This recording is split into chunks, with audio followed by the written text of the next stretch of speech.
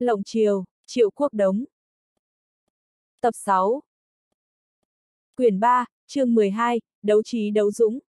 Mãi cho đến khi Triệu Quốc Đống ngồi trong phòng cô đàm luận công tác thì tâm trạng cù vận bạch vẫn còn không yên.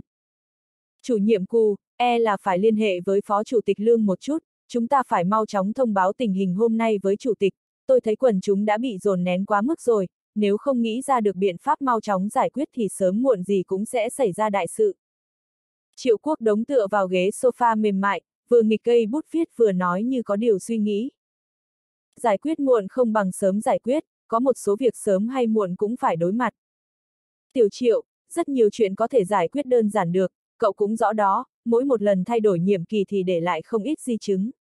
Hôm nay cậu hứa hẹn lại đem ban quản lý chúng ta vào cùng nữa, nếu một tuần nữa mà không thể có câu trả lời thì những người này e là sẽ thật sự bao vây trụ sở ban quản lý này mất. Cù vận bạch thở dài nói. Chủ nhiệm cù, chuyện cũng không phức tạp như chị tưởng tượng đâu, yêu cầu của nhiều người như vậy đều có khác biệt, cơm phải ăn từng miếng chỉ cần chúng ta có thể tìm ra chuyện nào giải quyết trước được thì giải quyết, để cho quần chúng vẫn nghĩ rằng lần này ban quản lý chúng ta vẫn có thể giải quyết vấn đề của bọn họ. Tôi nghĩ những vấn đề sau hoàn toàn có thể phân ra từng đoạn để xử lý. Triệu quốc đống kiến nghị. Đương nhiên, một số chính sách thì còn cần phải lên huyện tranh thủ, không một đố gột nên hồ, nếu không có một số chính sách và tài chính thì vấn đề sẽ không giải quyết được, cục diện cũng không thể thúc đẩy. Cụ vận bạch trầm ngâm một chút. Ý của cậu là trước tiên giải quyết một số vấn đề có thể dễ dàng giải quyết sao? Đúng, phiền toái, khó khăn lớn có thể đặt ra phía sau để lần lượt giải quyết từng bước, nếu thật sự không giải quyết được thì cũng có thể giải thích từ từ mà. Triệu quốc đống gật đầu nói. Chỉ cần chúng ta hành động thì quần chúng có hy vọng, bọn họ sẽ không dễ dàng đi theo hướng cực đoan, mà trong số này còn có kẻ muốn tư lợi cho bản thân và cố ý quấy đục nước gây rắc rối, cơ quan công an chúng tôi cũng không phải ngồi không. Cụ vận bạch không thể không thừa nhận người trẻ tuổi trước mặt dùng đầu quá tốt, gặp một vấn đề phức tạp mà hắn có thể phân tích dành mạch lại đưa ra mấy đối sách, đây là năng lực, chẳng trách còn trẻ như vậy mà đã leo lên được vị trí này. Ừ, Tiểu Triệu, tôi đồng ý ý kiến của cậu, chẳng qua chuyện này chúng ta phải báo cáo ngay với Phó Chủ tịch Lương rồi mới có thể xác định. Cù Vận Bạch đứng lên. Tôi sẽ liên hệ ngay lập tức với Phó Chủ tịch Lương, lát nữa chúng ta sẽ cùng đi gặp Phó Chủ tịch Lương. Đúng như Triệu Quốc Đống dự đoán, Cù Vận Bạch chẳng mảy may nhắc tới hai vị phó chủ nhiệm kia, nhất là phó chủ nhiệm Trương Thái Trương được phân công quản lý cơ sở hạ tầng, phá bỏ và di rời nơi khác. Rất rõ ràng vị phó chủ nhiệm Trương Thái Trương mà thường xuyên không thấy bóng dáng đâu đã để lại ấn tượng không tốt với chủ nhiệm cù. Thái độ của phó chủ tịch huyện Lương rất dứt khoát, nhất là Triệu Quốc Đống đã nhấn mạnh một số mắt xích không thực hiện đúng lúc nên làm cho quần chúng phản ứng rất mãnh liệt, bởi vậy khiến cho sự kiện bao vây liên tục sẽ có khả năng ảnh hưởng nghiêm trọng tới hình tượng thu hút đầu tư của khu khai phát.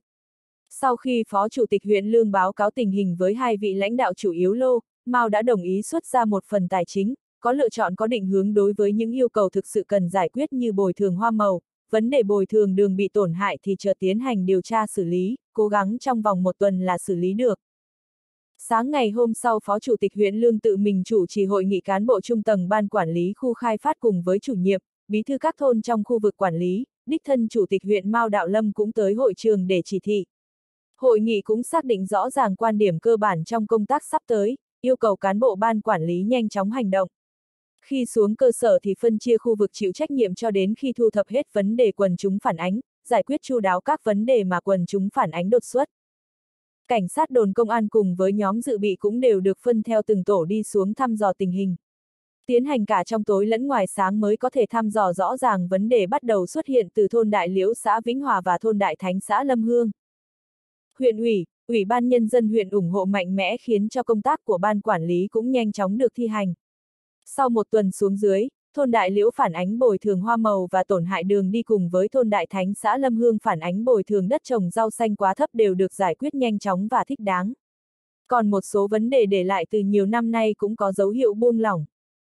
Từ thôn Đại Liễu và thôn Đại Thánh đi ra, tâm trạng của cụ vận bạch rất tốt. Từ khi đi vào ban quản lý đến giờ tâm tình của cô gần như chưa bây giờ được dễ chịu. Mà hai ngày nay không thể nghi ngờ đã làm cho cô được giải phóng cảm xúc tích tụ bấy lâu trong lòng. Tuy rằng hai thôn vẫn còn một vài vấn đề sót lại nhưng rõ ràng cảm xúc của quần chúng đã hỏa hoãn đi rất nhiều so với lần bao vây trước. Nhất là sau khi chứng thực mấy chính sách thì phản ánh của quần chúng khá tốt. Phó chủ nhiệm Triệu, xem ra công tác của ban quản lý chúng ta được khá tốt, so với thời gian trước thì đã có khởi sắc rồi. Ngồi ở trong văn phòng củ vận bạch ăn mặc hết sức đơn giản, rút kinh nghiệm bài học vừa rồi nên giờ chỉ cần là xuống cơ sở thì cô đều thay một bộ quần áo đơn giản. Ha ha, chủ nhiệm cù, đây cũng mới chỉ là hiện tượng bề ngoài. Tình hình theo tôi được biết thì cũng không có tốt như chị tưởng tượng đâu. Triệu quốc đống thành thục đánh tay lái. Ồ, phó chủ nhiệm triệu, ý của cậu là gì? Trong lòng cù vận bạch liền căng thẳng. Một vài vấn đề được giải quyết như trong dự liệu của chúng ta. Đây là những vấn đề vốn phải giải quyết đầy đủ, tỉ như bồi thường mầm giống cùng với việc sửa đường. Chỉ cần phòng tài chính huyện xuất tiền thì tất cả đều giải quyết dễ dàng. Nhưng những vấn đề nằm ở tầng sâu thì không đơn giản như vậy. Triệu quốc đống khẽ hừ một tiếng. Cảnh sát chúng tôi và bên dự bị khi đi xuống dưới đã đụng không ít thứ khiến người ta khoái trá. Một số cán bộ thôn đối với những cán bộ ban quản lý xuống dưới công tác như chúng tôi thì ngoài mặt là ủng hộ nhưng lại ngầm giám thị. Nội bộ ban quản lý giống như là không hoàn toàn tán đồng. Chủ nhiệm cù, chị thấy việc này như thế nào? Cù vận bạch thất kinh, nhưng cô không hỏi thăm sâu hơn, cô biết Triệu Quốc Đống là người kiêm hai chức nên có thể thông qua con đường công an nắm giữ được những điều mà không phải cán bộ ban quản lý bình thường có thể có được. Nội bộ ban quản lý bất đồng ý kiến thì có thể mặc kệ, Phó Chủ tịch huyện Lương và huyện ủy, Ủy ban Nhân dân huyện cũng đã định rồi, không ai có thể đảo ngược được, nhưng biểu hiện của cán bộ thôn mà cậu vừa mới nói là vấn đề đáng phải suy nghĩ sâu xa. Lời của cù vận bạch cũng ẩn giấu nửa phần, triệu quốc đống nhếch miệng cười, có thể lăn lộn lên làm chủ nhiệm ban quản lý xem ra không phải chỉ nhờ xinh đẹp là được, người phụ nữ này cũng rất biết động não, nói không sâu mà vẫn lưu lại đường để cho người khác tự do phát huy. Chủ nhiệm cù, đã có một sự mở đầu tốt đẹp thì sự tình phía sau cũng dễ làm hơn rất nhiều, tôi thấy cảm xúc của quần chúng đã giảm bớt hẳn, tiếp theo nên thâm nhập vào tầng sâu gì đó. Triệu quốc đống mỉm cười. Có nhiều việc tôi chỉ báo cho chị biết, mong chủ nhiệm cụ tạm thời giữ bí mật, ngoại trừ phó chủ tịch lương thì tạm thời không nên cho những người khác biết được. Tôi hiểu. Cụ vận bạch gật gật đầu, cô biết nếu triệu quốc đống đã nói như vậy thì nhất định là đã nắm giữ được một ít manh mối có giá trị. Sau khi công tác sơ bộ mở được cục diện ra thì công tác đồn công an liền triển khai toàn diện, đồn công an khu khai phát mới xây, thực tế hàng ngày tiếp đón sự vụ cũng không nhiều, ngoại trừ nhân viên trực ban thì đồn công an chủ yếu dồn tinh lực vào việc sáng tạo một hoàn cảnh đầu tư tốt đẹp cho khu khai phát. Lão Uông, xem ra mấy ngày nay chúng ta thu hoạch được không nhỏ, lão nói hai lãnh đạo chủ yếu của thôn Đại Liễu thay đổi biện pháp không cho chúng ta tiếp xúc quần chúng, rốt cuộc là có vấn đề gì? Triệu quốc đống tựa vào ghế salon cười quỷ quyệt. Ha ha, còn có thể là vấn đề gì chứ? Ngoại trừ vấn đề kinh tế thì những cái khác đều không có vấn đề. Uông Dũng Tuyền cũng rất hưng phấn. Vấn đề phản ánh ban đầu cũng có vài việc, gần như vụ nào cũng đều liên lụy đến bí thư và trưởng thôn. Tôi đã nói thôn Đại Liễu được trưng thu nhiều ruộng đất như vậy thì theo lý thuyết thôn hẳn phải khá giả mới đúng, dân chúng nếu nhận được lợi ích thực tế thì cũng sẽ không có nhiều ý kiến với chính quyền thôn như vậy chứ, còn không bên trong chắc chắn có điều cổ quái. Các vụ việc thì không tránh khỏi dính líu đến bí thư và trưởng thôn, nhưng mấu chốt vẫn là nhân viên kế toán, chỉ cần bắt được và thẩm vấn hắn thì rất nhiều điều sẽ được phơi bày ra ánh sáng, mọi chuyện cũng có thể tra ra manh mối. Triệu quốc đống trầm ngâm suy nghĩ. Ai, chỉ tiếc là loại chuyện tốt này lại đến lượt mấy tên bên viện kiểm sát, chúng ta cũng chỉ đành kẻ đầy tớ, vất vả mãi mới lấy ra được chút manh mối lại phải dâng lên viện kiểm sát. Uông Dũng Tuyền nói đầy tiếc nuối. Không sao, huyện ủy, ủy ban nhân dân huyện cũng không phải người ngu, bọn họ cũng hiểu rõ trong lúc này thì ai có tác dụng mấu chốt, viện kiểm sát cũng không có tổ chức cơ sở, không nhiều người có khả năng tìm ra manh mối cơ bản nhất từ ban quản lý, chỉ có thể là cơ quan công an chúng ta, sếp Chu cũng phất cờ gieo họ ủng hộ chúng ta. Triệu quốc đống không thèm để ý chuyện này. Ừ, chẳng qua tình hình bên thôn Đại Thánh có khả năng không giống vậy, một đám người cũng cán bộ thôn tổ cùng quấy nhiễu. Hiện tại hai công ty đều không thể khởi công, bọn người kia lại không ra mặt mà xúi dục người già, phụ nữ và trẻ em ra tay, đám thanh niên đều núp phía sau, cưỡng ép yêu cầu nhận thầu công trường và cắt đá sử dụng, bầu không khí này nếu không dẹp được thì e là việc kiến thiết khu khai phát vĩnh viễn không có ngày yên tĩnh. Trọng điểm chú ý của Uông Dũng Tuyền là đặt vào việc này. Loại hiện tượng này là đột nhiên mà có sao? Triệu Quốc Đống ngẫm nghĩ hỏi. Ở thôn Đại Thánh đã có chút manh mối, còn bên thôn Đại Liễu này thì còn chưa hiện ra. Uông Dũng Tuyền đáp. Lúc trước một số công ty không chịu nổi việc quấy nhiễu này nên đồng ý để bọn họ nhận thầu một ít công trình và vật liệu cắt đá. Nhưng bọn người kia ra giá quá đáng, gần như là tống tiền, công ty không dám đồng ý nhưng lại lo sau này không thể chỉnh đốn. Đây là manh mối mang tính chất xã hội đen, đây là cơ hội tốt để đồn công an khu khai phát chúng ta lập uy đây. Hai mắt triệu quốc đống sáng bừng lên, hắn không sợ không có việc mà chỉ sợ không có chuyện gì để công an trông nom. Giống như sự kiện mang tính bầy đàn ở nhà máy cơ giới thông lực, cơ quan công an nhúng tay vào thì không tốt, mà loại chuyện này thì chắc chắn là đối tượng săn bắt tốt nhất của công an. Khúc quân, anh dẫn người bí mật xuống dưới thu thập chứng cứ, chú ý, nhất định phải bí mật, mặt khác nhìn xem những người này có cấu kết với những phần tử sống ngoài xã hội hay không. Loại chuyện này thì sau lưng bọn chúng ắt hẳn có người, tìm kiếm một cánh cửa đột phá, tranh thủ xông vào, mở được cục diện. Quyển 3, chương 13, Đấu trí đấu dũng 2 Trương Thái xa sầm mặt ngồi trong văn phòng, thời gian này y cố gắng thể hiện mình tích cực trong công việc. Nhưng con ả của vận bạch kia đề phòng y nên rất kín miệng, không tìm được tin gì có tác dụng. Trương Thái biết rất nhiều thứ đều do bên đồn công an. Thằng trưởng đồn công an mới tới không quan hệ không nói, nghe nói là thằng rất tàn nhẫn. Ngay cả kính hải cũng thua trên tay nó. Nhưng đồn công an vừa thành lập nên rất kín kẽ, mấy tên cảnh sát vốn quen thì bây giờ có hỏi tin cũng không được. Mà Uông Dũng tuyển cứ gặp là cười ha hả, không nói gì. Vấn đề là bọn chúng nắm được gì. Trương Thái tin đối phương nhất định được vài thứ nhưng uy hiếp mình tới mức nào thì không biết. Lão Tề, tình hình thế nào? Không ổn, mấy tên kia không chịu nói, nói là đồn công an đã dặn tuyệt đối không lộ tin ra ngoài, tôi không tiện ép. Chẳng qua tôi cảm thấy bọn chúng đã biết vài thứ đáng giá trị. Ông tự thu xếp đi, đừng xen vào. Thằng triệu quốc đống đó ghê lắm, ngay cả Vương Đức Hòa cũng phải đứng bên. Giọng khàn khàn bên kia làm cho Trương Thái nghe thấy mà nóng mình. Lão tề, không có chút cụ thể nào sao? Hay là anh phân tích giúp tôi là bọn chúng đang điều tra thứ gì? Trương Thái nói. Bên kia trầm ngâm một chút rồi nói. Ông có thể biết bọn chúng nhằm vào ai, tránh ai mà tìm ra phương hướng. Cơ quan công an cũng không phải thần tiên, không thể thoáng cái biết hết. Pháo đài thường bị phá từ trong mà. Trương Thái định nói thì đối phương đã dập máy. Trương Thái dập mạnh máy rồi thầm chửi. Đám này không đáng quan hệ, lúc quan trọng thì cứ đùn đẩy sợ dính vào mình. Trương Thái mệt mỏi dựa lưng vào ghế mà suy nghĩ. Tác phong đám cán bộ ban quản lý thì y hiểu, bọn họ có đi xuống cũng không có gì có tác dụng. Nhưng đám cơ quan công an lại khác, thấy lỗ là chui, mũi người thấy là cắn chặt không bỏ. Thôn đại liễu có chút phiền phức, Trương Thái mệt mỏi bóp bóp đầu, xem ra mình đi hơi quá một chút. Trên thực tế Trương Thái cũng hiểu từ sau khi huyện không đồng ý để y làm chủ nhiệm ban quản lý, mà để cụ vận bạch làm nói rõ y vô vọng. Nhưng y không cam tâm, không cam tâm mất cái trước đó. Cưỡi hổ khó xuống, đây là Trương Thái phân tích tình hình của mình như thế. Liên minh lợi ích không phải vỗ tay là tan, mình lo, bọn họ cũng lo. Nhưng trước mặt lợi ích thì ai muốn buông tay. Phải kiến đồn công an không còn chú ý tới, làm thằng Triệu Quốc Đống nhìn chằm chằm vào thôn Đại Liễu thì sớm muộn cũng có vấn đề. Triệu Quốc Đống, đừng trách tao, là mày ép tao đó. Cụ Vận Bạch và Triệu Quốc Đống đang báo cáo tình hình với Phó Chủ tịch huyện.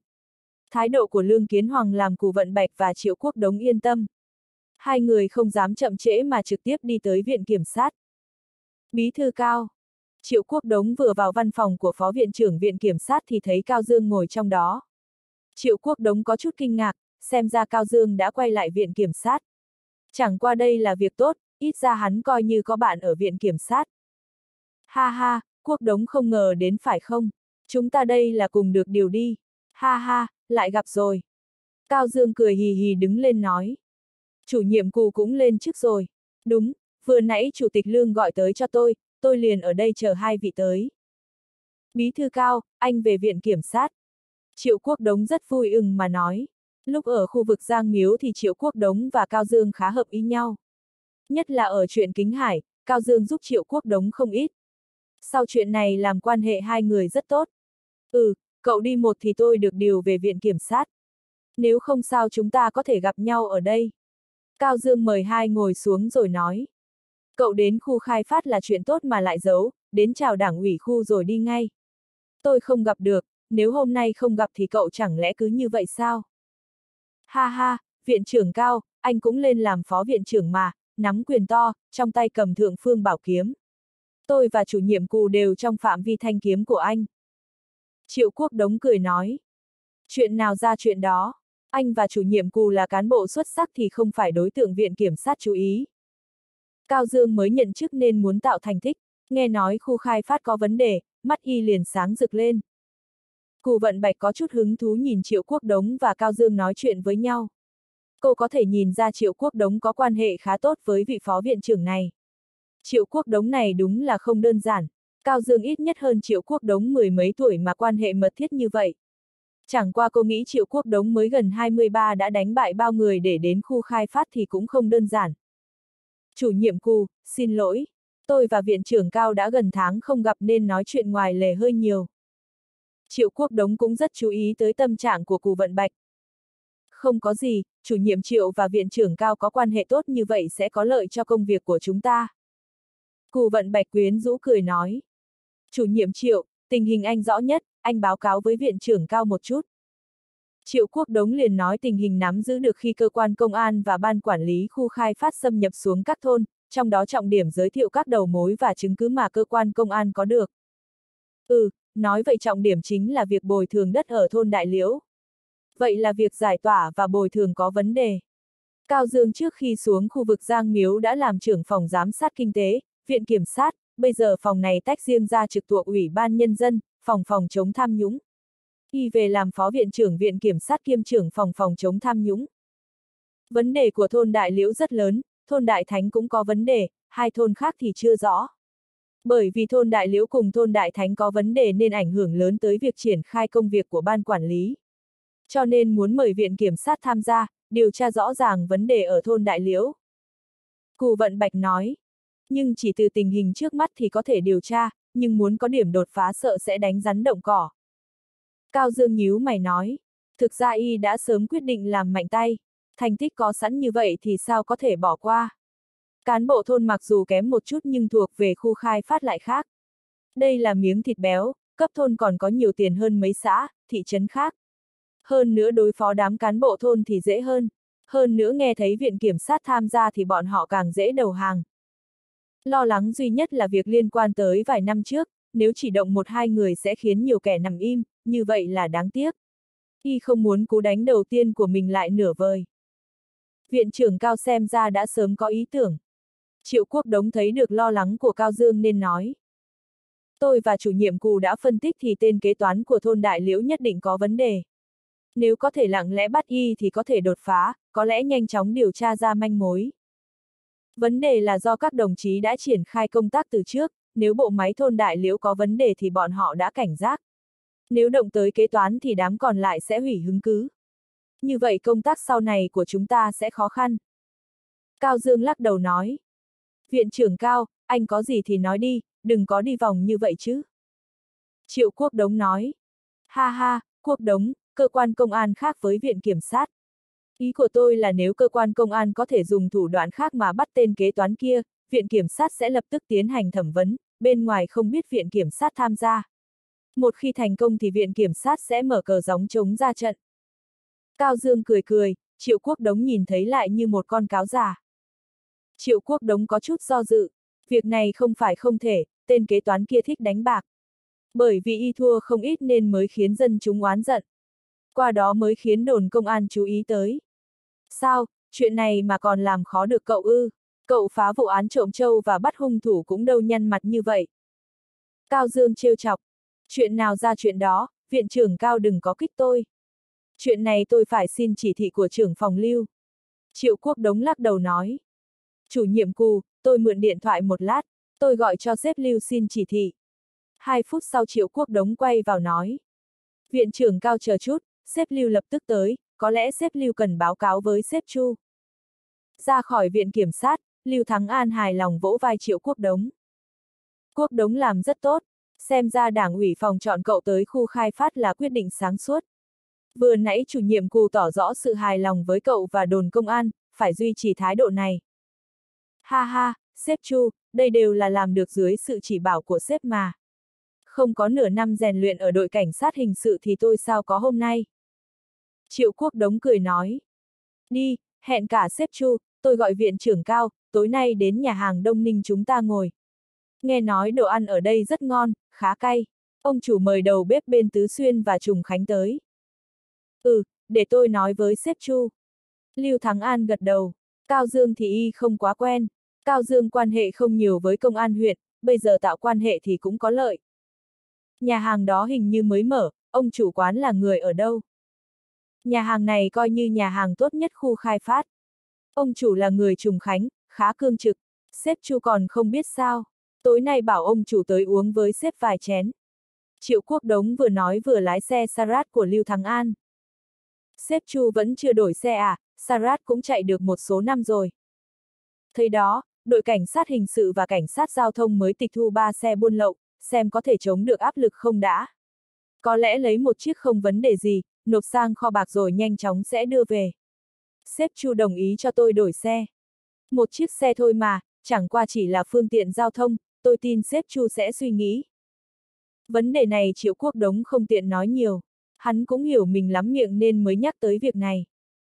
Ừ, phương tiện giao thông mà thôi.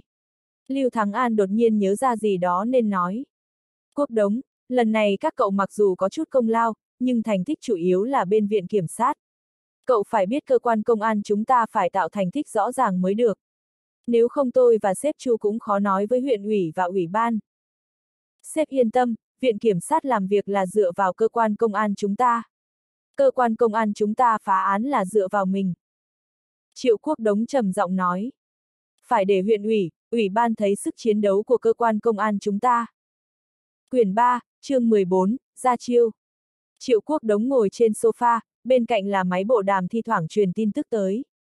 Cái này Triệu Quốc Đống mất nhiều công sức mới được Lương Kiến Hoàng và Cù Vận Bạch thông qua, bỏ hơn 10.000 mua 4 chiếc máy bộ đàm và một máy ở trụ sở. Ở thời đại điện thoại di động chưa phổ biến thì thứ này là vũ khí lợi hại của cơ quan công an.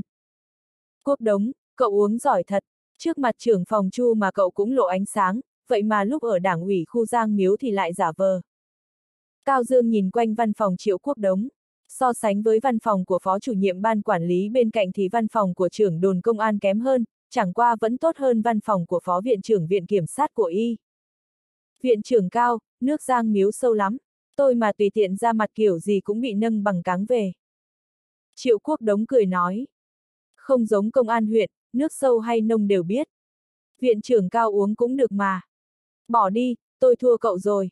Sau đây tôi phải mang vài cao thủ của viện kiểm sát tới mới được. Cao Dương vội vàng lắc đầu nói. Ha ha, viện trưởng Cao, không phải tôi đã kích tính tích cực của anh. Nếu nói về uống rượu thì mấy người bên viện kiểm sát muốn đấu với công an huyện thì sợ hơi khó khăn. Triệu Quốc Đống cười nói. Cậu dám coi thường viện kiểm sát. Cao Dương ra vẻ tức giận. Không dám, lấy việc luận việc thôi mà. Triệu Quốc Đống cười ha hả. Lúc này bộ đàm trên ghế vang lên tiếng của khúc quân. Trưởng đồn Triệu, đã thành công thu được hơn 10 ngàn, có 6 tên đánh bạc. Tôi hỏi anh mục tiêu có bắt được không? Triệu Quốc Đống cắt ngang lời Triệu Quốc Đống nói. Người này sao không biết nặng nhẹ, hơn 10 ngàn mà đã quên hết mọi việc sao? Bắt được, người này thua không ít, chúng tôi trang trên đường về. Khúc quân cũng ý thức được một chút nên vội vàng nói. Được, chú ý an toàn. Triệu Quốc Đống nói. 20 phút sau chiếc xe Jeep và một xe cảnh sát mới tinh dừng tại sân của đồn công an. Triệu Quốc Đống và Cao Dương cùng mấy nhân viên công tác của Viện Kiểm sát đứng cửa sau quan sát mấy tên đánh bạc đang buồn bã đi xuống. Đám người này bị yêu cầu đứng thành hàng cạnh tường, sau đó lấy hết các thứ trên người ra. Có lẽ không ai ngờ đến tận nửa đêm mà còn có người đến bắt đánh bạc. Trước mặt mọi người là một đống lớn như thuốc, bật lửa, tiền, thậm chí còn một chiếc điện thoại di động. Chẳng qua không ai ngờ chỉ một cuộc đánh bạc sẽ mang tới một cơn bão tố chính là người thứ ba từ trái sang phải. Triệu Quốc Đống chỉ cho Cao Dương và mấy nhân viên viện kiểm sát. Tên kia có lẽ không hiểu sự nghiêm trọng của vấn đề nên mặt mày chỉ có chút bực bội, không biết sao lại đen như vậy. Ừ, các cậu đầu tiên cứ theo trình tự mà làm. Đánh bạc hơn 10 ngàn thì cũng coi là vụ lớn, không chừng có thể truy tố. Cao Dương nói. Đầu tiên xác định tội đánh bạc, chúng tôi sẽ tới mang đi. Được, hơn 2 tiếng sau sẽ giao cho anh. Tầm 4, 5 giờ đêm là lúc người ta mệt mỏi nhất, càng dễ nắm được tên này. Một vụ án đánh bạc đối với đồn công an thì quá quen thuộc. Không đầy hai tiếng sau các thủ tục đã xong, chỉ chờ quyết định cuối cùng. Viện trưởng cao, xem các anh có thể thành công hay không. Không được thì chúng tôi chỉ có thể lưu theo quy định, nhưng như vậy không thể đảm bảo tin tức không lộ ra. Tình hình trong chỗ tạm giam khá phức tạp, nhiều người. Chỉ cần có người ra là khó giữ bí mật. Triệu Quốc Đống nhắc nhở Cao Dương đang chuẩn bị thẩm vấn.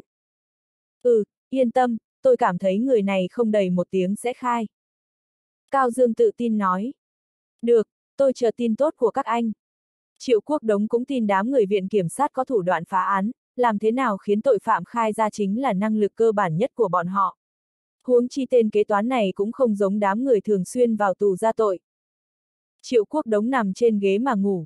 Trong thời gian này hắn cũng không nghỉ tốt, suốt ngày nghĩ làm thế nào mở cục diện, ngủ cũng không ngon. Tiếng Cao Dương đẩy cửa phòng làm Triệu Quốc Đống tỉnh lại. Nhìn vẻ mặt lo lắng kèm cả vui mừng của Cao Dương thì Triệu Quốc Đống sợ vấn đề không đơn giản. Viện trưởng Cao, sao rồi? Có chút phiền phức, tên này khai ra nhưng lại quá nhiều khiến tôi trong lúc nhất thời không tiêu hóa được. Hơn nữa căn cứ hắn khai thì còn liên quan tới nhân viên trong ban quản lý. Nhưng giọng của hắn không rõ ràng, cụ thể ban quản lý cấu kết với thôn như thế nào thì chỉ có bí thư và trưởng thôn là biết. Hắn chỉ phụ trách sổ sách. Cao Dương hít sâu một hơi. Sơ bộ đánh giá thì khoản tiền liên quan là 200, 300 ngàn. Vụ án rất lớn. Vậy sao còn chưa ra tay? Còn chờ gì nữa? Triệu quốc đống ngồi lên. Dựa vào lời khai của người này còn chưa đủ, chúng tôi muốn lấy sổ sách xác minh. Nếu là thật thì bộ máy thôn đại liễu coi như xong. Cao Dương thở dài một tiếng. Nhưng sổ sách và bằng chứng trước đều trong nhà người này. Tôi lo chúng ta đi như vậy sẽ kinh động đám cán bộ thôn khác. Chẳng may có vấn đề thì sẽ thất bại. Triệu Quốc Đống đứng dậy đi đi lại lại trong văn phòng và suy nghĩ nên xử lý ra sao. Hắn nhìn thấy đã gần 8 giờ, chỉ đã sáng choang. Viện trưởng cao, nếu không như vậy đi, tôi mời chủ nhiệm cù lấy danh nghĩa ban quản lý triệu tập bí thư, trưởng thôn tới họp. Để bọn họ tới phòng hội nghị cả sáng. Chờ bọn họ lên họp là chúng ta bí mật lục soát. Triệu quốc đống suy nghĩ một chút rồi nói. Tôi sợ chúng ta vừa lục soát là có người truyền tin tới đám cán bộ thôn, như vậy sẽ có phiền phức. Tôi nghĩ chúng ta phải mạo hiểm một chút. Ở đây họp thì anh bố trí người viện kiểm sát chờ ở cửa ban quản lý. Nếu thấy cán bộ thôn đại liễu tới báo tin thì lập tức bắt lại. Nếu không sau khi lấy được sổ sách thì các anh cũng lập tức bắt người. Triệu quốc đống cắn răng nói. Cao Dương thấy hô hấp mình hơi nặng nề. Y biết đề nghị của Triệu quốc đống là tốt nhất, nhưng chỉ dựa vào lời khai một tên kế toán không thể xác định là thật. Nếu không là thật mà viện kiểm sát tùy tiện bắt cán bộ thôn, chuyện có chút phiền phức. Triệu quốc đống cũng biết chỗ khó của đối phương, nếu thời gian đủ thì hành động sẽ chu đáo hơn. Nhưng bây giờ thời gian rất gấp, khiến bọn họ không thể không làm như vậy. Một lúc lâu, Cao Dương khó khăn ngẩng đầu lên. Cứ làm như vậy đi, xảy ra chuyện tôi phụ trách. Mẹ nó chứ, tôi không tin mình sẽ ngã vì vụ này. Triệu quốc đống cười nói. Viện trưởng Cao, không vấn đề gì cả. Với phán đoán của tôi thì bây giờ anh mà trực tiếp bắt bí thư và trưởng thôn có lẽ bọn họ sẽ như tờ giấy thấm nước, khai hết. Bình thường bọn họ hò hét giỏi nhưng nếu ra trận thì rất yếu đuối. Chẳng qua cẩn thận vẫn hơn, viện kiểm sát chú trọng quy định.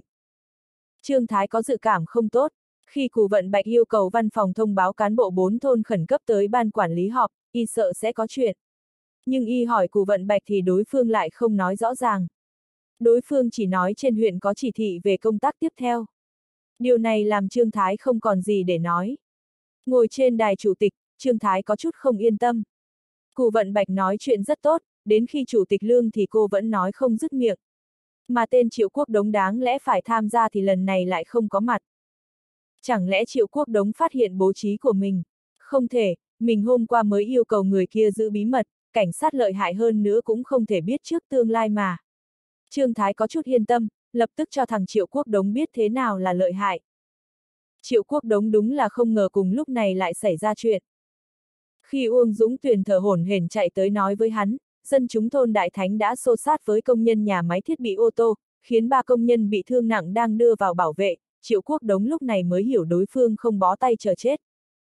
Chiêu này đúng là lợi hại, nếu không phải sớm bắt kế toán thôn Đại Liễu, viện kiểm sát cũng nhanh chóng có đột phá thì sợ chuyện này sẽ làm mình bị động. Mà bây giờ mình cần phải làm là lấy chiêu hủy chiêu. Đương nhiên sẽ bị chỉ trích. Mặc dù có chuẩn bị về tâm lý nhưng Triệu Quốc Đống không ngờ chuyện lại lớn như vậy. Chu Tinh Văn vừa gặp đã mắng to, Lưu Thắng An cũng mắng làm Triệu Quốc Đống thấy chật vật. Mà Chủ tịch Lương cũng nhắn tới yêu cầu hắn gọi lại. Chủ tịch Lương, tôi là Quốc Đống. Xảy ra chuyện, thôn Đại Thánh sao lại xảy ra chuyện lớn như vậy? Phụ trách công ty xây dựng và nhà máy đã tới tìm bí thư lô cùng chủ tịch huyện Mao phản ánh các cậu dung túng đám lưu manh địa phương gây nhiễu cho công ty. Bây giờ khiến ba công nhân bị thương, tổn thất về tài sản. Bọn họ nói nếu không xử lý tốt sẽ báo cáo lên thị ủy, chính quyền thành phố. Cậu có biết như vậy ảnh hưởng xấu như thế nào không? Bí thư lô cùng chủ tịch huyện Mao rất tức giận, tôi cũng bị hai lãnh đạo mắng. Triệu Quốc Đống cũng không biết nói gì. Hắn không ngờ đối phương lại gây khó dễ ở thôn Đại Thánh. Hiển nhiên đối phương là muốn khiến mình chú ý sang thôn Đại Thánh. Nhưng bây giờ hắn chỉ có thể chịu đựng lãnh đạo mắng. Chủ tịch Lương, do tôi không làm tốt công việc, làm lãnh đạo bị liên lụy. Chuyện này là trách nhiệm của tôi. Tôi không ý thức được bên thôn Đại Thánh lại có vấn đề rất nghiêm trọng như vậy. Triệu Quốc Đống ổn định lại tâm tư rồi nhận sai. Tôi lập tức triển khai công việc, tranh thủ trong thời gian ngắn nhất có báo cáo lên huyện ủy. Xin Chủ tịch Lương yên tâm. Quốc Đống, tôi biết khu khai phát rất nhiều vấn đề. Chủ nhiệm cù là nữ đồng chí, rất nhiều việc không tiện bằng đồng chí nam. Cậu không chỉ là trưởng đồn công an, mà còn là phó chủ nhiệm ban quản lý, phải học cách bố trí hợp lý. Bây giờ thôn Đại Thánh xảy ra chuyện có ảnh hưởng rất xấu, nếu như không thể ngăn cản điều này thì sợ khu khai phát sẽ bị đám lưu manh khống chế. Điều này ảnh hưởng không tốt tới việc thu hút đầu tư của huyện ta. Cho nên trong thời gian ngắn nhất cậu phải thể hiện được uy phong của cơ quan công an. Lương Kiến Hoàng dịu giọng đi rồi nói. Tình hình bên thôn Đại Liễu thế nào rồi?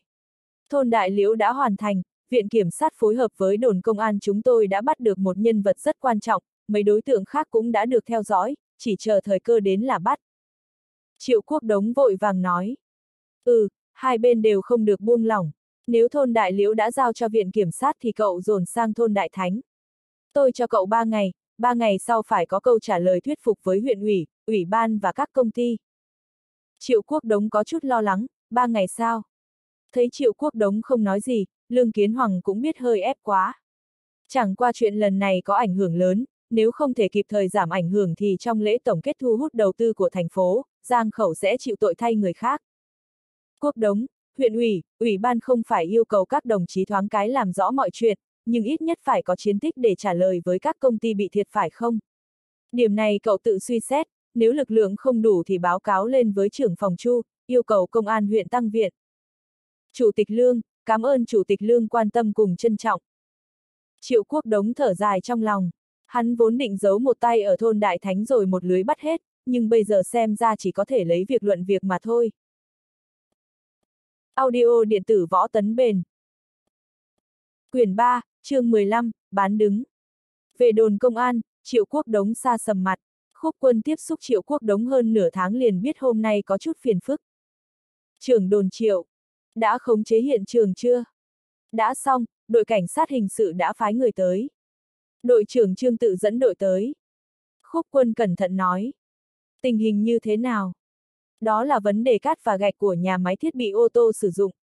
Thôn Đại Thánh yêu cầu nhất định phải do bọn họ nhận thầu, hơn nữa giá cao hơn thị trường. Nhà máy không đồng ý, muốn do một công ty xây dựng bên ngoài thi công. Hai bên đã cãi vã nhiều lần, không ngờ lần này lại thành như vậy. Khúc quân nói. Bây giờ bắt được mấy nghi phạm. Triệu Quốc Đống nói. Năm người, nhưng đều là người gây chuyện. Hung thủ đánh người bị thương đã trốn thoát. Khúc quân có chút xấu hổ nói. Chạy hết rồi ư. Triệu Quốc Đống lớn tiếng nói. Một câu chạy thoát là báo cáo được với huyện ủy, ủy ban sao. Xếp Triệu, khi chúng ta tới hiện trường thì người đã bị thương, hơn nữa rất loạn. Chúng tôi chỉ có 5 người, sau đó xếp Uông dẫn theo 10 người tới nhưng đám hung thủ đã sớm chạy khi chúng ta tới, còn lại cũng chỉ là người nghe suối bảy. Khúc quân nói. Triệu quốc đống thở dài một tiếng. Hắn cũng biết mình hơi nóng nảy, chuyện này nhìn như bộc phát nhưng nhất định là được lên kế hoạch từ trước. Đây không phải là đánh nhau mà là cố ý gây thương tích. Muốn bắt hung thủ đúng là không dễ. Tài liệu về năm người này có thể phản ánh tình hình về vụ việc không? Tôi là nói có thể xác định ai làm ba công nhân bị thương không? Cơ bản có thể xác định, chúng tôi đã lấy lời khai của hai bên, cũng từ phản ánh mà tìm ra đặc điểm của mấy hung thủ. Khúc quân gật đầu nói. Là người địa phương ư. Triệu quốc đống nhìn chằm chằm vào đối phương. Có hai người thôn đại thánh, hai người khác nghe giọng là bên giang miếu. Khúc quân do dự một chút rồi nói. Còn một người nghe nói là nhân vật quan trọng, y không phải người giang khẩu, nghe nói hình như người An Đô tới. Ồ! Triệu quốc đống trầm ngâm một chút, xem ra vụ việc này không đơn giản, khu khai phát giang khẩu cũng có thế lực An Đô xen vào sao. Hai người kia có phải là kẻ mà chúng ta đã chú ý không? Đúng, nhưng không phải mục tiêu chủ yếu. Hai người chúng ta nghi ngờ không ra mặt, có lẽ là đứng sau giật dây. Khúc quân có chút nuối tiếc, vậy phải bắt hai tên tội phạm mới bắt được tên giật dây. Nếu chúng ta có thể xác định đối tượng thì dù là chủ yếu hay không thì cũng có chút đầu mối. Tối nay bắt đầu hành động, tôi sẽ báo cáo lên công an huyện mời đội cảnh sát hình sự phối hợp. Trong hai ngày phải bắt được hai đối tượng thôn Đại Thánh. Triệu Quốc Đống trầm giọng nói. Xếp Triệu, hai ngày thì hơi gấp, hai tên đó bởi vì không phải trọng điểm nên chúng ta không có nhiều đầu mối. Một tuần được không, tôi đảm bảo trong vòng một tuần bắt được. Khúc quân gãi đầu nói. Khúc quân, đây là lệnh của lãnh đạo huyện, bắt không được tôi mất chức, anh cũng không tốt hơn. Đầu mối không rõ thì lập tức điều tra. Con chim bay trên trời còn có bóng, phát động tất cả lực lượng, cần thưởng thì thưởng. Bao nhiêu do anh tự quyết định. Triệu quốc đống trầm giọng nói. Mắt khúc quân sáng lên nói. Xếp triệu, đây là anh nói đó. Tôi nói. Triệu quốc đống nói. Cần thưởng phải thưởng, bây giờ là thời kinh tế thị trường, nhân viên mạo hiểm mà không thưởng thì ai làm. Được, xếp triệu, vì lời này của anh thì tôi cũng tự tin. Tôi lập tức đi bố trí. Có thưởng thì khúc quân cũng có chút tự tin, khi biết đám lưu manh, chỉ cần có tiền thì kiểu gì cũng mua được manh mối. Đúng rồi, anh nói cho tôi hình dạng của mấy tên bên Giang Miếu và Hoa Liên, tôi xem có ấn tượng nào không. Triệu quốc đống đột nhiên nhớ tới gì đó nên nói. Ngoài ra 5 người gây rối thì nếu đủ chứng cứ thì theo luật tạm giam. Giang Nhất Hổ nhận được điện của Triệu Quốc Đống thì có chút buồn bực. Y đã không dính vào việc xã hội, nhưng làm bãi cát thì khó tránh khỏi quan hệ với người xã hội. Có một số việc không phải anh muốn thoát là thoát được, hơn nữa làm ngành này nếu thì nếu không quan hệ với xã hội thì sẽ có kẻ nhầm vào. Giang Nhất Hổ nghĩ mình bây giờ coi như nửa trắng nửa đen. Chẳng qua Giang Nhất Hổ cũng biết mình chỉ cần đã từng đi trên đường là không thể thoát hẳn. Trừ khi anh làm một nông dân đào đất mà ăn, nhưng y không làm được như vậy. Khi nhị ngốc tử bị triệu quốc đống tả lại, Giang Nhất Hổ biết đám nhị ngốc tử không thể thoát. Y biết bản lĩnh của triệu quốc đống. Dù là mình không cung cấp đầu mối, chỉ cần đối phương biết đó là người bên Giang Miếu thì cũng có con đường khác. Không chừng lập tức có người truyền tin nhị ngốc tử tới tai triệu quốc đống. Huống chi Giang Miếu cũng không thích nhị ngốc tử, chạy sang Hoa Liên lăn lộn hai năm, bây giờ lại chạy lên huyện mà tìm chết. Triệu quốc đống cầm điện thoại kiên nhẫn đợi đối phương lên tiếng. Hắn biết chuyện này với người xã hội như Giang Nhất Hổ thì không dễ chấp nhận. Chỉ cần xác định hai người này bên Giang Miếu là đủ. Dù Giang Nhất Hổ không hợp tác thì hắn cũng có thể tìm người khác. Triệu ca, chuyện này có chút khó xử. Người anh nói thì tôi biết, nhĩ ngốc tử và quách nhị hoa bên Bảo Long. Triệu quốc đống cắt ngang lời Giang Nhất Hổ. Nhất Hổ, hai người này là bên Giang Miếu, tôi không làm khó anh. Anh cho tôi địa điểm bọn chúng ẩn thân, cũng chính là nếu bọn chúng phạm tội sẽ trốn ở đâu, tôi chỉ cần biết như vậy. Triệu quốc đống cứng rắn như vậy làm Giang Nhất Hổ cười khổ một tiếng, đây không phải ép mình làm người ác. Đám nhị ngốc tử đâu đáng để mình đưa vào chỗ chết. Thấy Giang Nhất Hổ không nói, Triệu quốc đống hừ một tiếng. Nhất Hổ, anh phải biết anh bây giờ không cùng đường với đám nhị ngốc tử. Dùng cách đó mà kiếm tiền chỉ có chết. Một câu, anh giúp tôi hay không thì bọn chúng cũng xong. Điểm này anh cũng biết, chẳng qua chỉ là sớm hay muộn. Tôi muốn bắt thì chúng có cánh cũng không thoát. Ôi, triệu ca, bỏ đi. Các anh đến hỏi Vương Sấm Hoa ở xã Cựu Điếm, Bình Xuyên mà xem, đó là bạn tù của nhĩ ngốc tử. Bình thường nhĩ ngốc tử đều đến đó trốn. Giang Nhất Hổ có chút bất đắc dĩ nói. Ừ, Vương Sấm Hoa rất có tiếng tăm sao. Triệu Quốc Đống gật đầu nói. Cựu điếm rất gần đồn công an. Vừa hỏi là biết. Giang Nhất Hổ thở dài một tiếng, mình còn lựa chọn khác sao? Quyển 3, chương 16, Toàn Thắng. Lô Vệ Hồng, Mao Đạo Lâm, Bao Thái Bình, Trần Túc, Lương Kiến Hoàng ngồi trong phòng hội nghị. Ngồi bên trái phân biệt là Chu Tinh Văn, Lưu Thắng An, Triệu Quốc Đống. Bên phải là viện trưởng và phó viện trưởng viện kiểm sát, Tiền Vô Cấu, Cao Dương, chủ nhiệm ban quản lý khu khai phát Cù Vận Bạch.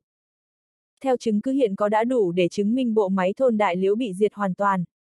Ngoài người phụ trách dân quân tự vệ và một cán bộ hội phụ nữ không dính vào thì bí thư, trưởng thôn, kế toán, hai tổ trưởng đều tham ô, nhận hối lộ, số lượng trên 200 ngàn, đủ để cấu thành tội phạm. Bây giờ Viện Kiểm sát chúng tôi đã phê lệnh bắt 6 người, chuẩn bị trong thời gian ngắn nhất khởi tố. Cao Dương lớn tiếng nói.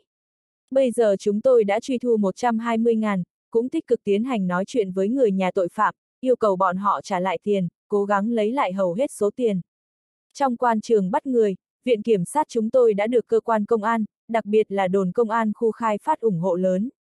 Đầu mối cũng lấy từ đồn công an khu khai phát, cho nên ở đây tôi thay mặt Viện Kiểm sát cảm ơn công an huyện đã phối hợp và ủng hộ chúng tôi. Chu Tinh Văn cũng cười nói. Phó viện trưởng cao quá khách khí, cảnh sát và viện kiểm sát là cùng một nhà, phối hợp là điều nên làm. Lão Chu, cần cảm ơn phải cảm ơn, nếu không có các anh thì vụ án này không giải quyết tốt đẹp như vậy. Tiền vô cấu nói. Bí thư Lô, Chủ tịch huyện Mao, Chủ nhiệm Trần, Phó Chủ tịch Lương, vụ án này Viện Kiểm sát và Công an huyện phối hợp rất tốt.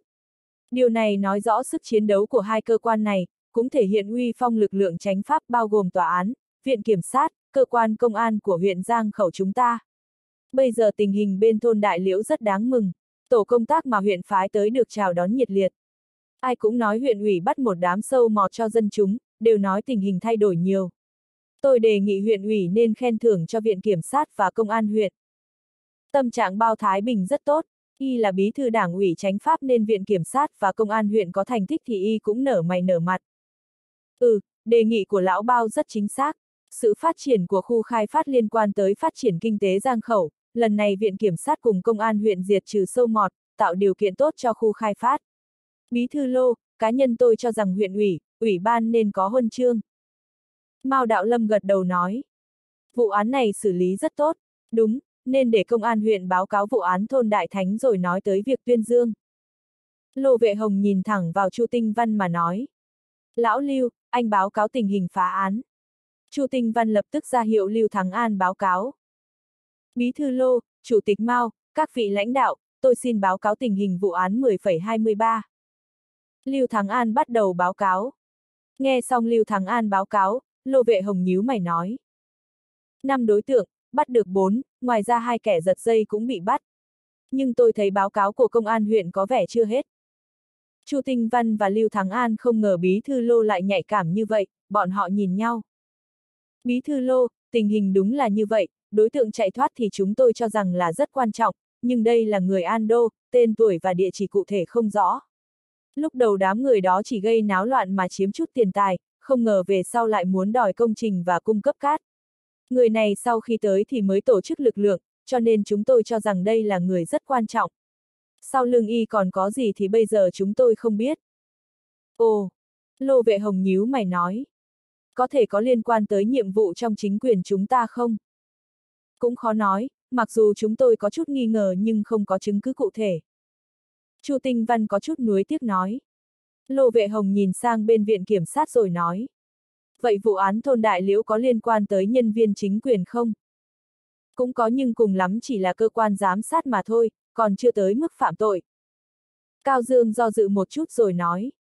Lão Trần, bên các anh thì sao?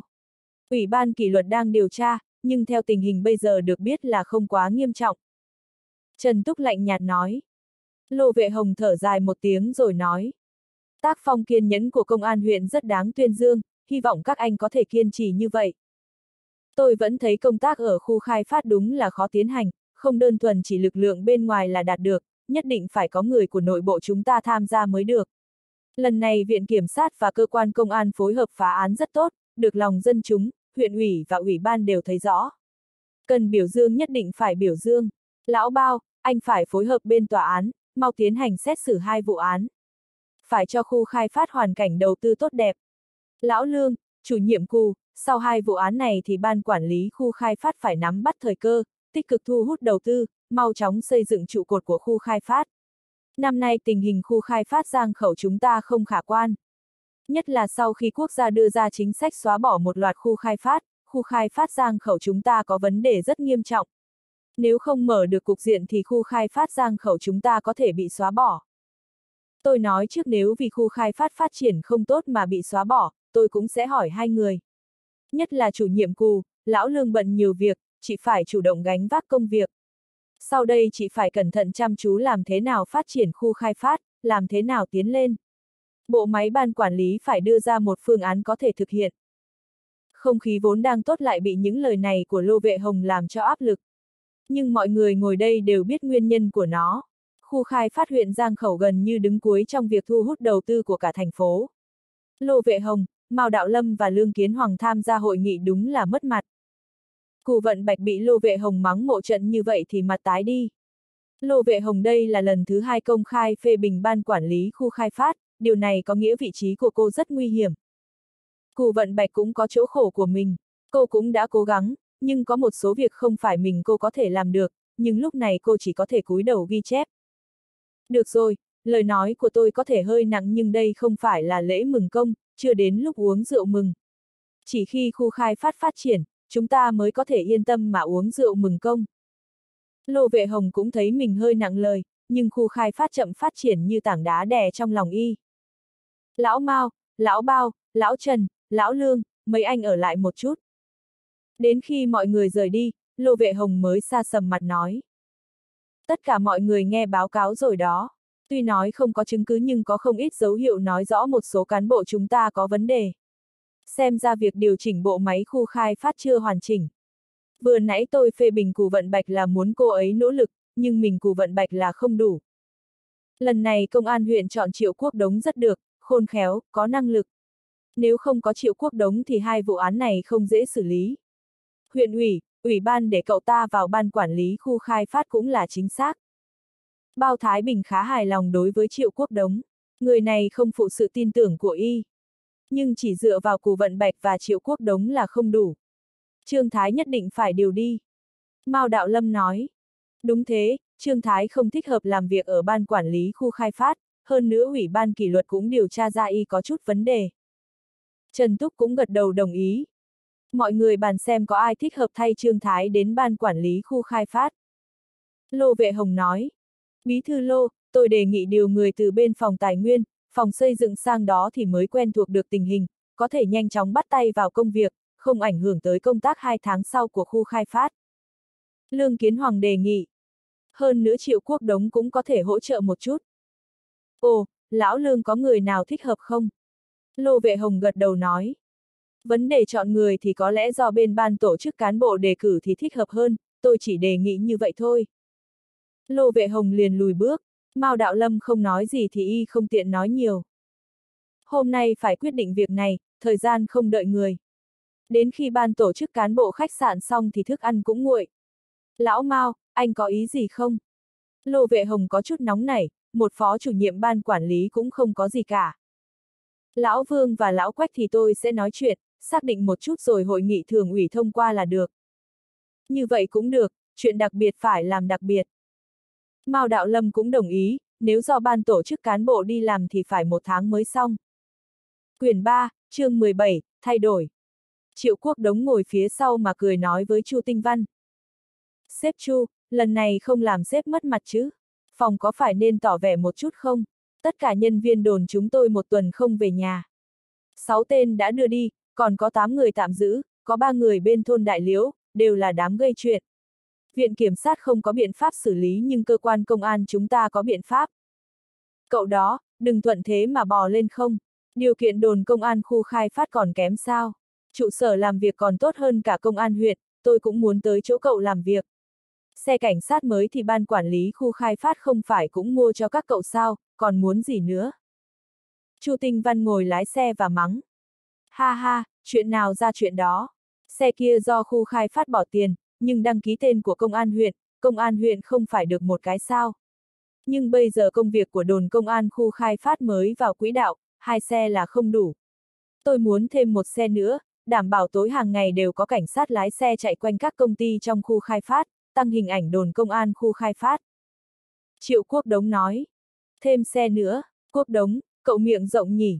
Đồn công an nội thành mới có hai chiếc, phòng cũng mới đồng ý cho bác Giao, Tây ngoại mua thêm một chiếc xe, cậu muốn cho các đồn công an kia đỏ mắt sao?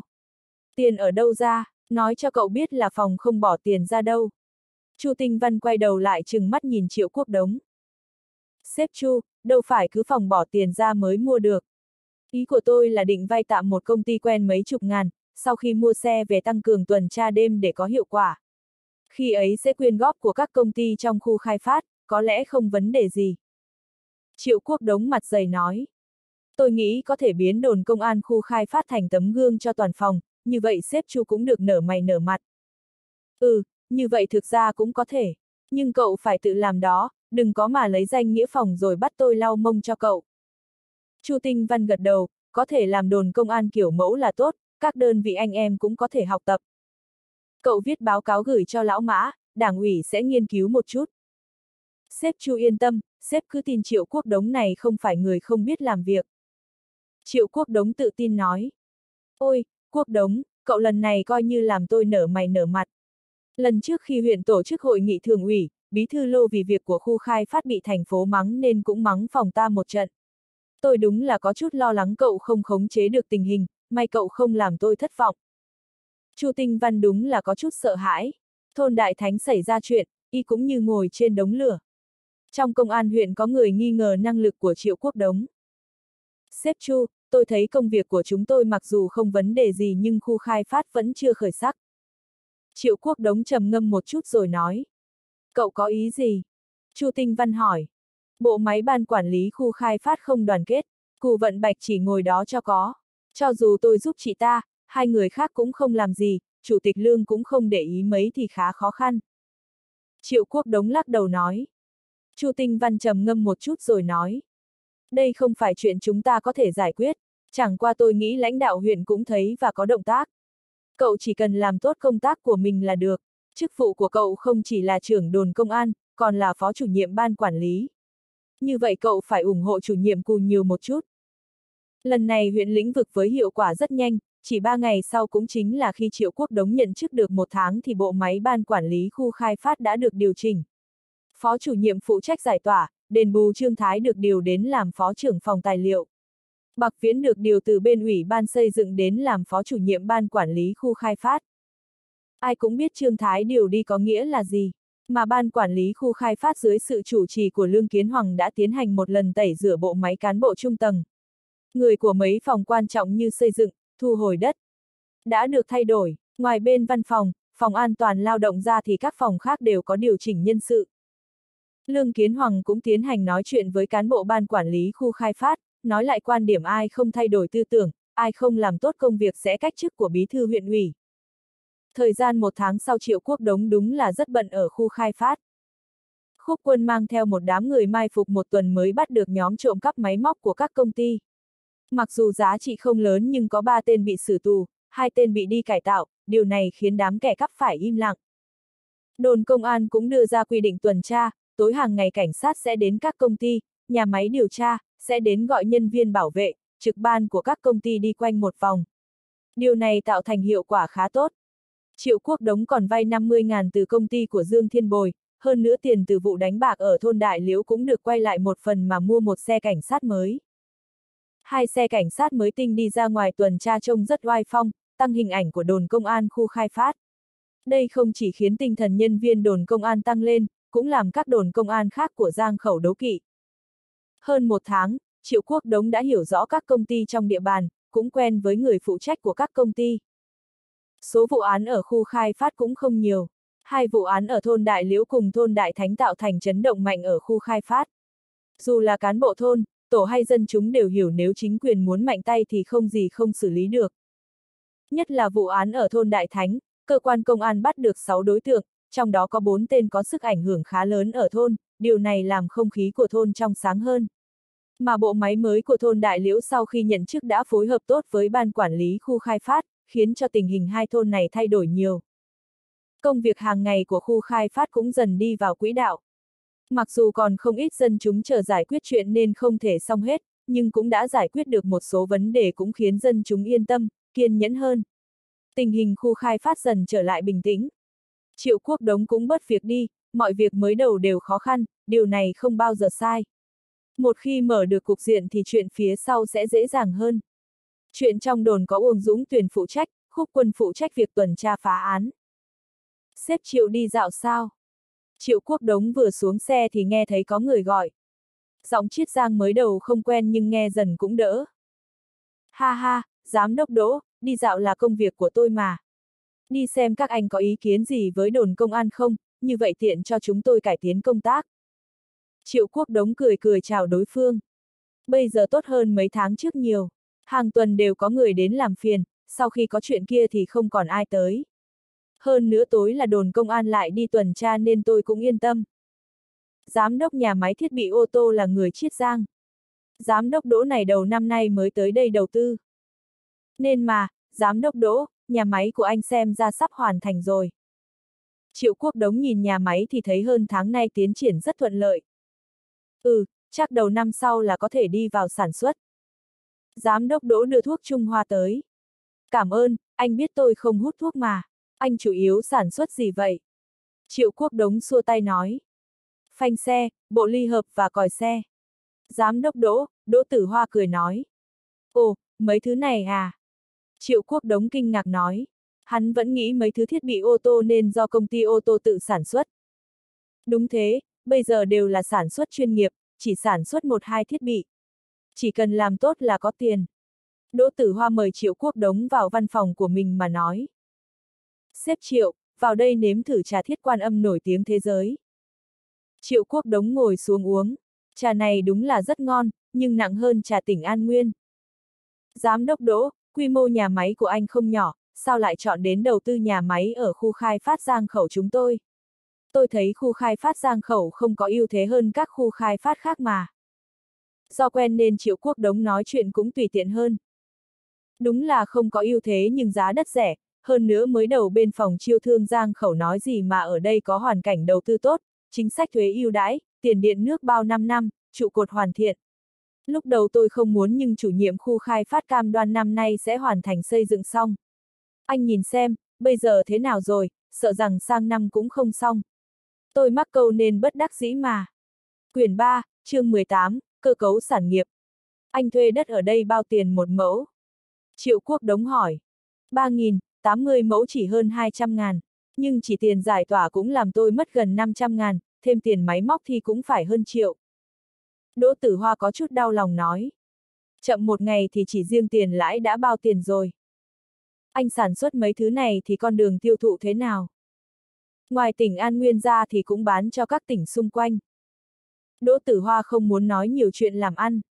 Nếu như không có nhà máy sản xuất ô tô ở Bích Trì thì sợ anh cũng không đến đây đầu tư phải không? Triệu Quốc Đống đột nhiên hỏi. Quận Bích Trì nằm giữa huyện Giang Khẩu và quận An Đô, là một quận trực thuộc thành phố An Đô.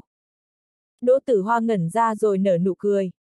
Xếp Triệu, xem ra anh cũng hiểu rõ nhỉ. Đúng, không có nhà máy sản xuất ô tô An Nguyên thì tôi cũng không đầu tư nhà máy ở đây. Chẳng qua dựa vào nhà máy sản xuất ô tô An Nguyên là không được, dựa vào một thân cây là rất nguy hiểm. Ở đây không khá xa mấy nơi như Trường An, Trùng Khánh, Thập Yển, Hồ Bắc, Thành Đô, Tú Xuyên. Chỉ cần sản phẩm công ty tôi vượt qua kiểm tra là có thể tiến vào. Chỉ vì nguyên nhân này sao? Triệu Quốc Đống nhìn đối phương. Còn có một điều tôi vừa nói. Giá ở đây rẻ hơn quận Bích Trì, khoảng cách cũng không xa, tiền lương công nhân cũng thấp, thuế ưu đãi, đương nhiên cũng có thể thử. Đỗ Tử Hoa suy nghĩ một chút rồi nói. Nghe nói tập đoàn DU Hàn Quốc cũng tiếp xúc với nhà máy sản xuất ô tô An Nguyên, chuẩn bị liên doanh. Không biết anh có nghe thấy tin này không? Có chuyện này sao? Triệu Quốc đống giật mình. Theo hắn nhớ thì các tập đoàn ô tô lớn của Nhật Hàn tiến vào Trung Quốc còn chậm hơn Âu Mỹ nhiều. Ngoài mấy tập đoàn cấp 2 như Suzuki bắt đầu thử thì mấy tập đoàn khổng lồ như Toyota, Nissan còn chưa đến lúc đặt chân vào Trung Quốc. Mà bây giờ tập đoàn của Đức cũng bắt đầu tiến hành hợp tác với hai công ty Thượng Hải cùng Trường Xuân. Mấy tập đoàn ô tô của Pháp, Anh tới Trung Quốc đầu tư cũng không bằng nước Đức đến đầu tư. Mà tập đoàn ô tô khổng lồ của Nhật, Hàn đến bây giờ vẫn còn thái độ thăm dò. Tin tức chưa chính thống, cũng không biết thật hay giả.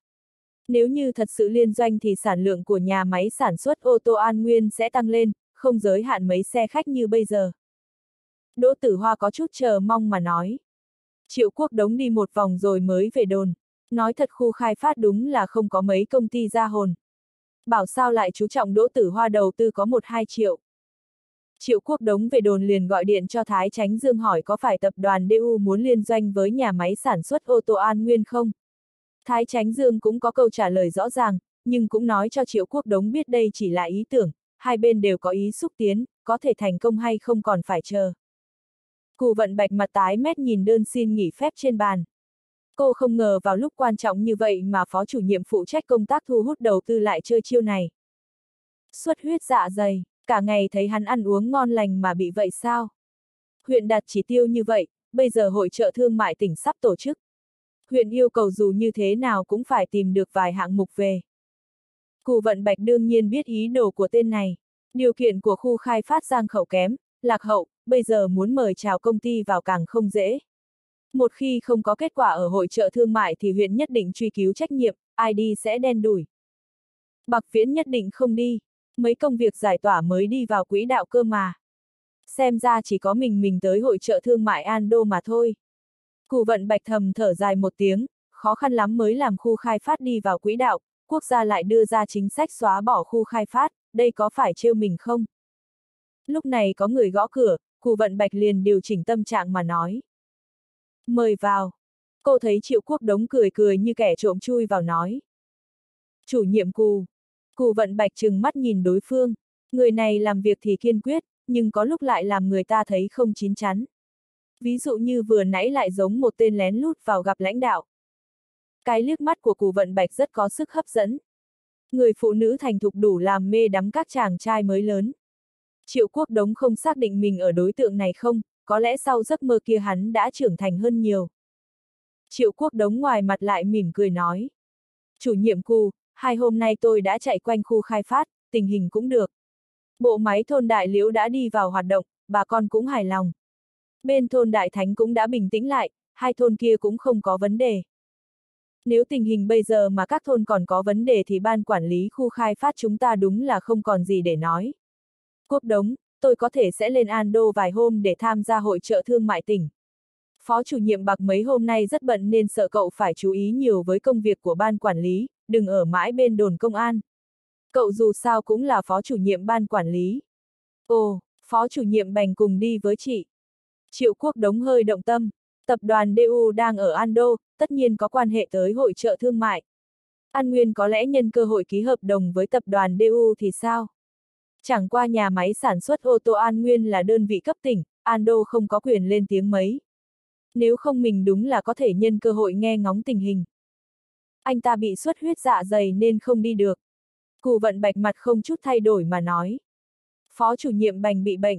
Hôm trước tôi gặp phó chủ nhiệm bành ở nhà hàng Đông Ninh, có phải tối qua uống nhiều không? Triệu quốc đống có chút kinh ngạc nhưng thoáng cái hiểu ra vấn đề. Ai biết, người ăn cơm cũng bị bệnh, chúng ta không thể ép người ta không thể bị bệnh mà. Cụ vận bạch nói. Ha ha, cũng đúng. Cụ tỷ, hay là mang tôi đến Ando để mở rộng tầm mắt. Triệu quốc đống cười nói. Dù sao trong thời gian này thì khu khai phát cũng được yên bình, tôi là phó chủ nhiệm theo chủ nhiệm ra ngoài công tác thì coi như nghỉ ngơi một phen. Cụ tỷ đẹp như vậy mà đi ra thì không biết hấp dẫn bao người. Có tôi đi theo sẽ bảo vệ cụ tỷ mà. Cụ vận bạch bị triệu quốc đống trêu như vậy thì cũng cười cười một tiếng. Quốc đống, có như cậu nói sao? Cụ tỷ này già rồi, còn đẹp gì nữa? Sau khi cùng qua cửa khó thì quan hệ giữa Cù vận bạch và triệu quốc đống đã tốt lên. Hai người cũng thay đổi cách xưng hô thành Cù tỷ, quốc đống. Ha ha, ngay cả Cù tỷ không phải người đẹp thì sợ đàn ông tỉnh An Nguyên này không có mắt. Triệu quốc đống ra vẻ nghiêm túc nói. Được rồi, cậu thật sự muốn đi An Đô sao? Cù vận bạch đúng là không nghĩ tới việc này. Triệu quốc đống phụ trách công tác an ninh trật tự, nhưng bây giờ đồn công an có Uông Dũng Tuyền và Khúc Quân nên đã nhàn hơn nhiều. Triệu quốc đống đi ra vài ngày chắc không vấn đề gì.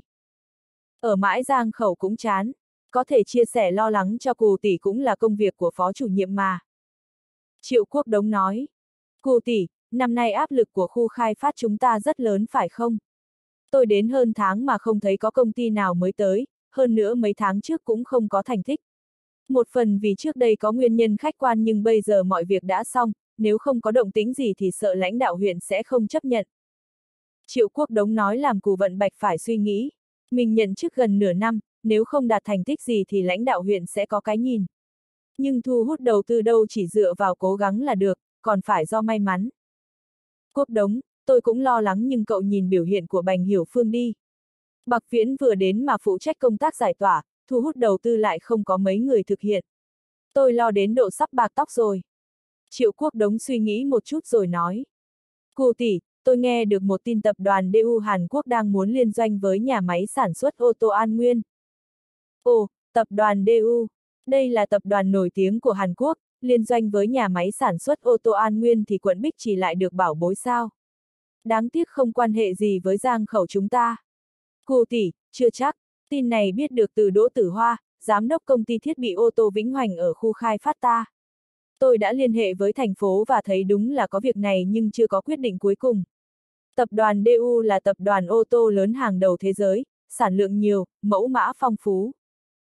Căn cứ chính sách sản xuất ô tô hiện nay của quốc gia thì cứ là công ty liên doanh cần phải có vài công ty sản xuất thiết bị ô tô trong nước. Nói cách khác nếu tập đoàn DU liên doanh với An Nguyên, vậy việc sản xuất thiết bị ô tô sẽ đi theo. Tôi đoán không ít công ty thiết bị ô tô có thực lực của Chiết Giang cũng nghe tin mà tới. Quyền 3, chương 19, Hội trợ thương mại. Cụ tỷ, một tập đoàn ô tô quốc tế đầu tư vào Ando sẽ mang tới sản nghiệp không ai có thể tưởng tượng nổi. Chúng ta đưa ra ví dụ đơn giản. Nếu tập đoàn DU hợp tác với nhà máy sản xuất ô tô An Nguyên, quy mô sản xuất theo tính toán sơ bộ thì sẽ là 100.000 xe, mỗi xe với giá 150.000, vậy giá trị sẽ là từ 7-8 tỷ đến 10 tỷ.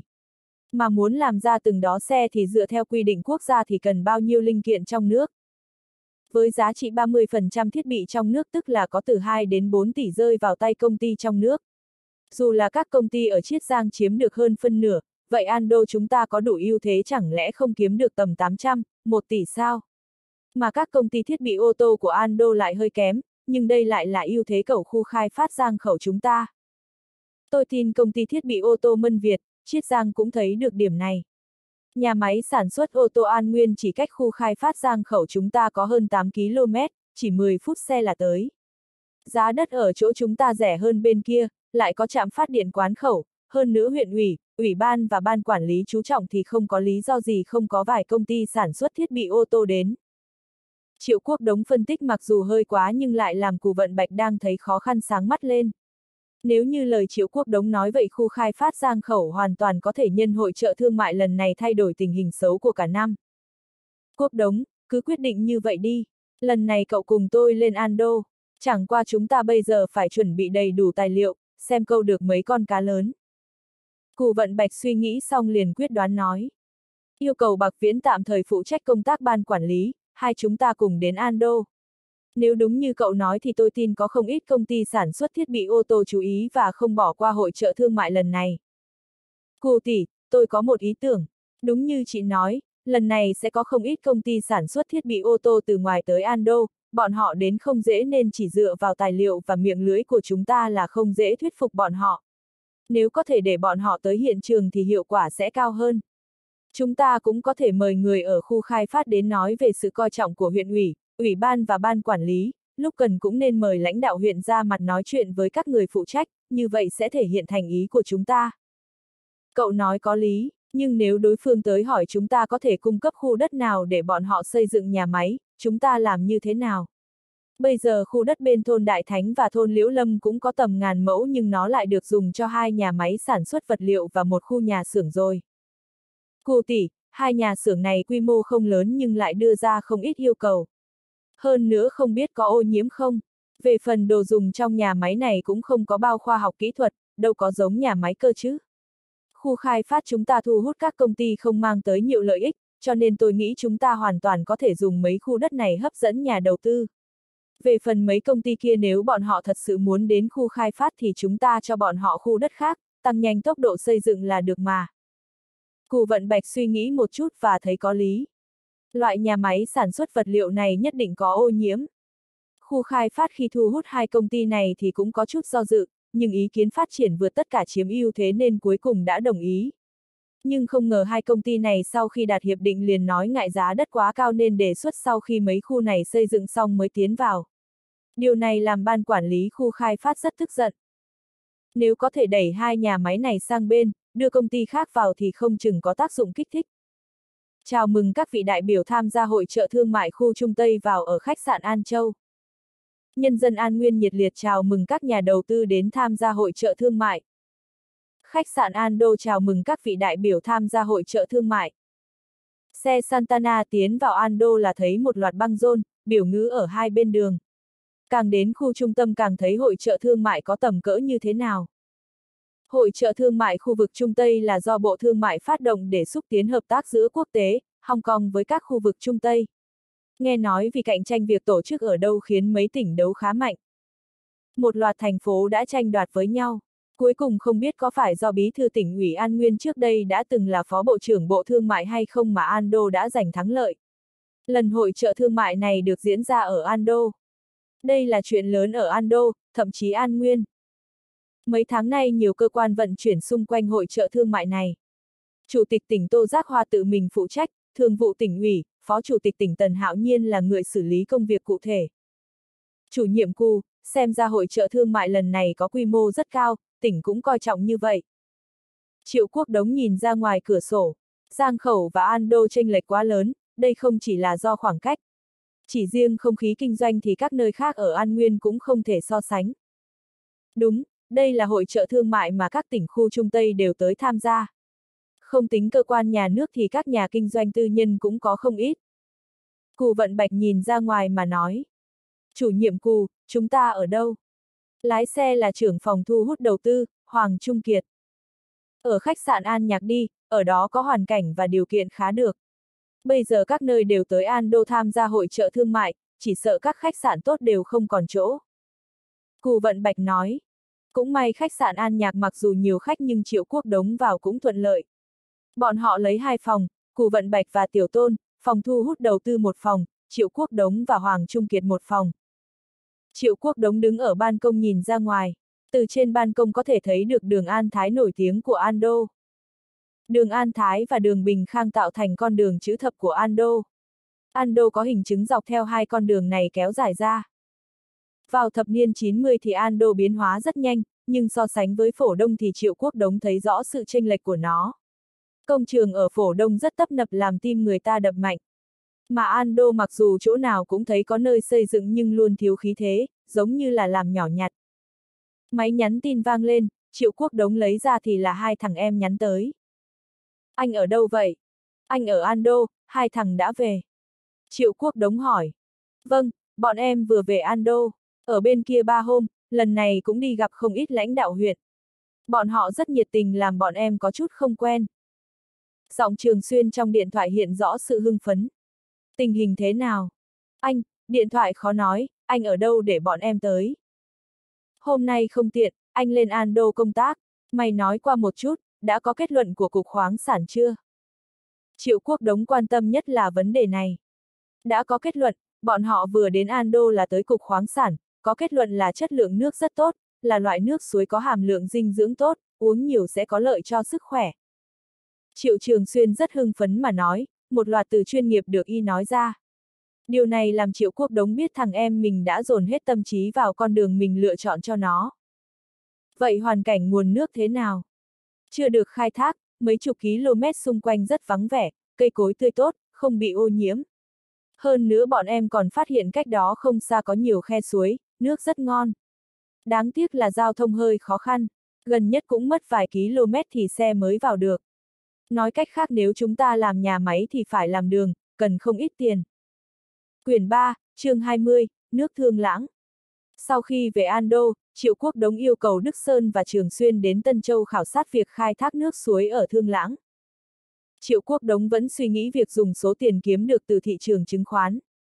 Nắm tiền trong tay hoặc gửi ngân hàng là cách ngu nhất, nhưng dồn vào thị trường chứng khoán lại không tốt.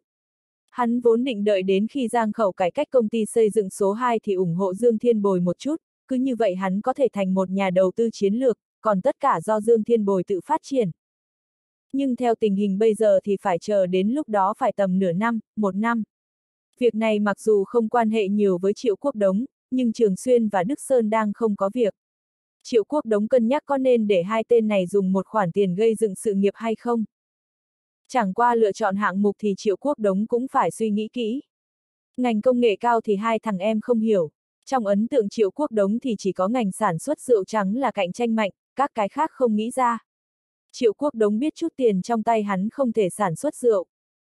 Triệu quốc đống mất 2-3 ngày mới quyết định kinh doanh nước suối.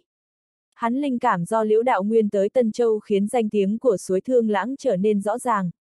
Dù là nước suối Thương Lãng hay là mấy thắng cảnh du lịch của huyện Thương Lãng do thị trường du lịch không thể khống chế mà rơi vào khó khăn, cuối cùng rơi xuống thành cấp 2. Nơi này không thể so sánh với cửu Long Câu Tứ Xuyên, Trương Gia Giới Hồ Nam, Lệ Giang Cảnh Vân Nam cùng với Quế Lâm Dương Quảng Tây. Mà Triệu Quốc Đống cho rằng thắng cảnh ở Thương Lãng không kém gì mấy điểm kia. Thắng cảnh Thương Lãng thì bây giờ Triệu Quốc Đống không có năng lực để khai thác. Nhưng hắn biết nước suối và suối Thương Lãng là nước suối tinh khiết. Mà bây giờ ngành sản xuất nước suối vẫn trong giai đoạn ban đầu, dễ tạo thương hiệu hơn mấy năm sau nhiều. Triệu Quốc Đống không muốn mình phải mất tâm trí nhiều trong việc kinh doanh, hắn chỉ dặn một chút hai thằng em. Ngoài việc ban đầu đến mời chuyên gia ở cục khoáng sản, sau đó nhờ Thái Tránh Dương làm cầu nối, còn lại việc khảo sát giao hết cho hai thằng em. Hai thằng không phụ kỳ vọng của Triệu Quốc Đống. Mặc dù trong đó cũng có vài vấn đề nhưng dù sao vẫn theo ý của Triệu Quốc Đống mà làm. Sau khi chuyên gia tới hiện trường kiểm tra và đưa ra ý tưởng khai thác, từ việc tiếp xúc lãnh đạo địa phương đến phối hợp chính quyền cơ sở đều do hai thanh niên trẻ tuổi này làm. Hai thằng tiến vào công việc nhanh hơn Triệu Quốc Đống nghĩ. Nhất là biểu hiện của Trường Xuyên càng nổi trội hơn. Sau vài lần đến Tân Châu, Trường Xuyên đã hiểu rõ và tin vào ý tưởng thành lập công ty khai thác nước suối ở huyện Thương Lãng của Triệu Quốc Đống. Hơn nữa y còn đưa ra kế hoạch phát triển trọn vẹn khiến Triệu Quốc Đống rất vui vẻ. Kiếm tiền mặc dù quan trọng nhưng làm Triệu Quốc Đống vui mừng đó là Trường Xuyên không còn là thằng vô tích sự như trước. Thậm chí còn làm Triệu Quốc Đống vui hơn kiếm được vài triệu. Lỗ có thể kiếm lại nhưng một người có thể thay đổi hẳn so với trong mơ, điều này nói rõ hắn có năng lực thay đổi thế giới xung quanh. Chính quyền địa phương có đề nghị gì không? Triệu Quốc Đống biết bây giờ khắp nơi trong cả nước đều đang thu hút đầu tư, huyện Thương Lãng là nơi xa xôi cũng càng thêm cấp bách. Tâm trạng này của chính quyền địa phương thì cần lợi dụng cho tốt, làm như thế nào để chính quyền địa phương nhường bước lớn nhất, cho nhà đầu tư càng nhiều lợi ích. Bọn họ đáp ứng có thể sửa đường đi khu nước suối. Nhưng đường đi quanh khu suối thì hy vọng do chúng ta phụ trách, bọn họ có thể giúp chúng ta thỏa thuận điều chỉnh đất đai với hai cấp xã, thôn. Trường Xuyên do dự một chút rồi nói. Em thấy huyện Thương Lãng cũng rất có thành ý, nhưng tài chính của huyện bọn họ lại rất khó khăn, hy vọng bọn họ xây dựng cho là khá khó.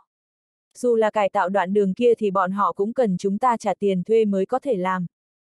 Triệu Quốc Đống cũng biết huyện Thương Lãng trước khi phát triển thì nghèo như thế nào. Trụ sở huyện ủy và ủy ban hơn 10 năm không sửa, tòa nhà 4 tầng nếu anh cẩn thận tìm sẽ thấy một loạt các từ như Đại học Công nghiệp, Đại học Nông nghiệp. Em tự tính toán, công ty có cần nhất định phải thành lập ở nguồn nước không, có thể thông qua con đường khác mà dẫn nước ra không? Nếu chúng ta có đủ tiền thì làm vài km đường cũng không vấn đề gì, coi như cống hiến cho sự phát triển kinh tế của huyện Thương Lãng. Nhưng bây giờ chúng ta chỉ có từng đó tiền, trường xuyên, em phải quy hoạch cho tốt. Tiền thuê đất, sử dụng tài nguyên, xây dựng nhà máy, mua thiết bị, tuyển công nhân cũng khá lớn. Hơn nữa còn một điểm quan trọng nhất đó là nước suối chưa được dân chúng chấp nhận nhiều. Nếu muốn tiêu thụ thì mới đầu quảng cáo là khá lớn, đến mức độ nào đó nó còn tốn hơn tiền giá nước. Điểm này anh phải nhắc em, để tránh đến cuối cùng dùng hết tiền mà không bán được sản phẩm. Một lúc sau Trường Xuyên mới nói. Anh, chỉ dựa vào từng đó tiền của chúng ta thì sợ rằng khá khó khăn. Điều anh nói thì em đã nghĩ tới. Nhưng em cũng tính toán một chút, tiền xây dựng cơ bản thì không còn bao nhiêu. Mà sản phẩm này khá mới nên cần quảng cáo khá mạnh, nhất định cần phải làm cho hàng triệu gia đình cảm thấy chấn động vì nước suối thương lãng chúng ta mang tới. Triệu quốc đống lúc này mới hiểu thằng em mình không còn là thằng có việc gì cũng hỏi ý mình như một năm trước nữa. Triệu Trường Xuyên đã có suy nghĩ của riêng mình, mặc dù chưa hoàn toàn chính xác nhưng cũng rất đáng giá. Vậy em định giải quyết vấn đề tài chính như thế nào? Triệu quốc đống trầm giọng nói. Vay vốn, chỉ có vay mới giải quyết được vấn đề. Em đã nói với Dương ca, không có công ty nào kinh doanh mà không vay vốn, dựa vào tài chính bản thân là không thể phát triển. Tài chính tự có thì nhất định cần, nhưng chỉ có thể làm đòn bẩy và món tiền quan trọng nhất, cho nên chúng ta nhất định phải vay tiền. Triệu quốc đống cười khổ một tiếng, không ngờ Dương Thiên Bồi cực lực phản đối mình vay tiền đi chơi cổ phiếu vậy mà lại nói cho Triệu Trường Xuyên là công ty muốn phát triển thì cần vay tiền. Anh đồng ý, em định làm như thế nào? Em định liên lạc với ngân hàng của Thương Lãng và Tân Châu trước, một bên tích cực xây dựng, một bên lấy tài sản cố định để thế chấp, đồng thời liên lạc quảng cáo. Phải làm xong đoạn băng quảng cáo trước, một khi bên kia bắt đầu sản xuất thử thì quảng cáo cũng cần đi theo, làm mọi người biết tên tuổi từ trước.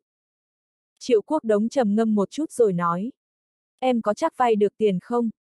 Dù dùng biện pháp gì em cũng phải vay được tiền. Câu này của Trường Xuyên làm triệu quốc đống xa sầm mặt lại. Hắn trầm ngâm một chút rồi nói.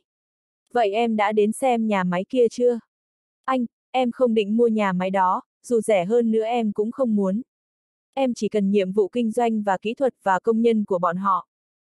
Trường Xuyên có chút đắc ý nói. Anh hai và em đã lén tiếp xúc với những người đó. Đối với chúng ta mà nói làm như thế nào mau chóng đi vào sản xuất, tiêu thụ mới là quan trọng nhất. Một nhà máy cũ nát không có giá trị mấy, chúng ta cần chỉ là nhân viên của nó mà thôi. Những người kia đều nói sẽ đến làm cho chúng ta. Triệu Quốc Đống không nói gì. Trường Xuyên có suy nghĩ của mình là tốt, nhưng không có nghĩa Trường Xuyên có thể nắm giữ tất cả. Thiếu kinh nghiệm sẽ phải trả giá bằng tài chính. Trường Xuyên, em có thể dựa theo ý của mình mà làm. Chẳng qua anh hy vọng em nhớ một điểm là nghĩ vấn đề phức tạp lên, bàn với Đức Sơn nhiều vào. Đồng thời phải thông báo tình hình với anh. Anh yên tâm, em đã liên lạc với thiết bị như máy làm bình, máy đóng chai, máy kiểm nghiệm, máy diệt khuẩn. Em cũng nhờ chuyên gia cục khoáng sản khảo sát giúp, chẳng qua em nhờ ba người. Thời buổi này không dám tùy tiện tin người mà. Trường Xuyên có vẻ không nghe ra sự lo lắng của Triệu Quốc Đống. Ừ, vậy em làm cho tốt, nghe nhiều ý kiến vào. Ngoài ra em cũng phải mau chóng quen thuộc tình hình, mai nếu rảnh thì anh sẽ gọi. Nghe Triệu Trường Xuyên nói như vậy, Triệu Quốc Đống cũng yên tâm hơn. Quyển 3, chương 21, cơ hội. Hoàng Trung Kiệt chưa vào cửa thì nghe thấy Triệu Quốc Đống đang nói chuyện điện thoại nên biết ý ở ngoài đứng. Đến khi Triệu Quốc Đống nói chuyện xong thì y mới vào. Hoàng ca, chủ nhiệm cù và tiểu tôn chưa xong sao? Triệu Quốc Đống nằm trên giường mà nói. Phụ nữ là như vậy, trước khi ra ngoài đều tốn thời gian. Hoàng Trung Kiệt lắc đầu nói.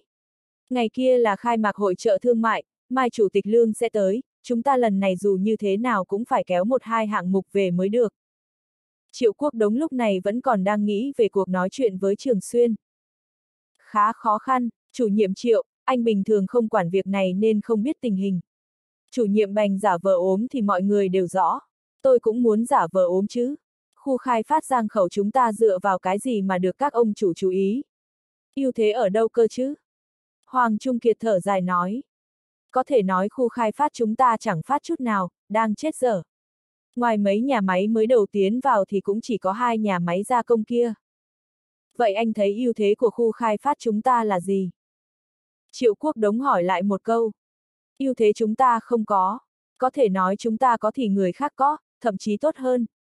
Thứ người khác có, chúng ta không có, ở tình hình này sao cạnh tranh được. Về phần định vị thì tôi không rõ, tôi thấy đây là thử vận may mà thôi. Hoàng Trung Kiệt nói rất thẳng, chẳng qua ngay cả y là trưởng phòng thu hút đầu tư mà còn bi quan như vậy, có thể thấy tương lai ảm đảm của khu khai phát giang khẩu.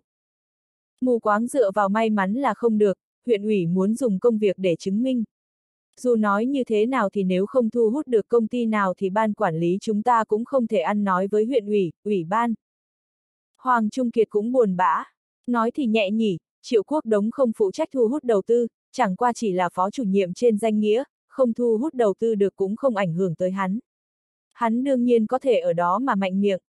Triệu Quốc Đống cũng không quá chấp khi thấy Hoàng Trung Kiệt suy nghĩ như thế. Ít nhất Hoàng Trung Kiệt còn biết tại sao khu khai phát giang khẩu vẫn lạc hậu. Nếu ngay cả điểm này cũng không nghĩ tới thì đừng làm trưởng phòng thu hút đầu tư làm gì. Hoàng ca, tôi và chủ nhiệm cù đã bàn bạc và cho rằng khu khai phát chúng ta cần có mục tiêu rõ ràng. Đó chính là chúng ta nên thu hút đầu tư ra sao. Khu khai phát chúng ta không phải không có ưu thế, mà phải tìm cách thể hiện ưu thế ra. Triệu quốc đống trầm ngâm một chút rồi nói. Lựa chọn ngành sản xuất này làm chủ đạo khu khai phát giang khẩu chúng ta, đây là điều cần cẩn thận nghiên cứu. Bây giờ nói chuyện với Hoàng Trung Kiệt về việc thu hút các công ty sản xuất thiết bị ô tô là còn sớm, nếu không thành công sẽ thành trò cười. Tốt hơn hết là giấu đi, đợi chuyện đã xong thì nói ra cũng không muộn. Sau khi ăn ở khách sạn xong, Triệu Quốc Đống nói mình có việc riêng rồi chào cù vận bạch mà đi ra ngoài. Hắn đã sớm hẹn gặp Thái Tránh Dương trong một quán cà phê. Ở những năm này thì An Đô còn không có mấy cửa hàng cà phê. Chẳng qua trong mấy khách sạn cũng có vài quán. Khách sạn giả Nhật Hoa Viên cũng có quán như vậy. Hắn vừa bước vào đã cảm nhận được sự quý phái của nó. Nhân viên phục vụ rất tốt làm Triệu Quốc Đống cảm nhận sự khác nhau giữa quán cà phê đẳng cấp và bình thường. Cho chén Lam Sơn. Triệu Quốc Đống đến rất đúng giờ, gần như vào cửa cùng lúc với Thái Tránh Dương. Thái Tránh Dương là khách quen ở đây. Nhân viên phục vụ rời đi, Triệu Quốc Đống cười nói. Thái ca, cà phê Lam Sơn một năm được bao nhiêu? Đến lượt chúng ta ư. Nghe nói chỉ riêng Nhật Bản đã tiêu thụ hết cà phê loại này, Trung Quốc nhập khẩu hầu hết là từ Brazil, chẳng qua chỉ lấy cái tên mà lừa người tiêu dùng thôi. Chú đừng có mà nói này nói kia, để chú uống là được. Thái Tránh Dương cười mắng. Ha ha, chúng ta chẳng qua chỉ là nói mà thôi. Triệu Quốc Đống cười nói. Thái ca, sao, đàm phán với Hàn Quốc thế nào rồi? Ừ, có tiến triển nhưng vẫn có chút khác nhau. Thái Tránh Dương lắc đầu nói. Nội dung cụ thể thì anh không rõ, Ando không tham gia mấy. Chủ yếu do Bộ Thương mại chủ trì, Phó Chủ tịch tỉnh Tần Hạo Nhiên phụ trách. Ha ha, lần liên doanh này mà thành công thì chỉ số GDP của quận Bích Trì sẽ phát triển mạnh và thành đứng đầu trong toàn thành phố Ando. Triệu Quốc Đống cười nói. Quốc Đống, chú hình như rất hứng thú với việc này. Anh cảm thấy cứ thứ gì mà chú hứng thú thì đều nghiên cứu kỹ càng. Thái Tránh Dương nhìn chằm chằm vào Triệu Quốc Đống rồi nói. Thái ca đúng là hiểu em. Triệu Quốc Đống nói thẳng. Giang khẩu không phải muốn thơm lây sao? Thơm lây gì cơ? Thái Tránh Dương khó hiểu hỏi. Thái ca, anh có nghĩ rằng ngành sản xuất ô tô khổng lồ như thế nào không? Một khi liên doanh thì sẽ ảnh hưởng đến cả thành phố Ando mà không công ty nào so sánh được. Nghĩ xem một chiếc ô tô cần bao linh kiện, mà chính sách sản xuất ô tô của quốc gia quyết định phải có 30% nội địa hóa. Những thiết bị liên quan tới máy móc, nhựa, sơn, sắt thép, điện tử. Nó sẽ tạo hiệu ứng rất rõ ràng, thậm chí còn ảnh hưởng đến ngành công nghiệp cả tỉnh. Triệu Quốc Đống nói làm Thái Tránh Dương nở nụ cười. Ngành sản xuất ô tô gây ảnh hưởng như thế nào thì anh không biết sao. Nhưng nó cần có quy mô nhất định, với năng lực sản xuất bây giờ của nhà máy ô tô An Nguyên thì không thể. Đương nhiên rồi, ngành sản xuất ô tô của nước ta đã bị ném ra sau vài chục năm. Có thể có được kỹ thuật sản xuất ô tô của Nhật Bản, Mỹ, mới khiến ngành sản xuất này của Trung Quốc tăng vọt về chất. Càng quan trọng hơn đó là các công ty sản xuất ô tô nước ngoài chú trọng quy mô. Các công ty lớn một năm phải sản xuất hàng trăm ngàn, hàng triệu chiếc, công ty con sẽ phá sản hoặc bị thâu tóm. Ví dụ như Mỹ, nước tiêu thụ ô tô lớn nhất thế giới vậy, ngành sản xuất ô tô chỉ nằm trong tay ba nhà là General, Chrysler và Ford. Nước lớn thứ hai, Nhật Bản cũng có mấy tập đoàn như Toyota, Nissan, Honda cùng Suzuki, Mazda, Fujitsu mà thôi. Nhưng chỉ riêng Toyota đã có sản lượng vượt qua Trung Quốc. Mà số nhà máy sản xuất ô tô ở Trung Quốc có bao nhiêu? Không đếm hết, có quy mô khác nhau, gần như tỉnh nào cũng có. Ngành sản xuất ô tô là ngành so sánh về quy mô, giá thành, kỹ thuật. Nói nó là ngành chính trong GDP cũng không quá. Thị trường ô tô của nước ta bây giờ đang trong giai đoạn bắt đầu, nhưng theo cuộc sống mọi người tăng lên, giao thông không ngừng phát triển thì xe tư nhân cũng tăng lên nhiều. Thời kỳ hoàng kim về tiêu thụ xe hơi của Trung Quốc cũng sắp đến. Cho nên bây giờ ai có thể đoạt trước xây dựng một công ty có quy mô tương đối thì người đó sẽ có một kho báu, chắc chắn khiến một khu vực lớn mạnh. Thái Tránh Dương cười cười nhìn Triệu Quốc Đống nói chuyện. Triệu Quốc Đống nói một chàng đến khô miệng, hắn uống một hớp nước rồi mới cảm thấy chỉ có mình nói. Thái ca, sao anh lại cười cười như vậy, em có gì ở trên mặt sao? Triệu Quốc Đống gãi đầu nói. Quốc Đống, chú nói nhiều như vậy là muốn làm gì? Thái Tránh Dương dùng thìa quấy cốc cà phê rồi nói. Thái ca, em vừa nãy nói anh có nghe không? Triệu Quốc Đống nói. Nghe, nói rất tốt, anh giống như đang nghe giáo sư giảng một bài về lịch sử phát triển ngành sản xuất ô tô thế giới, mời tiếp. Thái Tránh Dương nhìn Triệu Quốc Đống rồi trêu chọc. Có phải cảm thấy anh đang nói láo? Không phải, anh chỉ tò mò sao đầu chú chứa nhiều thứ vậy. Đề tài gì do chú nói ra đều có lý. Thái ca, em bây giờ không phải phó chủ nhiệm ban quản lý khu khai phát giang khẩu sao. Cũng phải lo lắng thay cho khu khai phát chứ. Tập đoàn DU và nhà máy sản xuất ô tô An Nguyên đàm phán đến đâu rồi anh? Thì ra chú muốn biết tin này. Anh không biết mấy, Ngoài tỉnh ra thì Bộ Thương mại cũng chú ý đến việc này, tâm điểm là hai vấn đề. Một là quy mô như thế nào, hai là tỷ lệ của nhà nước ra sao. Thái Tránh Dương trầm ngâm một chút rồi nói. Sao, có gì không đồng nhất sao anh? Triệu Quốc Đống hơi động tâm. Tập đoàn DU đứng thứ hai ở Hàn Quốc, sức mạnh có thể thấy ngay. Nhưng tập đoàn này phát triển quá nhanh ra bên ngoài, đến khi khủng hoảng tài chính châu Á năm 1997 làm các công ty Hàn Quốc cảm thấy nguy cơ cơn sóng tài chính vỡ vụn. Mà lúc này chính là lúc mà bọn họ ngẩng đầu cho thế giới biết thực lực của người Hàn Quốc. Không thể phủ nhận tập đoàn DU có thực lực và kỹ thuật nhất định trong ngành sản xuất ô tô. Xe Hàn Quốc kế thừa kỹ thuật của Nhật Bản, sau đó kết hợp tính năng tiến kiệm xăng, có ngoại hình khá tốt nên nhanh chóng được thành công nhất định ở Trung Quốc. Quyền 3, chương 22, theo đuổi mục tiêu. Ở vấn đề quy mô thì quốc gia và tỉnh chủ trương cẩn thận một chút, sản lượng quá lớn cũng không tốt, ảnh hưởng tới liên doanh. Mà Hàn Quốc muốn chính là thị trường Trung Quốc, tạm thời không nghĩ đến xuất khẩu.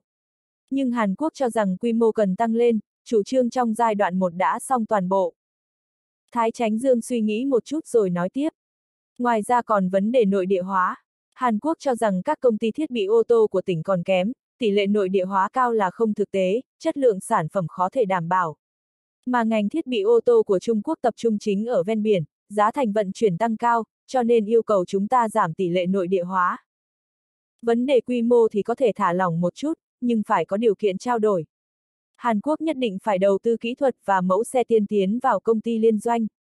Thị trường Trung Quốc không phải hạng hai. nếu sản xuất ô tô ở Trung Quốc thì tiêu thụ chính là ở Trung Quốc, nhất định phải đưa sản phẩm tốt nhất vào thị trường.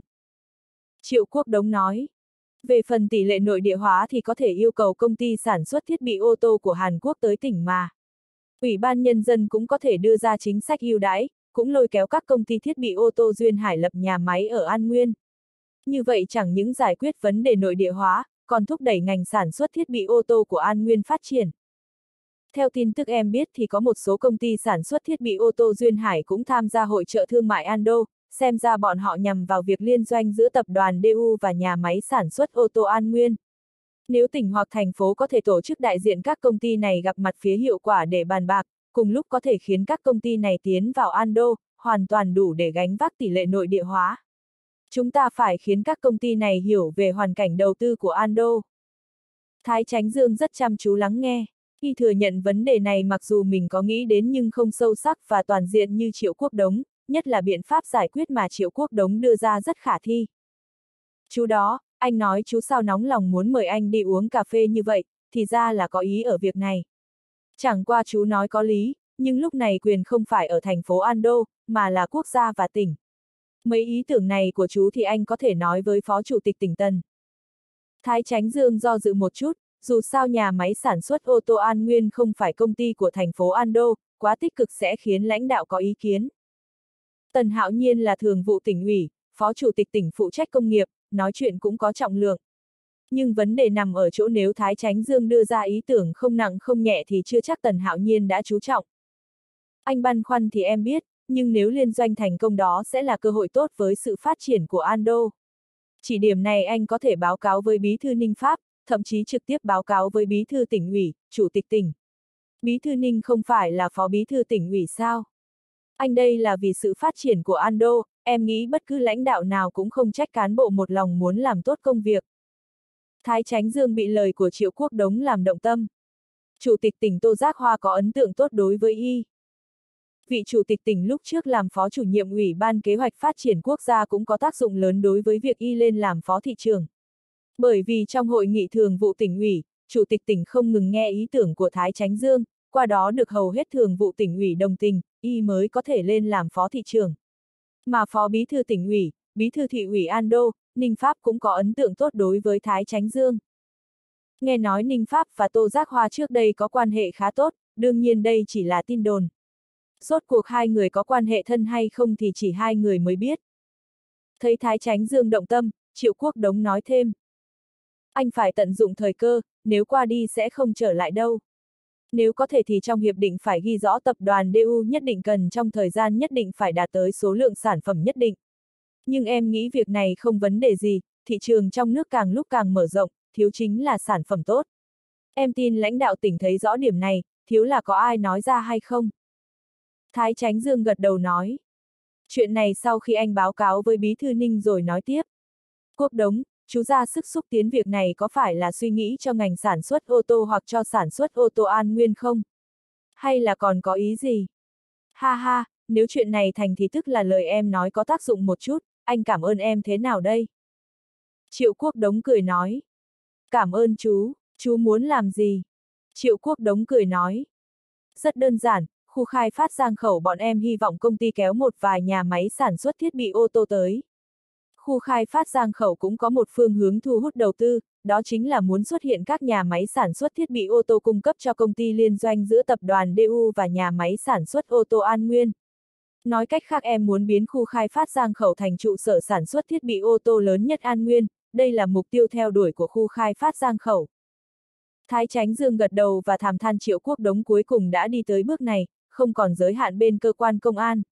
Mặc dù không biết trong đầu triệu quốc đống nghĩ gì nhưng cũng cho y không ít ý tưởng hay. Ngoài hai bài lần trước, y cũng ngầm tỏ thái độ với Chủ tịch tỉnh Tô Giác Hoa về chính sách thu thuế mấy tháng nay. Tô Giác Hoa mặc dù không tỏ thái độ rõ ràng nhưng từ việc An Nguyên tăng mạnh thu thuế là biết có vấn đề. Sang năm khi chính sách thuế tăng lên, cách làm này sẽ khiến tỉnh giảm áp lực tài chính. Đầu người này đúng là không bình thường, bây giờ triệu quốc đống cuối cùng đã bước đi bước đầu tiên, mình có phải nên giúp để quốc đống nhanh phát triển không? Triệu quốc đống về đến khách sạn đã là hơn 10 giờ tối. Thái Tránh Dương dùng xe đưa Triệu quốc đống về khách sạn. Trên đường Thái Tránh Dương còn nói đùa Triệu quốc đống sao không mua nhà ở Ando. Bây giờ giá nhà ở Ando không quá cao, số không nhiều. Chính xác mà nói bây giờ dân chúng Ando còn chưa ý thức được việc buôn bán nhà đất. Theo hắn biết thì phải năm 98 thì việc kinh doanh nhà mới phát triển. Bây giờ muốn mua nhà không khó, không đắt. Nhìn khu vực phồn hoa là đường An Thái và Bình Khang, theo cải tạo làm nhiều nhà mới được xây dựng. Nhưng theo triệu quốc đống biết giá không cao nhưng bán khá khó khăn. Nếu có thừa tài chính thì hắn đúng là nghĩ đến việc đầu cơ đất, tầm 10 năm là lãi quá lớn. Nhưng suy nghĩ này lóe lên rồi mất, chỉ riêng việc làm ở Tân Châu cũng hết tiền của hắn. Lúc này triệu quốc đống có chút nuối tiếc giấc mơ sao không rõ ràng một chút. Nếu mình có thể rõ ràng biết được phong ba trong thị trường chứng khoán thì tốt biết bao. Hoàng Trung Kiệt đứng trên ban công tầng 4 lặng lẽ nhìn triệu quốc đống từ trên xe đi xuống. Đèn xe của phó thị trưởng đúng là rất chói mắt, chiếc xe rời đi. Hoàng Trung Kiệt mặc dù không nhìn ra xe gì nhưng có thể khẳng định xe Santana của khu khai phát không thể so sánh. Hoàng Trung Kiệt tưởng tượng không ra ai lại dùng xe như vậy đưa triệu quốc đống về, điều này làm y có chút tò mò. Chẳng qua y biết không nên hỏi nhiều. Triệu quốc đống về phòng, Hoàng Trung Kiệt đang nằm trên giường xem TV. Chủ nhiệm Triệu về rồi ư. Ừ, tôi cùng bạn đi uống cà phê và nói chuyện. Triệu quốc đống cởi áo ngoài rồi nói. Đúng là thành phố tốt thật, hoạt động giải trí về tối cũng phong phú. Rảnh rỗi đi uống cà phê, nghe nhạc, nói chuyện. Ồ, chủ nhiệm Triệu đi đâu uống cà phê mà có piano thế? Hoàng Trung Kiệt có chút kinh ngạc nói. Quán cà phê của khách sạn giả Nhật Hoa Viên, cũng không có bao người vào đó. Triệu Quốc Đống nói. Khách sạn giả Nhật Hoa Viên. Hoàng Trung Kiệt ngẩn ra một chút. Đối với một người ở Ando thì còn lạ gì khách sạn giả Nhật Hoa Viên. Đây là khách sạn ngoại giao lâu năm nhất Ando, sau hai lần cải tạo, mở rộng nên đã thành một trong hai khách sạn năm sao của Ando. Uống cà phê ở khách sạn giả Nhật Hoa Viên cần bao tiền? Dùng bao tiền là nhỏ, vấn đề nằm ở chỗ người cấp độ như Triệu Quốc Đống mà vào đó có hơi quá không? Hoàng Trung Kiệt không cho rằng Triệu Quốc Đống khoe khoang với mình làm gì. Quyển 3, chương 23, phòng 3. Công việc sáng hôm sau rất đơn giản. Đám người Triệu Quốc Đống đến ban tổ chức hội trợ thương mại nộp tài liệu, đồng thời cũng lấy một chút tin tức liên quan tới các công ty, nhà máy tới đây. Hơn nữa cũng có một vị trí ở khu dành cho thành phố Ando. Tỉnh An Nguyên là đơn vị tổ chức nên có ưu thế tự nhiên. Có vị trí khu triển lãm tốt nhất, hơn nữa diện tích lớn hơn các tỉnh khác. Thành phố Ando càng thêm bắt mắt, chẳng qua vị trí của huyện Giang Khẩu lại kém. Giang Khẩu nằm ở sau lưng của cả đoàn, nói cách khác khách tới phải đi vòng qua sau lưng các gian khác mới thấy huyện Giang Khẩu. So sánh với mấy quận Hoa Khê, Thiên An, Bích Trì, huyện Hoa Dương thì kém quá nhiều. Như thế này thì Giang Khẩu chúng ta làm như thế nào mà thu hút đầu tư? Tôn cầm bực mình nói. Chủ nhiệm cù, đám người cục chiêu thương sao quá đáng vậy?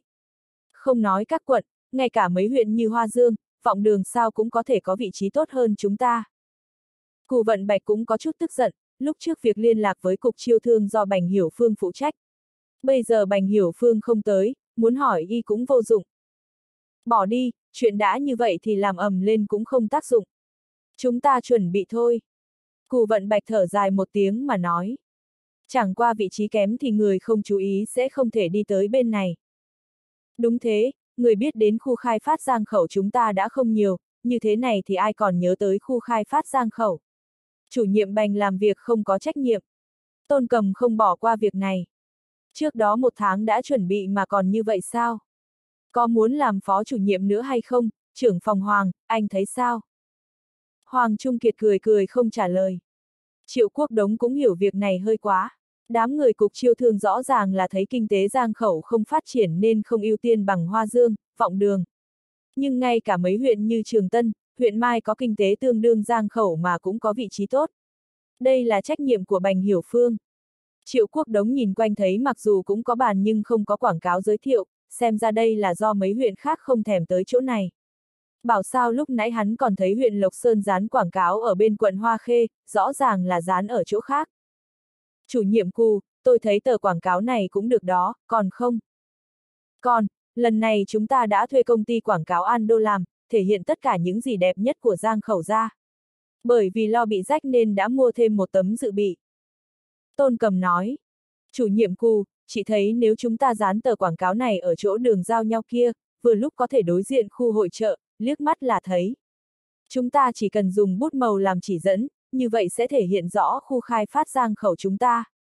Xung quanh không có ai muốn tới thì chúng ta hoàn toàn có thể dán hết tờ quảng cáo lên, chiếm trọn cả một khu vực thì sao không làm.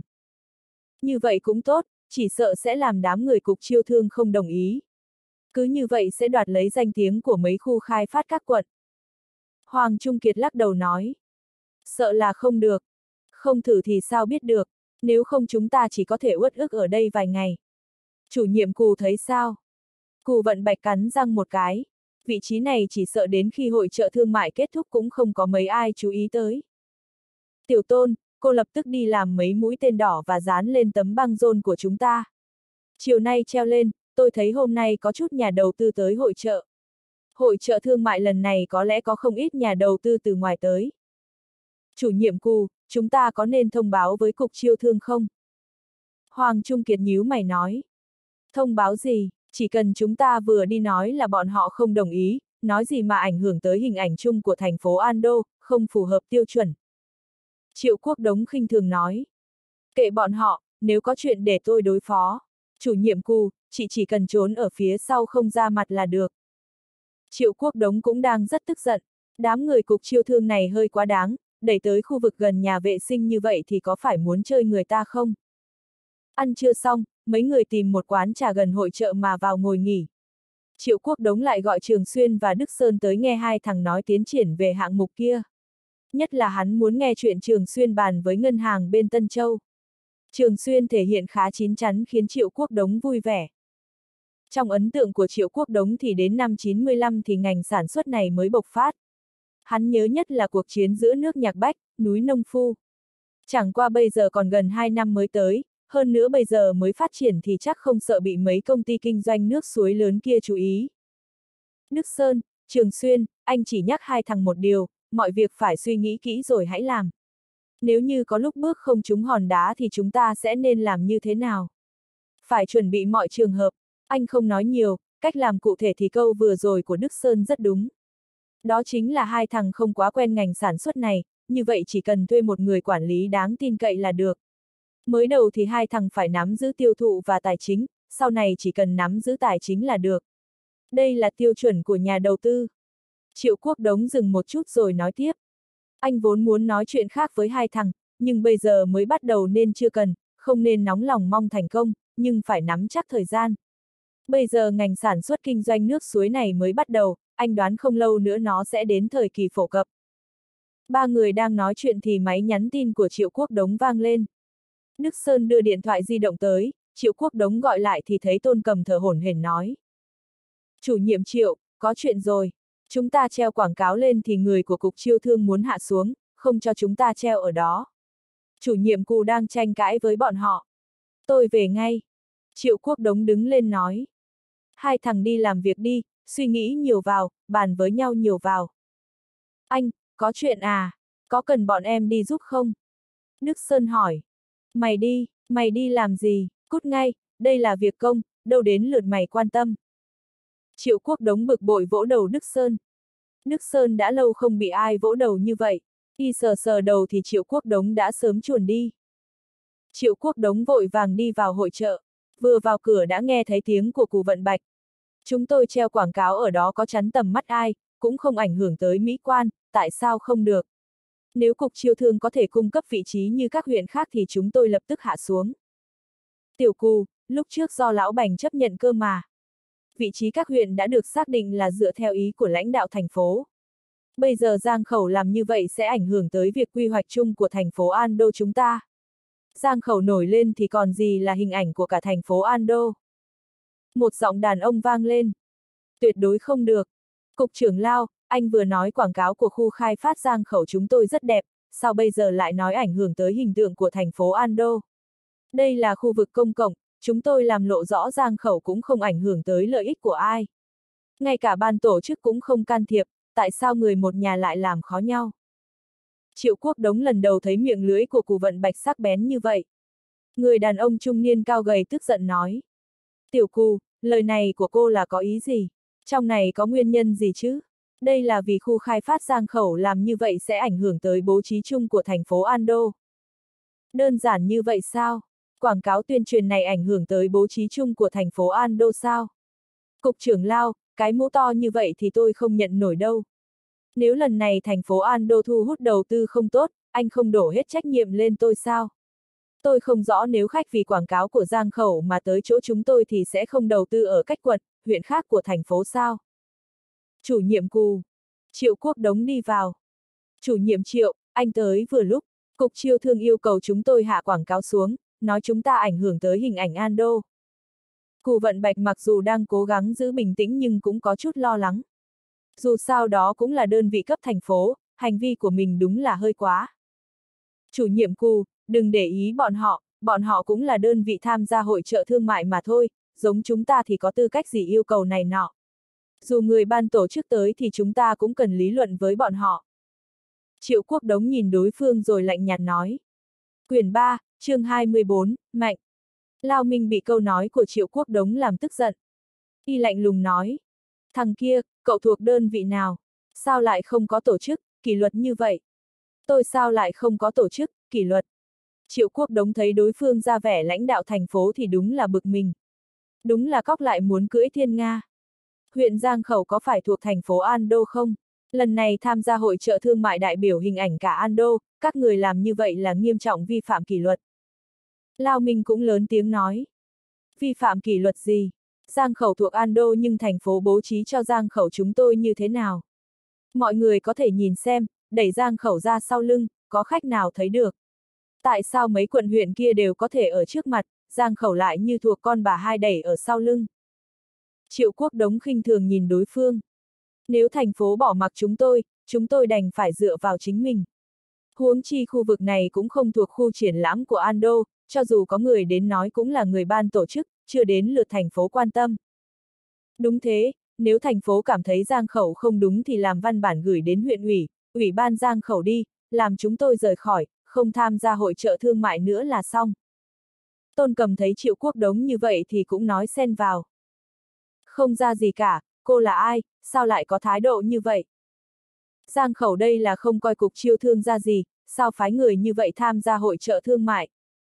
Hình ảnh Ando bị hủy hết rồi, người ngoài sẽ thấy Ando chúng ta chia rẽ.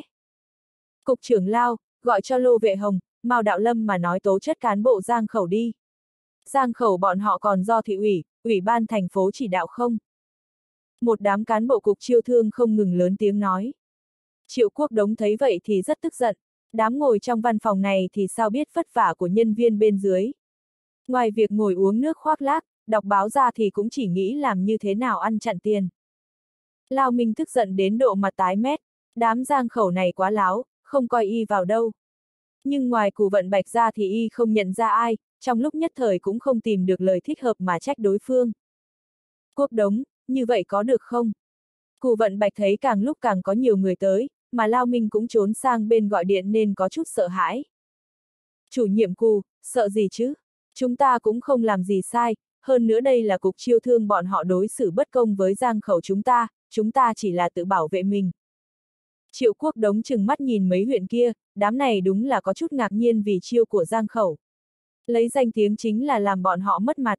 Triệu quốc đống không e ngại mà bảo tôn cầm dán hết các tờ tuyên truyền lên, mấy mũi tên đỏ rất bắt mắt. Dù ai thấy cũng sẽ có phản ứng là nhìn theo hướng mũi tên chỉ, sau đó mới nhìn tờ quảng cáo của Giang Khẩu. Lao Minh nói chuyện điện thoại xong về thấy đối phương không những không nghe, còn dán đầy quảng cáo nên rất tức giận. Tiểu cù, tôi nói với cô, lát nữa thị trưởng Thái tới kiểm tra, các người có hành vi vô tổ chức như vậy, tôi nhất định phản ánh với bí thư Lô và chủ tịch Mao. Tạo ảnh hưởng như vậy thì xem Giang Khẩu có gánh vác nổi không? Vậy ư, cục trưởng Lao, vậy anh muốn phản ánh với ai thì cứ việc. Chúng tôi chỉ biết một điều nếu không thể làm khách thấy được Giang Khẩu, vậy bí thư Lô và chủ tịch Mao sẽ hỏi chúng tôi. Còn vấn đề khác thì chúng tôi không lo được nhiều như vậy. Triệu quốc đống bĩu môi mà nói. Hắn phẩy phẩy tay như đuổi ruồi. Thấy đối phương không thèm để ý tới, Lao Minh tái mét mặt lại nhưng không biết nói như thế nào. Cục trưởng Lao, xảy ra chuyện gì thế hả? Sao ở đó cãi vã vậy hả? Đây là tỏ vẻ thành phố An Đô chúng ta đông người sao? Một giọng nói trầm ổn vang lên, đám người liền tách ra, Thái Tránh Dương từ ngoài đi vào. a à, thị trưởng Thái, ngài cũng đến rồi. Giang khẩu không phục tùng bố trí của thành phố, không ngờ lại treo quảng cáo như vậy ở giữa đường, ảnh hưởng nghiêm trọng hình ảnh của thành phố. Lao Minh vội vàng kêu lên. Thái Tránh Dương có chút khó chịu nhìn tên phó cục trưởng cục chiêu thương không có bản lĩnh mà chỉ biết nịnh bợ này. Y sớm khó chịu với tên này, chẳng qua nghĩ tới Lao Minh có thể trèo lên chức phó cục trưởng cục chiêu thương thì sau lưng nhất định có chỗ dựa, không dễ động.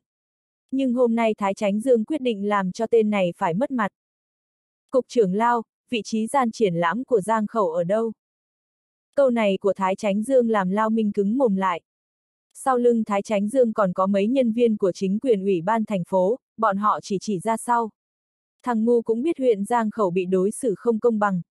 Lao Minh thầm hận, đáng lẽ chỗ này còn vài huyện nữa nhưng bọn họ thấy xấu nên chen chúc vào một góc. Vì thế nơi này chỉ còn một mình huyện Giang Khẩu. Mắt Thái Tránh Dương lóe lên rồi nói. Cục trưởng Lao, thành phố nói chính là suy nghĩ sự phát triển khác nhau của các quận, nhưng không phải là như thế này.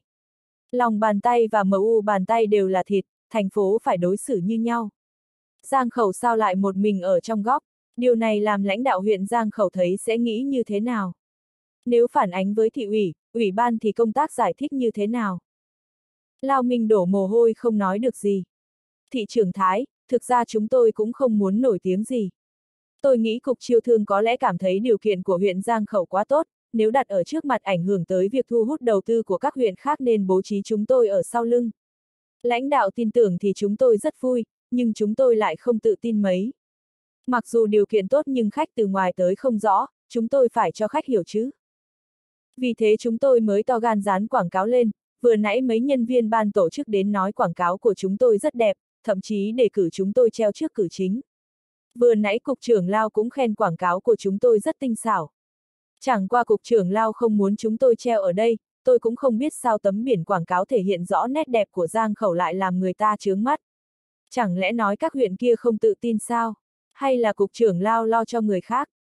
Thái Tránh Dương đã tới một lúc nhưng không nói gì. Nhìn Triệu Quốc Đống và Lao Minh cãi cọ, y sớm biết Triệu Quốc Đống nói chuyện rất giỏi, chẳng qua dùng lời lẽ độc và sắc bén như vậy thì đúng là lần đầu tiên y thấy. Cụ vận bạch cũng đang buồn bực, ban tổ chức tới khen quảng cáo của Giang Khẩu đẹp bao giờ. Không thấy mà, cô lại thấy Triệu Quốc Đống nháy mắt với mình thì mới biết tên này đang trêu Lao Minh. Câu nói cuối cùng của Triệu Quốc Đống thoáng cái đã đẩy mấy quật, huyện đang định nói giúp Lao Minh ra ngoài. Thái Tránh Dương nhìn quanh khiến mấy cán bộ huyện Hoa Dương vội vàng lui lại. Được rồi, cục trưởng lao chuyện này không tranh cãi nữa. Nếu ngay cả ban tổ chức cũng khen quảng cáo của Giang Khẩu đẹp, đặt đó cũng không ảnh hưởng tới hình tượng của thành phố An Đô chúng ta, cứ để đó. Sau này các anh làm việc phải cẩn thận một chút. Thái Tránh Dương xa sầm mặt phung tay lên ra hiệu người mấy quật, huyện kia về vị trí của mình, sau đó y phê bình lao minh. Anh xem chuyện mình làm đi, tôi xem anh giải thích sao với Bí Thư Ninh. Lao Minh có chút giật mình, Y nhìn theo ánh mắt của Thái Tránh Dương thì thấy một người đàn ông đi tới. Phía sau ngoài một người như thư ký thì không mang theo ai khác. Đây không phải phó bí thư tỉnh ủy kiêm bí thư thị ủy An Đô, Ninh Pháp thì là ai? Thái Tránh Dương dẫn theo đám người lên đón. Ninh Pháp mặt không chút thay đổi, nhất là thấy đám người cục chiêu thương thì mặt càng xa sầm lại. Lý cơ vĩ đâu? Ninh Pháp lạnh nhạt nói. Lao Minh vội vàng cúi người nói. Cục trưởng Lý lập tức sẽ tới, cục trưởng bảo tôi tới trước. Chuyện quan trọng như vậy mà sao Lý cơ vĩ không tự mình đến đây? Y là cục trưởng cục chiêu thương thì làm cái gì? Xem cục chiêu thương các anh làm cái gì đi. Ninh Pháp nhìn lướt qua mà làm Lao Minh như bị dao cắt. Anh đi nhìn khu triển lãm của Tân Châu, Lam Sơn đi. Lao Minh, anh nói với Lý Cơ Vĩ, nếu lần này làm mất mặt thành phố An Đô khi thu hút đầu tư thì tôi xem Lý Cơ Vĩ ăn nói thế nào. Lao Minh còn định giải thích gì đó thì Ninh Pháp đã xua tay nói. Được rồi, anh làm việc mình cần làm đi, tôi chỉ xem kết quả. Tránh Dương, chúng ta đi. Nhìn Ninh Pháp và Thái Tránh Dương rời đi, Lao Minh rất buồn bực. Nếu không phải có đám người giang khẩu kia thì mình sao bị thị trưởng Thái phê bình, cũng đâu bị bí thư Ninh có ấn tượng không tốt. Ninh Pháp đến An Đô chưa đầy năm mà đã tỏ rõ sức nặng trong lời nói, bắt đầu khống chế hoàn toàn An Đô. Hoàng Nguyên Thịnh vốn còn có quyền lên tiếng một chút, nhưng bây giờ ngoài việc nỗ lực khống chế công việc bên chính quyền, chứ quyền nhân sự thì không còn. Nhớ đến ánh mắt Ninh Pháp nhìn mình, Lao Minh run lên. Đã có lời đồn năm sau thị ủy sẽ điều chỉnh cán bộ từ cấp phó cục trưởng trở nên, nhưng vào lúc này mình lại bị bí thư thị ủy có ấn tượng không tốt. Chỉ có một điều làm y cảm thấy an ủi đó là hôm nay Lý Cơ Vĩ không tới, nghe bí thư Ninh nói thì cũng rất không hài lòng với Lý Cơ Vĩ. Quyển 3, chương 25, Thường vụ thụy ủy. Tránh Dương, chuyện sáng nay anh nói với tôi về liên doanh giữa tập đoàn DU và nhà máy sản xuất ô tô An Nguyên thì tôi đã suy nghĩ. Anh nói có lý, theo thu nhập dân chúng tăng lên, ngành sản xuất ô tô sẽ thành trụ cột của nước ta. Mà nó cũng thúc đẩy kinh tế địa phương phát triển. Thành phố Ando chúng ta cũng cần phải đưa ra ý kiến của mình về vấn đề này. Dù sao nhà máy sản xuất ô tô An Nguyên cũng nằm trên địa bàn Ando chúng ta. Nếu như liên doanh thành công, thành phố Ando chúng ta là người có lợi nhất. Bí thư, bây giờ do Bộ Thương mại và tỉnh đàm phán, mà người Hàn cũng rất cứng rắn, sợ rằng chỉ riêng chúng ta không tạo được tác dụng mấy, việc này sẽ là cuộc chiến kéo dài. Chẳng qua bí thư cũng là phó bí thư tỉnh ủy, hoàn toàn có thể lên tiếng về cái nhìn của mình, tôi nghĩ như vậy tốt hơn. Thái Tránh Dương cẩn thận nói. Tránh Dương, không cần phải như vậy chứ, anh nghĩ tôi là người hẹp hòi sao? Anh bê với Chủ tịch Giác Hoa về ý tưởng của thành phố An Đô chúng ta, tôi cũng báo cáo với Bí Thư thành công. Ninh Pháp cười nói. Ha ha, Bí Thư Ninh, nghe nói ngài có quan hệ khá tốt với Chủ tịch Giác Hoa. Thái Tránh Dương lấy hết cam đảm mà nói. Ha ha, hình như bên ngoài rất quan tâm về quan hệ giữa tôi và Chủ tịch Giác Hoa. Đúng thế, khi tôi còn là bí thư thị ủy Đông Cảng, Chủ tịch Giác Hoa còn là phó chủ nhiệm ủy ban kế hoạch phát triển thì cũng đã giúp tôi không ít. Chẳng qua lúc ấy bí thư thành công lúc ấy cũng là phó bộ trưởng bộ thương mại, cũng ủng hộ lớn đối với tôi. Thái Tránh Dương đúng là có chút bội phục trí tuệ chính trị của Ninh Pháp. Mặc dù không lộ ra ý nghiêng về vị lãnh đạo nào, nhưng từ lời này Thái Tránh Dương có thể nhìn ra. Lúc ấy Bộ Thương mại có thái độ phủ định phát triển kinh tế duyên hải, mà Ủy ban kế hoạch phát triển lại ủng hộ. Trong đó phát sinh nhiều vấn đề do Trung Quốc bắt đầu cải cách. Đúng rồi, Bí Thư Ninh nếu nói như vậy thì tôi sẽ đi tìm Chủ tịch Giác Hoa báo cáo về ý tưởng của thành phố An Đô chúng ta. Thái Tránh Dương gật đầu nói. Gần đây tôi cũng đã nhận không ít câu hỏi về việc liên doanh giữa tập đoàn DU và nhà máy sản xuất ô tô An Nguyên. Trong đó có không ít công ty thiết bị ô tô Duyên Hải có năng lực. Bọn họ cũng tỏ vẻ muốn cống hiến cho ngành sản xuất ô tô của Trung Quốc. Theo tôi thấy thì sao chúng ta không lợi dụng các công ty Duyên Hải này mà phản kích người Hàn Quốc một chút. Bọn họ không phải nói An Nguyên chúng ta không có một hệ thống sản xuất đầy đủ về thiết bị ô tô sao. Bây giờ các công ty sản xuất thiết bị ô tô Duyên Hải tới, hơn nữa có không ít công ty liên doanh, sản phẩm của bọn họ khiến công ty ô tô Đức yên tâm sử dụng, chẳng lẽ không thể dùng cho tập đoàn DU. Tôi không tin chất lượng của nước Đức kém hơn bọn họ.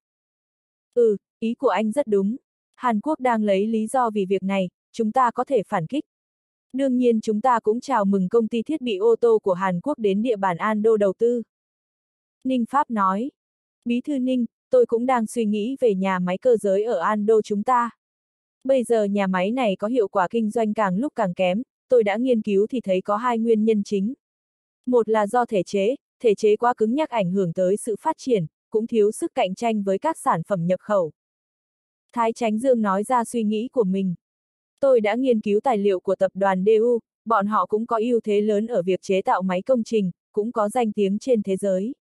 Nếu sản xuất ô tô liên doanh thành công, chúng tôi có nên suy nghĩ để nhà máy cơ giới Ando liên doanh với tập đoàn DU không?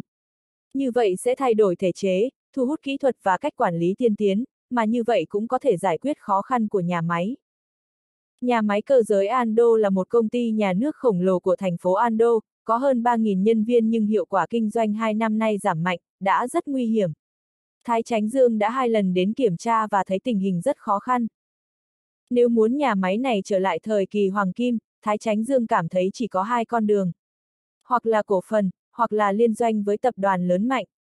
Nhưng nhà máy có kỹ thuật kém, mà máy cơ giới lại chú trọng kỹ thuật, chỉ dựa vào chính bản thân là không đủ, phải có tài chính và kỹ thuật. Khi Triệu Quốc Đống nói tập đoàn DU nổi tiếng thế giới về máy công trình, y liền nghĩ tới con đường này. Ồ, tập đoàn DU có đồng ý không? Ninh Pháp có chút hứng thú. Tôi nghĩ bọn họ nhất định có hứng thú. Thứ nhất công ty liên doanh có thể hưởng thụ chính sách ưu đãi về thuế, thứ hai Trung Quốc đang phát triển rất nhanh, các công trình xây dựng càng lúc càng nhiều. Nước ngoài đang hình dung Trung Quốc như công trường khổng lồ, ngày đêm không ngừng. Tập đoàn DU kiểu gì chẳng cảm nhận được tiềm lực lớn của Trung Quốc. Chẳng qua trước đó bọn họ chưa tiến vào Trung Quốc, nếu hạng mục sản xuất ô tô thành công thì tôi tin bọn họ sẽ có hứng thú. Ninh Pháp có chút hứng thú nghe Thái Tránh Dương nói.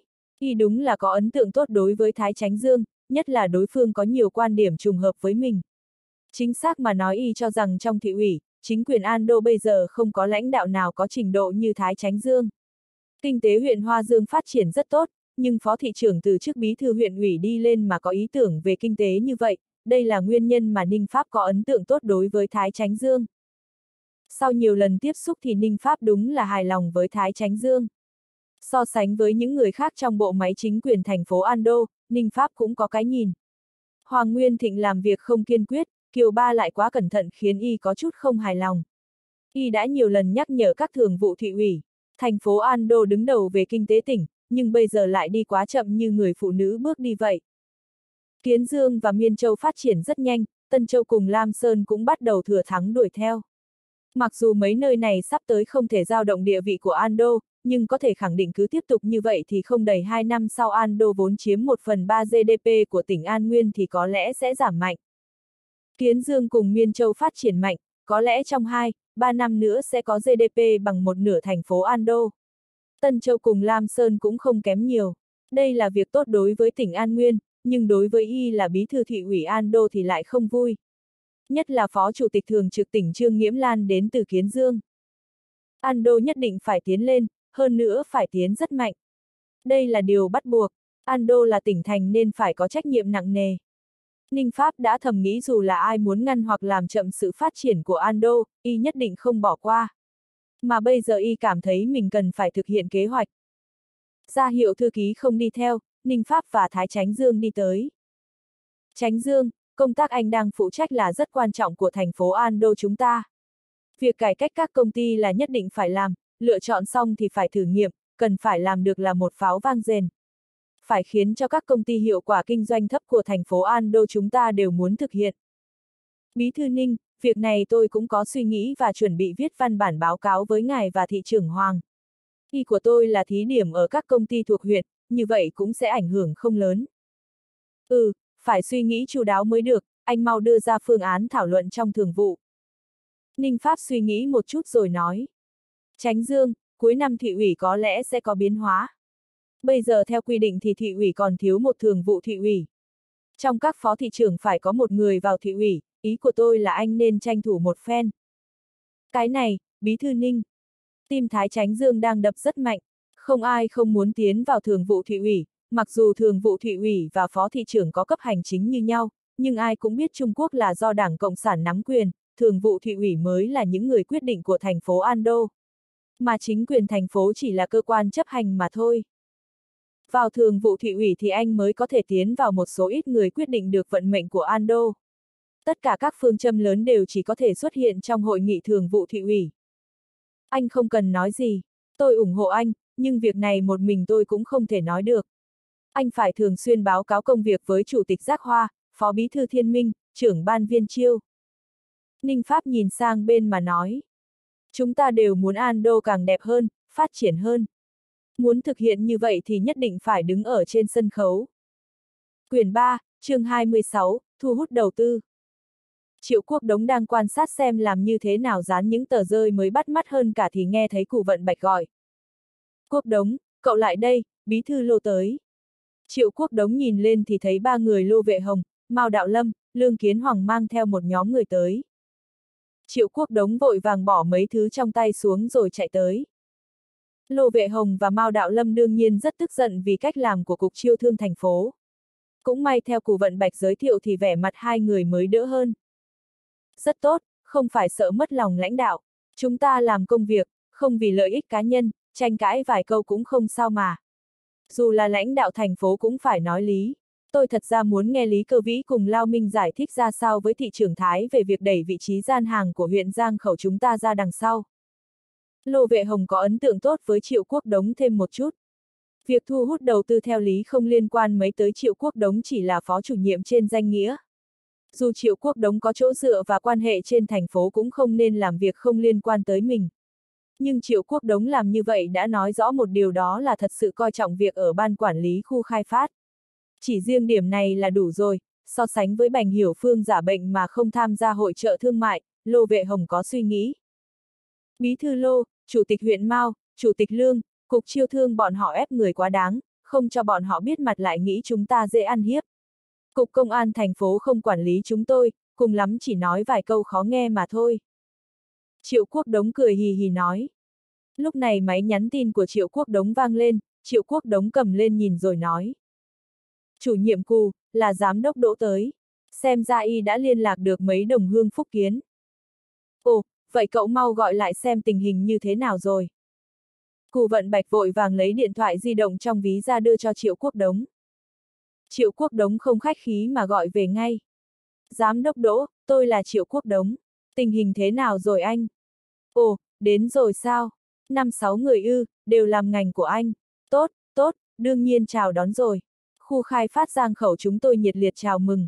Không cần biết có đầu tư hay không thì cũng chào đón đến chỗ chúng tôi xem một chút, cũng coi như hiểu thêm tình hình thực tế của khu khai phát chúng tôi. Vừa lúc lãnh đạo huyện chúng tôi có mặt ở đây, anh xem như vậy có được không, tôi tìm vị trí rồi gọi điện. Thấy đám người lô vệ hồng đang nhìn mình, triệu quốc đống nhìn cù vận bạch, thấy cù vận bạch ra hiệu hắn báo cáo, triệu quốc đống liền nhìn quanh rồi nhỏ giọng nói. Thưa mấy vị lãnh đạo, tôi thấy chúng ta sang chỗ khác rồi tôi báo cáo. Sau khi nghe triệu quốc đống nói rõ tình hình, lô vệ hồng và mao đạo lâm đều có chút hưng phấn. Nếu như lời của triệu quốc đống là thật, như vậy khu khai phát giang khẩu lần này sẽ bừng sáng rồi. Lương Kiến Hoàng không thể nhịn được mà nói. Tiểu Cu, Tiểu Triệu, hai người sao không sớm báo cáo với huyện việc này. Nếu bỏ lỡ cơ hội này thì chúng ta có tội với dân chúng huyện Giang Khẩu. Chủ tịch Lương, tôi cũng mới nhận được tin ngày hôm qua, hơn nữa không biết là thật hay giả. Sau hỏi tin bên trên thì thấy là có nhưng chưa biết có thành công không. Tôi đã báo cáo với chủ nhiệm cù và muốn thông qua hội trợ thương mại lần này xác nhận lại. Ngoài ra cũng muốn gặp và bàn với nhà đầu tư ổn thỏa thì mới báo cáo với huyện. Triệu Quốc Đống vội vàng nói. Đúng thế, Chủ tịch Lương, việc này không trách Quốc Đống được. Dù sao mấy tin này mới là nghe đồn, còn có nhà đầu tư Chiết Giang có đến hay không cũng chưa được xác minh. Chúng tôi dự định sau khi gặp sẽ báo cáo với lãnh đạo. Cụ vận bạch vội vàng nói. Chuyện lớn như vậy thì phải báo cáo trước với huyện, huyện cũng kịp thời có biện pháp xử lý. Bây giờ các huyện cạnh tranh rất mạnh, có tin này đương nhiên phải cố gắng tranh thủ, nếu các quận, huyện khác đoạt trước thì có khác gì dùng rổ mà tắt nước. Lương Kiến Hoàng có chút không hài lòng mà nói. Được rồi lão Lương, chuyện này đối với chúng ta mà nói là rất quan trọng. Nhưng quan trọng nhất là tập đoàn DU có thể liên doanh thành công với nhà máy sản xuất ô tô An Nguyên hay không. Thành công thì nhà đầu tư Duyên Hải nhất định sẽ đến An Đô xây dựng nhà máy, không thành công thì khả năng này là rất nhỏ. Lô Vệ Hồng lắc đầu nói. Tôi gọi điện hỏi thị trưởng Thái xem thế nào. Khi Lô Vệ Hồng về thì đã lộ rõ vẻ vui mừng. Xem ra hy vọng liên doanh rất có thể thành công, bảo sao nhà đầu tư Duyên Hải tới đây lại tích cực như vậy. Bí thư lô, tối nay chúng ta có nên. Ừ, ban quản lý chọn địa điểm đặt bàn, tôi và lão Mao, lão Lương đều tham gia. Dù thành công hay không thì chúng ta cũng phải thể hiện rõ lòng hiếu khách của huyện Giang Khẩu. Ngoài ra cũng phải chuẩn bị đủ tài liệu giới thiệu về Giang Khẩu, mỗi nhà đầu tư đều phải có một phần. Lô Vệ Hồng nói, đây là cơ hội, đúng như Quốc Đống đã nói. Công ty liên doanh ở quận Bích Trì, Bích Trì nhất định sẽ chiếm ưu thế lớn, chúng ta không thể so sánh với bọn họ. Nhưng Giang Khẩu chúng ta cũng có ưu thế của mình về giá đất, nguồn điện, tình hình an ninh trật tự và sự ủng hộ của huyện ủy, ủy ban. Tất cả đều phải để các nhà đầu tư hiểu rõ. Bữa tối đặt trong phòng tốt nhất ở khách sạn An Nhạc, đây là căn phòng đủ để cho 16 người. Cù vận bạch cùng Triệu Quốc Đống và hai người của ban quản lý đã sớm đứng ở phòng mà đợi khách tới. Chủ nhiệm cù, không biết giám đốc đỗ dẫn theo bạn tới có đầu tư ở Ando không nhỉ? Hoàng Trung Kiệt vừa sửa tài liệu vừa cùng tôn cầm nhét đặc sản của Giang Khẩu vào túi. Khó nói trước, như Bí Thư Lô nói đó nếu tập đoàn DU và nhà máy sản xuất ô tô An Nguyên liên doanh thành công thì bọn họ nhất định sẽ đầu tư xây dựng nhà máy ở Ando. Mà như vậy khả năng vào khu khai phát chúng ta sẽ tăng lên. Cụ vận bạch nhìn đồng hồ rồi nói. Quốc đống, những người đó không tới muộn chứ? Chắc là không, Đỗ Tử Hoa rất đúng giờ, người làm ăn thì chú ý thời gian hơn cơ quan nhà nước chúng ta. Triệu Quốc Đống rất tự tin. Sau khi hắn lộ một vài chi tiết về việc liên doanh kia, Đỗ Tử Hoa rất chú ý. Qua đó chuyện hắn nhờ Đỗ Tử Hoa giới thiệu bạn làm ăn ở Phúc Kiến tới khu khai phát giang khẩu cũng tiện hơn nhiều. Đỗ Tử Hoa cũng hy vọng bạn của mình tới đầu tư nhà máy ở khu khai phát giang khẩu, như vậy thứ nhất sẽ tạo thành một loạt các công ty cùng ngành, cũng tiện để phục vụ và cung cấp sản phẩm cho công ty liên doanh. Đương nhiên tất cả chỉ có thể làm khi tập đoàn DU liên doanh với nhà máy sản xuất ô tô An Nguyên.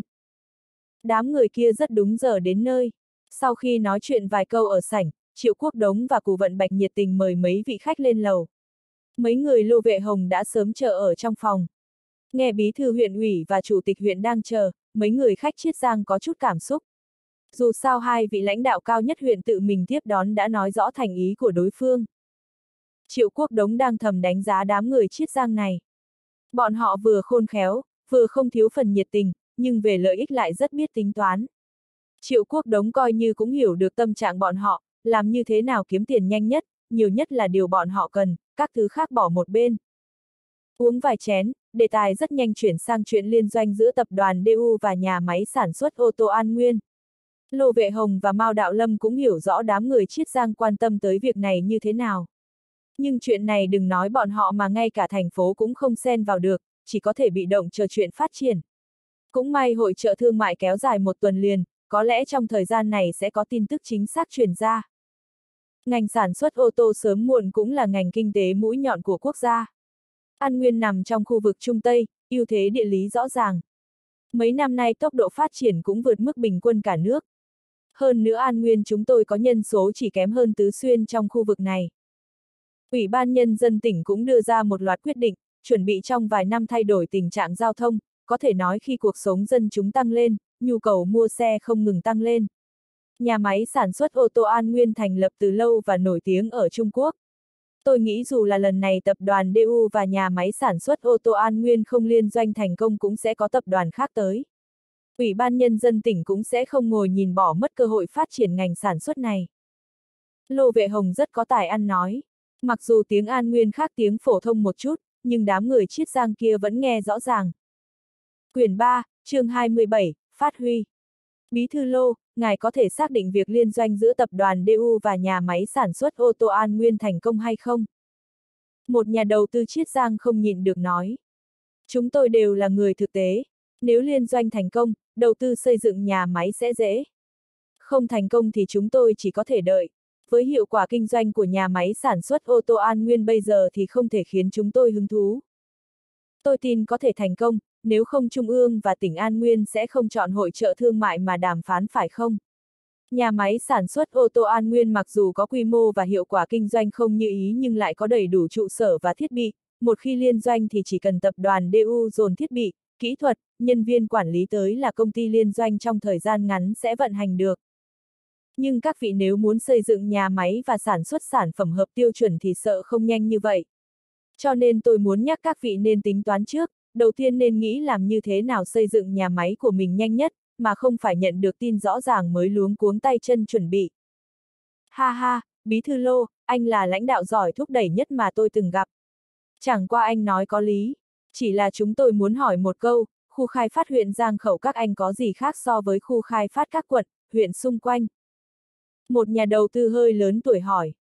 Đương nhiên là có và rất rõ ràng. Lô Vệ Hồng nhìn sang Cù Vận Bạch.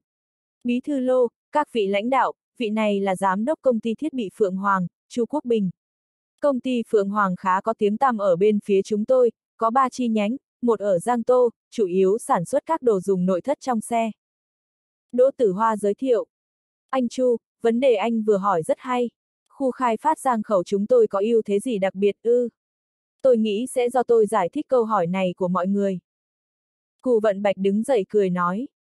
Các vị đều biết trụ sở của nhà máy sản xuất ô tô An Nguyên ở quận Bích Trì, như vậy công ty liên doanh cũng sẽ đóng tại quận Bích Trì. Mà quận Bích Trì cách khu khai phát giang khẩu chúng tôi chưa đầy 10 km, có quốc lộ An Lam kết nối, giao thông thuận tiện. Nhưng giá đất của khu khai phát giang khẩu chúng tôi rẻ hơn bên quận Bích Trì ít nhất 30%. Các vị muốn đầu tư xây dựng nhà máy thì nhất định sẽ nghĩ tới giá thành. Thứ hai, trong địa phận giang khẩu có trạm phát điện, ở thời kỳ mùa khô và lũ thì vẫn có thể cam đoan đủ điện hoạt động. Nhất là khi giá điện tăng cũng sẽ có ưu thế. Thứ ba, huyện ủy, ủy ban rất coi trọng, đưa ra một loạt chính sách có lợi về thuế, phục vụ, tin rằng các công ty đã đến xây dựng nhà máy ở khu khai phát là biết. Anh Đỗ đây là ví dụ tốt nhất. Chỉ như vậy thôi sao? Nếu từng đó thì tôi nghĩ các khu khai phát cũng có. Chu Quốc Bình nói như vậy khiến không khí trở nên kém đi. Đương nhiên không chỉ có như vậy. Triệu Quốc Đống nói. Khu khai phát giang khẩu chúng tôi còn có thể cung cấp hoàn cảnh an ninh trật tự tốt cho các nhà đầu tư, từ giải tỏa đến san nền, từ xây dựng đến sản xuất. Tin rằng các nhà đầu tư khi xây dựng nhà máy đều nghĩ đến vấn đề này. Chúng tôi cũng có thể hứa với các nhà đầu tư tuyệt đối đảm bảo lợi ích hợp pháp của các vị không bị xâm phạm, nhất là không bị những kẻ muốn tăng giá vượt quá quy định. Điểm này tôi tin anh Đỗ Tử Hoa hiểu rõ. Triệu Quốc Đống nói như vậy làm không ít nhà đầu tư chấn động. Đầu tư ở bên ngoài thì vấn đề lớn nhất chính là đám lưu manh của địa phương. Nhất là đám cán bộ cơ sở cấu kết với lưu manh làm các công ty rất đau đầu. Bọn họ đều đã gặp việc này, vậy mà thanh niên này lại nói tự tin như vậy. Mọi người nhìn Đỗ Tử Hoa, tất nhiên muốn xem đối phương nói gì.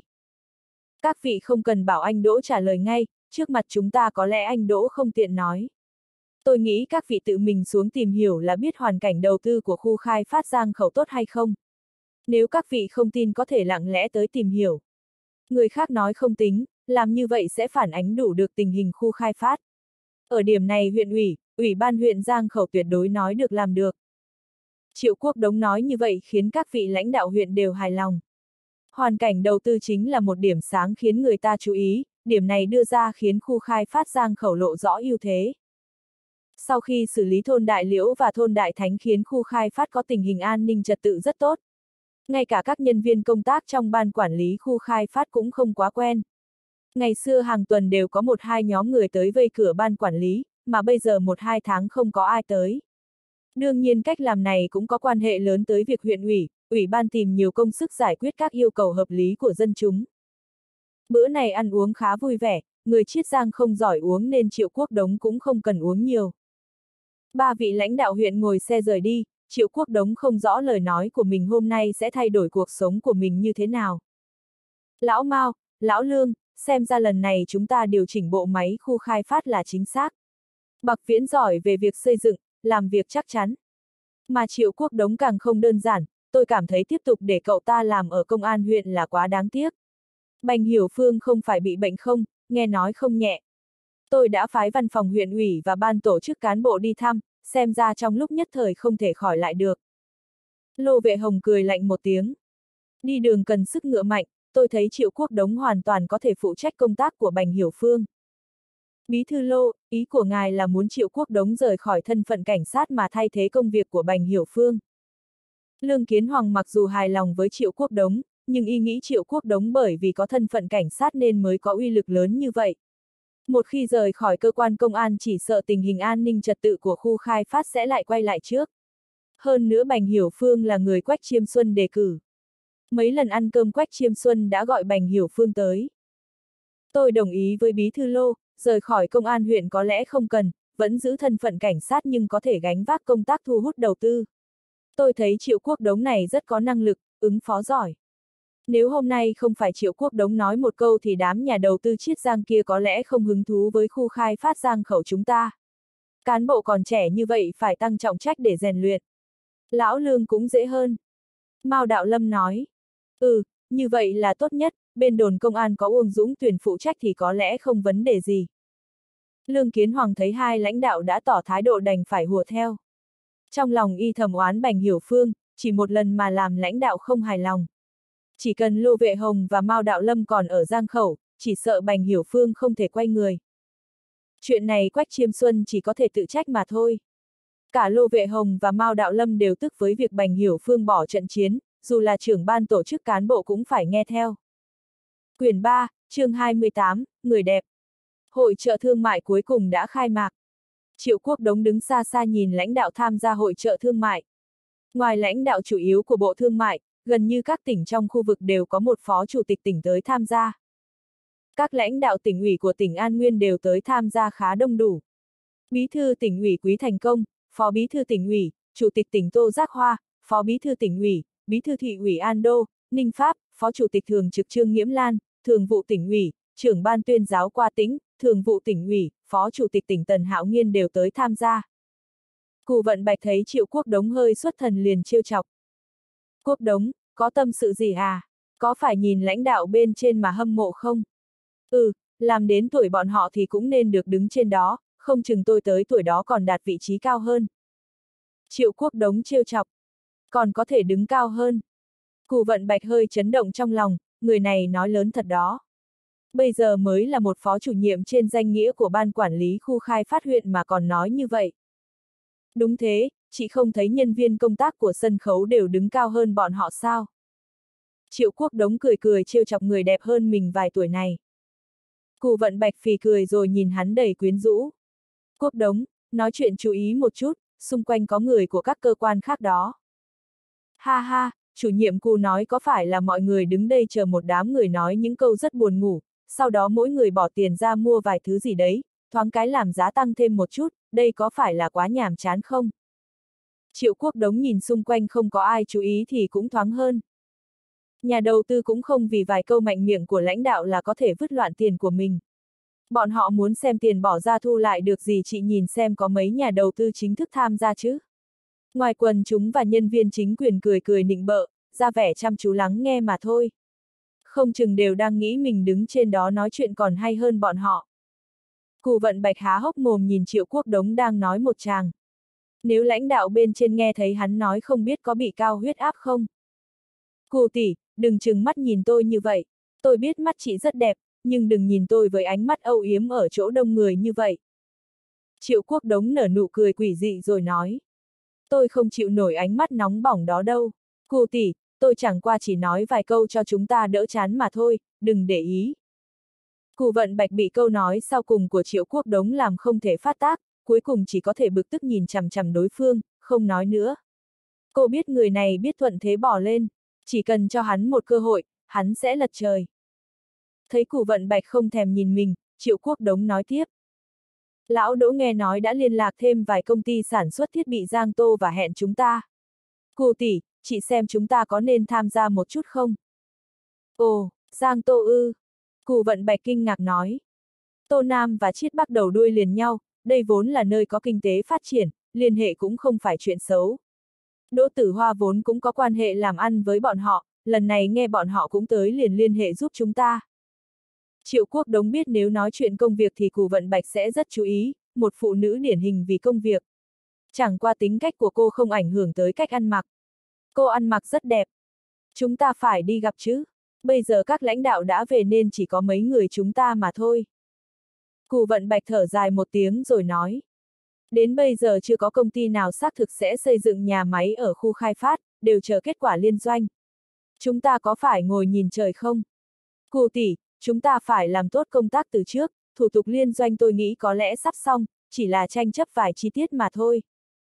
Thực ra tối qua Thái Tránh Dương đã gọi cho Triệu Quốc Đống. Tô Giác Hoa và Ninh Pháp đều ủng hộ tỉnh ủy, Ủy ban Nhân dân tỉnh đưa ra chính sách ưu đãi, cổ vũ công ty liên doanh có mục tiêu một năm sản xuất 2 triệu xe, hơn nữa nghe nói tỷ lệ liên doanh đã được xác định. Có lẽ vấn đề đàm phán tỷ lệ nội địa hóa trong hai ngày nữa sẽ rõ ràng. Điều này có nghĩa công ty liên doanh Ando, DU sắp được công bố thành lập. Cù vận bạch thấy lời của Triệu Quốc Đống không bình thường nên khó hiểu hỏi. Sao cậu biết liên doanh nhất định thành công? Ngay cả bí thư lô cũng không dám xác định mà. Ha ha, cô tỷ tôi có con đường bí mật mà, chỉ có hứng thú sao? Lời này của Triệu Quốc Đống có chút mập mờ nhưng cù vận bạch lại không phát hiện ra. Con đường bí mật gì chứ? Nói mau. Tôi có một người bạn trên tỉnh biết được cuộc đàm phán đã đến gian đoạn cuối, chỉ là còn vài chi tiết chưa xong nhưng không ảnh hưởng tới việc liên doanh. Tôi đoán trong hội trợ thương mại sẽ công bố. Triệu Quốc Đống nói như vậy làm mắt cù vận bạch sáng lên. Quốc Đống, nếu là như vậy thì nhất định phải nắm chặt các nhà đầu tư chiết giang lần trước và giang tô tối nay, cần phải để bọn họ tới khu khai phát chúng ta trước khi có công bố, để bọn họ thấy sức hấp dẫn của khu khai phát giang khẩu, tốt nhất là ký kết hiệp định với bọn họ.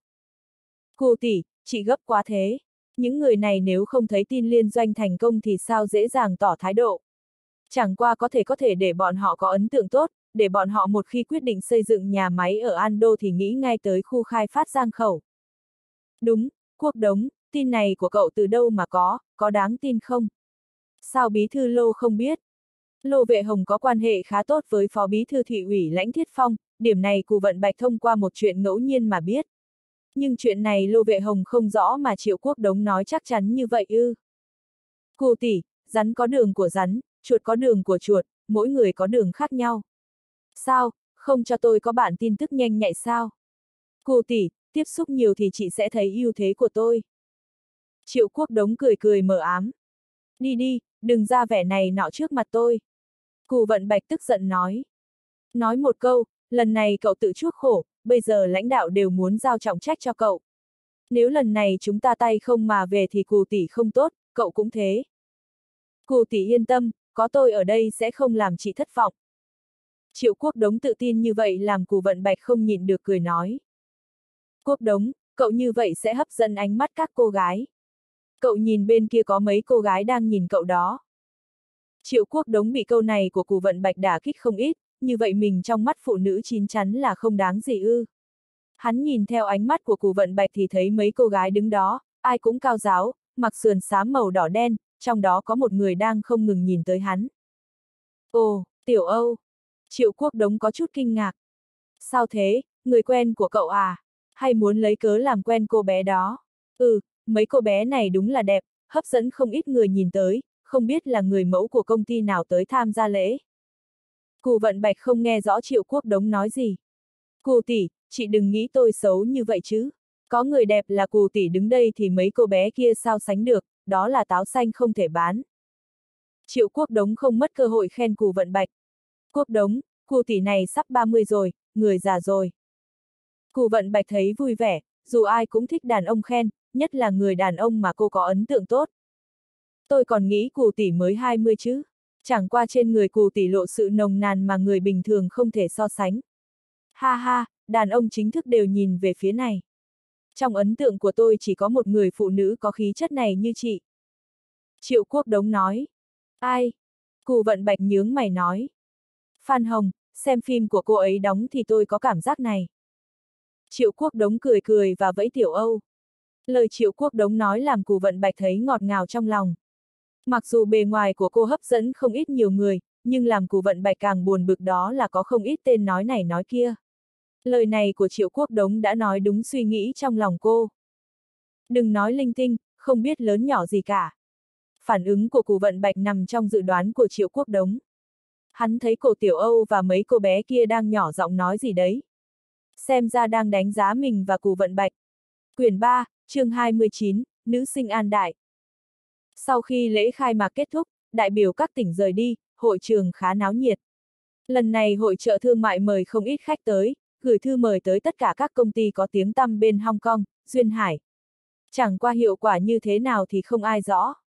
Nhìn cổ tiểu Âu cười tươi như hoa, triệu quốc đống có chút mất bình tĩnh, chẳng qua hắn vẫn ra vẻ bình thường đi tới. Tiểu Âu, thật là em sao? Anh còn sợ mình nhìn nhầm, sao lại vậy anh làm anh điên đảo thần hồn, thiếu chút nữa muốn bay lên mây. Triệu quốc đống cố ý nhìn cổ tiểu Âu từ trên xuống dưới. Cô mặc chiếc sườn xám càng tôn lên thân hình cao gầy của cô, mấy cô kia thấp hơn tiểu Âu một chút mà thôi, xem ra đều cao tầm 1m75. Điều này làm triệu quốc đống cao có hơn 1m8 thấy mình không chênh là mấy. Bảo sao cụ vận bạch từ chối không tới. Cổ tiểu Âu đã thay đổi nhiều. Cô học đại học năm một khiến thay đổi về chất. Đại học là một nơi tốt để rèn luyện con người, bảo sao bao thanh niên đều muốn tiến vào đó. Quốc đống ca, sao anh lại ở đây? Cổ tiểu Âu thật lòng rất vui mừng làm mấy cô gái bên cạnh có chút ngạc nhiên. Cổ tiểu Âu ở trường nổi tiếng về tính cách kỳ quái, mặc dù không phải lạnh lùng nhưng nếu có tên con trai nào đến dây dưa thì sẽ trở mặt ngay.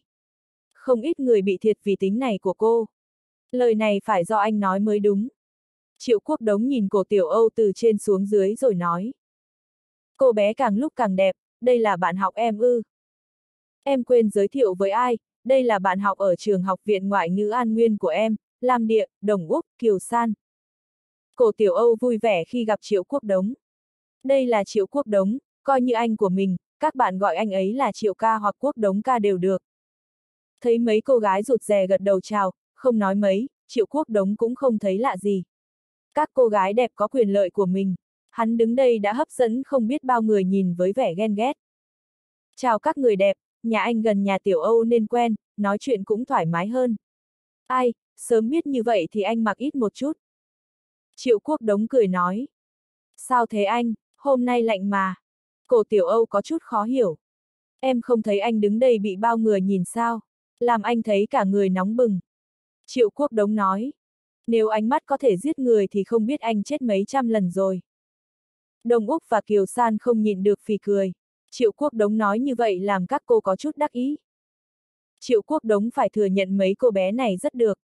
Đồng Úc và Kiều San mặc dù hơi gầy hơn cổ Tiểu Âu và Lam Đại kia, nhưng dáng người cũng rất được.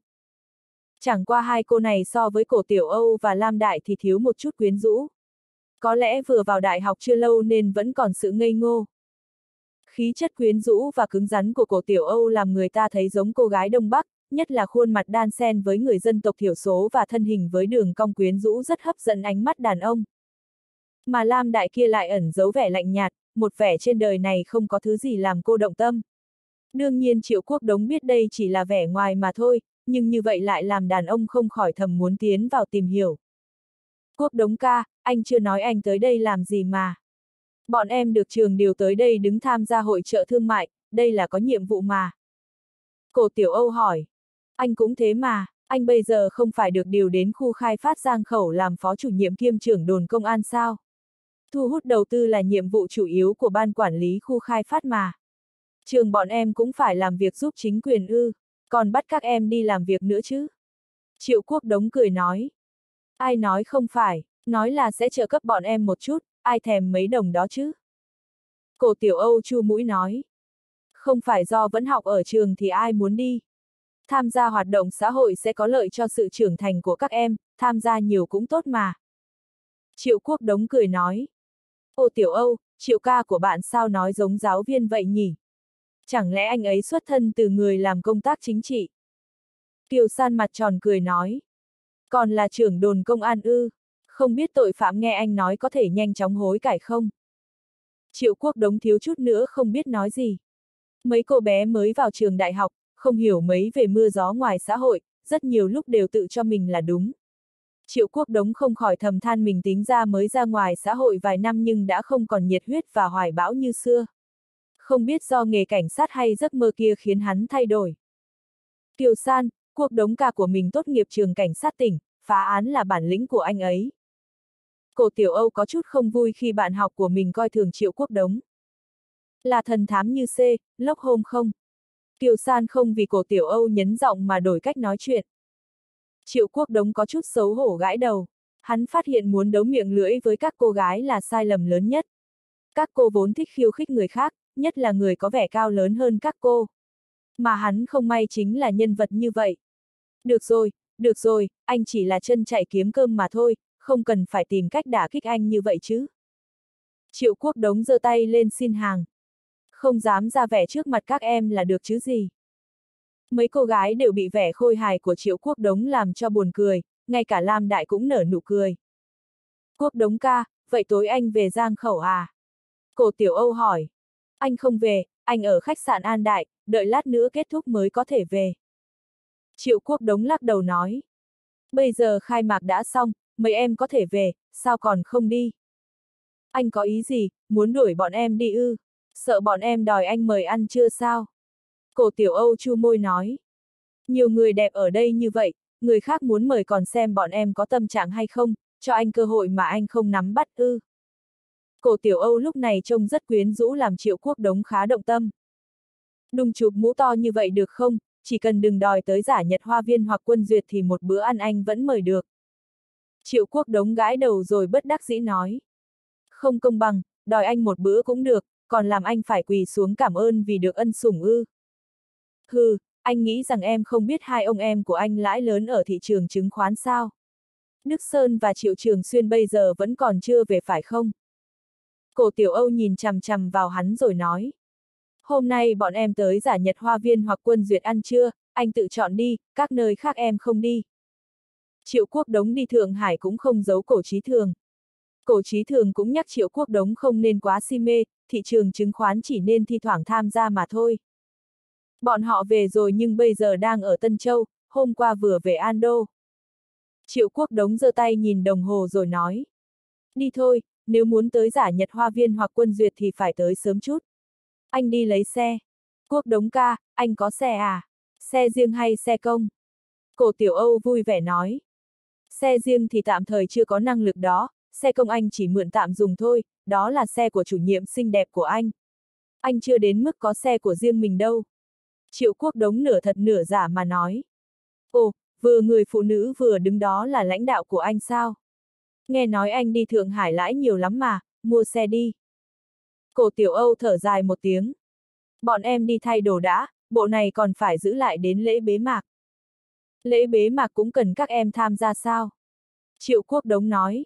Hình như nghe nói có nghi thức quan trọng nào định công bố, có vẻ là ký tên gì gì đấy.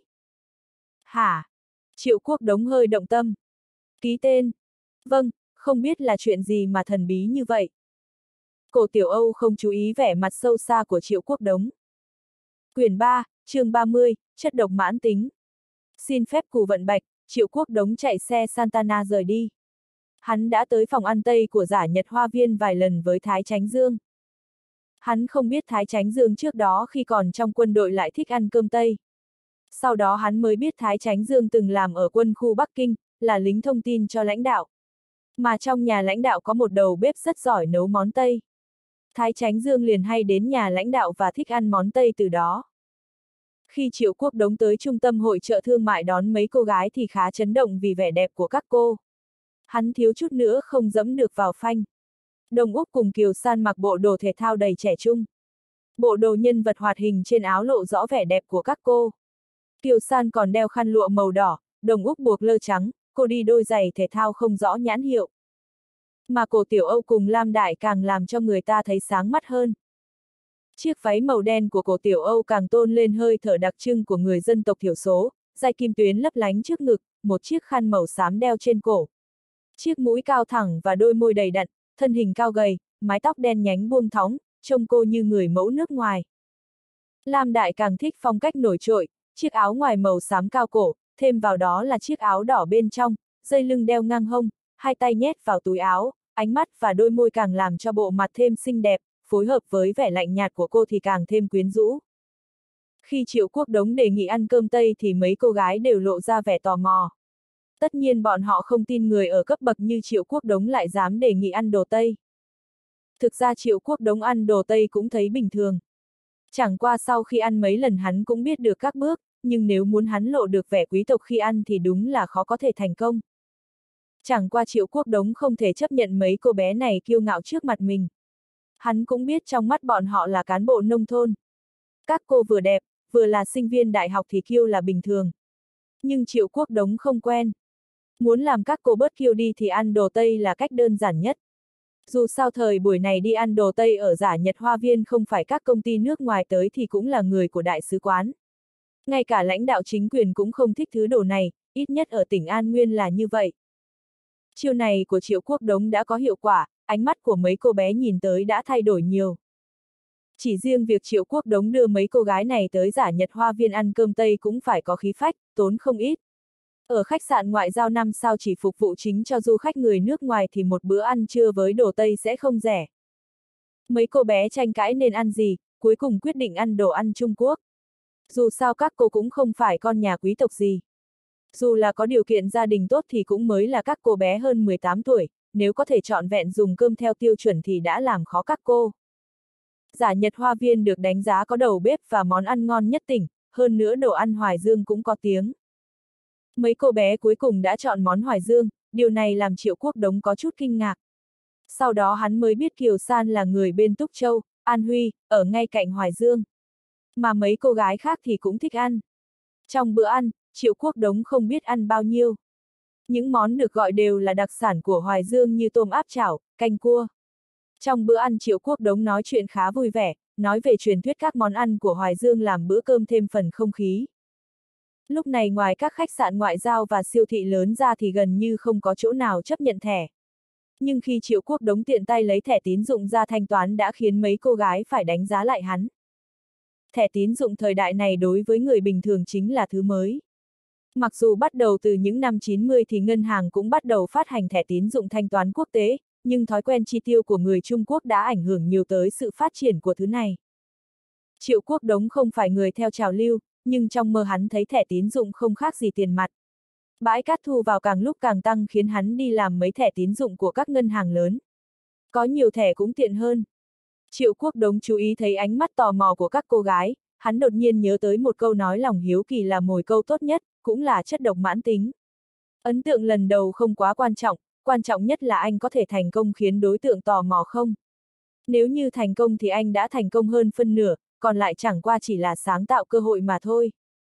Các cô gái mặc dù cố giữ sự rụt rè nhưng cổ tiểu Âu do quen với triệu quốc đống nên không ngại nhiều như vậy. Quốc đống ca, anh làm gì mà có nhiều thẻ tín dụng như vậy? Sao không thể làm gì? Có thể tiện cho cuộc sống của mình thì không ngại nhiều mà. Triệu quốc đống nhìn đồng hồ rồi nói. Sắp một rưỡi rồi, tiểu Âu hay là lên quá cà phê uống một chén rồi anh đưa mấy em về. Nếu quốc đống ca mời thì bọn em không từ chối. Cổ tiểu Âu cười cười như hồ ly. Có phải không mấy bạn? Vậy đi thôi, ở đây đi xuống là được, không cần dùng thang máy. Triệu quốc đống quen thuộc dẫn các cô đi tới quán cà phê. Quốc đống ca, anh còn không nói em biết anh làm nhiều thẻ tín dụng như vậy làm gì. Cổ tiểu Âu không bỏ qua cho triệu quốc đống. Ở châu Âu, Mỹ thì thẻ tín dụng rất phổ biến, thậm chí còn phổ biến hơn tiền mặt, hầu hết chi tiêu đều dùng thẻ tín dụng. Trung Quốc bây giờ bắt đầu dùng nhưng tỷ lệ không cao. Anh cũng là làm mẫu cho ngành tài chính Trung Quốc mà. Triệu quốc đống ra vẻ lo cho thiên hạ, hơn nữa còn tỏ vẻ nghiêm túc khiến mấy cô đều che miệng cười hì hì. Thời này còn thiếu các cách nói chuyện hài hước như vậy. Các cô gái so sánh đám nam sinh ngây ngô trong trường với triệu quốc đống thì thấy quá kém. Hình ảnh của triệu quốc đống trong mắt các cô đã cao lên nhiều. Không ngờ triệu ca còn thấy được việc ở châu Âu đó. Kiều San khiêu khích. Ừ, vậy khó nói được. Năm trước anh sang Mỹ, Tây Âu và Nhật Bản du lịch, phát hiện ở đó về cơ bản đều dùng thẻ tín dụng thanh toán. Dù là siêu thị lớn hay chợ nhỏ đều dùng, rất tiện, không cần mang nhiều tiền mặt, cũng an toàn hơn nhiều. Triệu quốc đống thấy cô bé Kiều San này cố ý nhằm vào mình thì cười thầm trong lòng. Đây là cô bé tự tìm tới cửa, về bản lĩnh nói dối ai bằng mình. Ồ, anh đi du lịch lúc nào thế? Cổ tiểu Âu quả nhiên muốn làm triệu quốc đống cứng họng, chẳng qua triệu quốc đống sớm có chuẩn bị. Khi tốt nghiệp anh đã đi Nhật Bản, mấy người bạn bên Mỹ cũng đợi anh. Anh ở Nhật Bản ba hôm, sau đó cùng đám bạn sang Mỹ một tuần, sau đó đến mấy nước như Anh, Pháp, Ý, cuối cùng là đi Ai Cập. Cuối cùng bọn họ về Mỹ, anh bay về Hong Kong. Triệu Quốc Đống nói dối mà mặt không đỏ. Hắn đã đi qua mấy nước này trong mơ. Khi Triệu Vân Hải giàu có thì người nhà liền đi du lịch. Chẳng qua những năm 90 thì Trung Quốc chưa phát triển du lịch nước ngoài, ngoài việc đi làm ăn, công tác thì gần như không mấy ai ra nước ngoài. Đương nhiên mấy thứ này các cô bé không biết, các cô nhìn Triệu Quốc Đống với vẻ khá đặc biệt và tò mò. Thời này sinh viên rất thích ra nước ngoài, mà theo những bộ phim được phát trên TV như Người Bắc Kinh ở New York được công chiếu khiến tư tưởng ra nước ngoài của Trung Quốc càng tăng mạnh. Chẳng qua nếu muốn ra nước ngoài thì phải có chi phí cao, còn phải có người nước ngoài bảo đảm về kinh tế. Điều này đã ngăn cản bao ước mơ của sinh viên. Quyển 3, chương 31, thông điệp cuối cùng. Ồ, anh có bạn người nước ngoài sao? Bọn họ đang làm gì? Ra ngoài một chuyến có tốn kém lắm không? Cổ Tiểu Âu vui vẻ nói. Anh có mấy người bạn, làm việc khác nhau. Thanh niên người nước ngoài tự lập sớm hơn chúng ta. Nhiều người trong bọn họ đã làm việc được vài năm. Giữa mọi người có cùng sở thích là du lịch. Có lẽ trong vòng 2 năm bọn họ sẽ tới Trung Quốc, đến lúc đó anh sẽ mời khách. Đến quốc gia nào thì người của nước đó phụ trách hết, đến Trung Quốc thì do anh phụ trách. Triệu Quốc Đống nói qua qua chuyện, hắn càng tỏ vẻ bình thường thì càng dễ lừa các cô bé kiêu kỳ này. Nhất là thấy ánh mắt kỳ quái của các cô, Triệu Quốc Đống có chút buồn cười. Hi hi, nếu sau này bọn em muốn đi du học, vậy không phải anh có thể nhờ bạn lo cho bọn em sao? Cổ Tiểu Âu nghĩ gì nói đó nhưng mấy cô bé kia lại lộ rõ sự hâm mộ. Tiểu Âu, ra nước ngoài có gì hay chứ? Anh cảm thấy nếu thật sự muốn học thì ở trong nước thích hợp với chúng ta hơn. Đương nhiên nếu như muốn theo đuổi trào lưu hoặc ra tham quan lại khác. Triệu quốc đống liền chuyển đề tài, bây giờ nói sâu thêm là không thích hợp, dễ bị nghi ngờ là khoe khoang.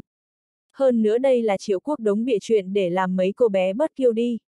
Đi vào quán cà phê thì nhân viên đi tới. Triệu quốc đống hỏi mấy cô bé. Các em uống gì? Gì cũng được à? Mấy cô gái cùng đáp. Năm cốc gì cũng được.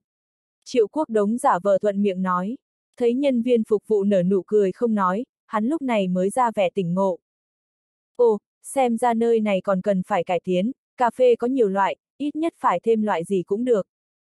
Mấy cô gái không nhìn được cười, cách nói này ở thế kỷ sau là rất bình thường, nhưng lúc này lại dễ phá phòng tuyến trong tim các cô bé. Không khí liền thoải mái hơn. Được rồi, cho bốn cốc lam sơn, đừng cho đường, cho tôi một cốc soda. Triệu quốc đống không thích uống cà phê, hắn thích uống trà nhưng vẫn phải gọi soda mà mấy cô bé kia không biết là loại gì. Mấy cô bé có lẽ đã nghe đến loại cà phê này, khi nhân viên phục vụ bưng lên thì các cô liền hăng hái thảo luận. Lúc này Triệu Quốc Đống đã thấy cơ hội thể hiện tài nói chuyện. Đối với các cô bé thì sức hấp dẫn của hàng hiệu là rất lớn. Không có cô bé nào chống lại được sức hấp dẫn của hàng hiệu, dù là Lam Đại kia. Khi Triệu Quốc Đống nói từ lịch sử cà phê Lam Sơn đến quá trình sản xuất xì gà La Ha, ba, na cùng cách hút, từ việc Louis Fusion tiến vào Trung Quốc đến hàng ăn nhanh Kentucky. Từ Rolex đến Vacheron Constantin tỏa sáng như thế nào, Triệu Quốc Đống như một chuyên gia kinh doanh giới thiệu đủ loại trào lưu thời thượng, làm mấy cô bé si mê. Ở thời đại chưa có mạng, muốn biết những tin này đúng là không dễ dàng. Mấy cô bé đều bị Triệu Quốc Đống hấp dẫn, 2 giờ thoáng cái là qua. Đến khi máy nhắn tin vang lên, Triệu Quốc Đống mới cảm thấy hình như mình có thay đổi khi đứng trước gái đẹp. Sau khi đưa mấy cô bé về trường, Triệu Quốc Đống nhạy cảm phát hiện vẻ mặt các cô khá phong phú. Chẳng qua lúc này các cô vẫn giữ khoảng cách một chút, chẳng qua hắn biết các cô đã tôn trọng hắn. Triệu Quốc Đống lúc này mới vội vàng về. Triệu Quốc Đống về đến nơi thì bị cù vận bạch trêu một trận. Chẳng qua cù vận bạch bị Triệu Quốc Đống trêu lại đến độ đỏ mặt và bực mình. Sau khi tiếp xúc mấy nhà đầu tư, Triệu Quốc Đống có thể cảm giác đám người này khác với đám người chiết giang, từ lời nói của đối phương lộ rõ tầm cao hơn một chút. Triệu Quốc Đống hiểu hai tên này mới chính thức là nhà đầu tư. Mấy tên chiết giang thì có lẽ chỉ mình giám đốc chu kia mới có thực lực tương đương hai người này. Theo bữa tiệc diễn ra, Triệu Quốc Đống cũng hiểu được hai vị này mặc dù là người Giang Tô nhưng đã ở Thượng Hải một thời gian đủ dài. Quy mô nhà máy của bọn họ ở Thượng Hải hơn xa nhà máy của Đỗ Tử Hoa.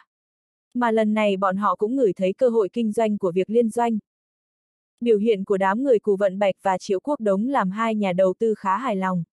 Bữa ăn chưa kết thúc mà bọn họ đã tỏ vẻ đồng ý đến khu khai phát giang khẩu xem một chút, đồng thời cũng nói liên hệ bạn cùng ngành bên Thượng Hải giúp. Điều này làm Cù Vận Bạch khá vui vẻ. Dù bọn họ có thể đầu tư vào giang khẩu hay không, ít nhất đối phương đồng ý đi xem tức là có khả năng. Cù Vận Bạch tin vào ưu thế của khu khai phát giang khẩu bây giờ nhất là khi tập đoàn DU và nhà máy sản xuất ô tô An Nguyên sắp ký kết thỏa thuận. Cuộc khảo sát ngày hôm sau làm Triệu Quốc Đống khá vui vẻ. Hai nhà đầu tư của Giang Tô và ba của Chiết Giang đến khu khai phát và Ủy ban Giang Khẩu cả ngày. Bọn họ đều chọn nhà máy của Đỗ Tử Hoa làm đối tượng chủ yếu để khảo sát. Đối với bọn họ mà nói quan chức ủy ban trình bày đủ điều cũng không bằng một câu nói thật của bản thân các công ty ở đây. Hứa hẹn bao nhiêu thì cũng phải thấy thực tế mới được. Đám người này đi quanh nhà máy của Đỗ Tử Hoa gần 2 tiếng, nói chuyện với Đỗ Tử Hoa bình thường đều dùng tiếng chiết giang khiến Triệu Quốc Đống như người đứng bên mà thôi. Chẳng qua hắn có thể thấy cuộc nói chuyện giữa bọn họ và Đỗ Tử Hoa khá vui vẻ. Đến khi Lô Vệ Hồng, Mao Đạo Lâm cùng với Lương Kiến Hoàng tiếp bọn họ ở nhà hàng Giang Thành, bọn họ lên xe về An Đô thì Triệu Quốc Đống mới rảnh rỗi. Quốc Đống, cậu thấy tình hình thế nào? Đây là lần đầu Mao Đạo Lâm nói chuyện riêng với Triệu Quốc Đống. Mặc dù Khâu Nguyên Phong cũng thường xuyên khen Triệu Quốc Đống trước mặt y, nhưng đó là đánh giá năng lực nghiệp vụ, còn việc thu hút đầu tư lại là khác. Chủ tịch Mao, tôi quan sát biểu hiện của bọn họ. Bọn họ mặc dù dùng tiếng địa phương trao đổi nhưng tôi thấy bọn họ khá hài lòng với hoàn cảnh đầu tư của khu khai phát chúng ta. Nhất là khi Đỗ Tử Hoa giới thiệu tình hình an ninh trật tự và ưu thế về giá điện mới là quan trọng nhất. Thực ra vấn đề giá đất bọn họ không quá để ý, nói cách khác bọn họ quan tâm đến việc duy trì lợi ích lâu dài, mà không phải là thứ phải bỏ ra trong lúc nhất thời. Triệu quốc đống trầm ngâm một chút rồi nói. Nói như vậy thì khả năng bọn họ đầu tư ở khu khai phát chúng ta là rất lớn. Mao Đạo Lâm nói. Quan trọng không nằm chỗ chúng ta, mà do tập đoàn DU và nhà máy sản xuất ô tô An Nguyên có thể liên doanh thành công không? Nếu như liên doanh thành công thì tôi tin rằng có thể thuyết phục bọn họ xây dựng nhà máy ở khu khai phát Giang Khẩu, ngược lại thì mọi việc đều không thể. Mấy nhà đầu tư này nếu xây dựng nhà máy thì sẽ lớn hơn của Đỗ Tử Hoa vài lần. Ừ, vấn đề chính là liên doanh. Nhưng chúng ta đi trước, bây giờ chúng ta chính là phải đợi đến khi liên doanh thành công là sẽ làm được. Cậu phải theo dõi toàn bộ quan trọng, một khi bọn họ muốn đầu tư xây dựng nhà máy như vậy phải đến giang khẩu chúng ta. Đây là nhiệm vụ chính trị. Cậu nói với cụ vận bạch, tình hình khu khai phát chúng ta rất không tốt. Đã có tin đồn trong 12 khu khai phát của thành phố sẽ xóa sổ cho còn lại không đầy 6 nơi. Ngoài khu khai phát của thành phố và quận Bích chỉ không bị động tới, nói cách khác 10 khu khai phát còn lại chỉ có 4, thậm chí 3 khu khai phát có thể giữ lại. Mà khu khai phát giang khẩu chúng ta bây giờ đang xếp cuối cùng trong danh sách. Chậm nhất là tháng 5 năm sau sẽ có phương án xóa bỏ, đến khi đó mà so sánh chính là dựa xem khu khai phát đó có cần tồn tại hay không, chính là xem khu khai phát có thể khiến kinh tế địa phương phát triển như thế nào. Bí thư Lô và tôi bây giờ có áp lực lớn, nếu khu khai phát bị xóa bỏ thì cán bộ khu khai phát sẽ đi đâu? Mặt mũi của huyện ủy, ủy ban có còn không? Triệu Quốc Đống lặng lẽ nghe Triệu Quốc Đống nói. Xóa bỏ các khu khai phát tràn lan là chính sách của quốc gia, không ai tránh khỏi, đây cũng là việc tốt. Nhưng nếu rơi vào đầu hắn sẽ khác, khó khăn lắm mới làm được phó chủ nhiệm, nếu xóa bỏ thì mình mất chức. Chẳng qua trách nhiệm thu hút đầu tư đang thuộc về Bành Hiểu Phương mà, sao lại dồn cho mình. Triệu Quốc Đống khó hiểu nhìn Mao Đạo Lâm, Mao Đạo Lâm thản nhiên nói. Bành Hiểu Phương có sức khỏe yếu, xem ra phải ở trong bệnh viện một thời gian. Trong thời gian này cậu phải phụ trách công tác thu hút đầu tư, phối hợp cù vận bạch làm tốt công việc.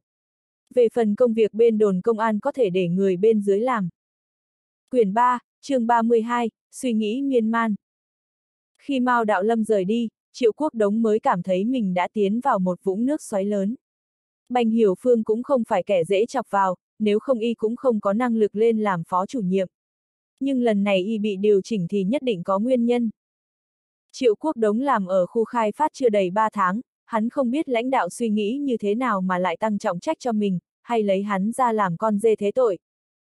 Chẳng qua tất cả không quan trọng, hắn chỉ còn có một con đường là tiến về phía trước mà thôi. Cũng tốt, không có áp lực thì sao có động lực, mình đang muốn tìm cơ hội để đi ra. Thu hút đầu tư là thử thách, nhưng lại là một bước khiến hắn đi ra thế giới. Triệu quốc đống đầy tâm sự về nhà. Đây là một căn nhà mới được trang trí xong, nhà nhỏ nhưng cũng có vài phòng, khu vực xanh cũng nhiều. Bãi cát Sơn Xuyên đang tiến vào thời kỳ rất phát triển, hứa vĩ đã hoàn toàn quen với các hoạt động của bãi, cách quản lý công nhân của y tốt hơn Trường Xuyên. Triệu quốc đống nhắc y lúc rảnh rỗi thì đọc sách, học tập nhưng xem ra hứa vĩ không nghe. Lương hàng tháng là 800 tệ cộng với thêm từ 2 đến 400 tiền hiệu quả kinh doanh, điều này làm hứa vĩ lập tức nhảy vào tầng lớp kiếm tiền giỏi của Giang Miếu, đến nhà triệu quốc đống chơi thì cũng ăn mặc đầy khí thế. Do hứa vĩ có ưu thế về kinh tế nên khiến không ít nữ công nhân nhà máy dệt chú ý. Ít nhất mẹ triệu quốc đống cũng đã nhận được câu hỏi của mấy chị em trong nhà máy hỏi về chuyện hôn nhân của hứa vĩ. Theo quốc lộ An Lam tiến hành thi công, ngoài công ty xây dựng số 2 cần nhiều cát hơn, thi công ở mấy khu vực khác cũng đến bãi cát Sơn Xuyên muốn mua. Lúc này chỉ dựa vào tăng công nhân là không thể. Hứa Vĩ nghe nói một ông chủ cát mua một tàu khai thác cát ở nhà máy cơ giới Giang Miếu, nhưng bây giờ bệnh nặng nên không thể kinh doanh, y liền đề nghị Triệu Quốc Đống mua thuyền này. Triệu Quốc Đống đồng ý. Đề nghị này rất sáng suốt.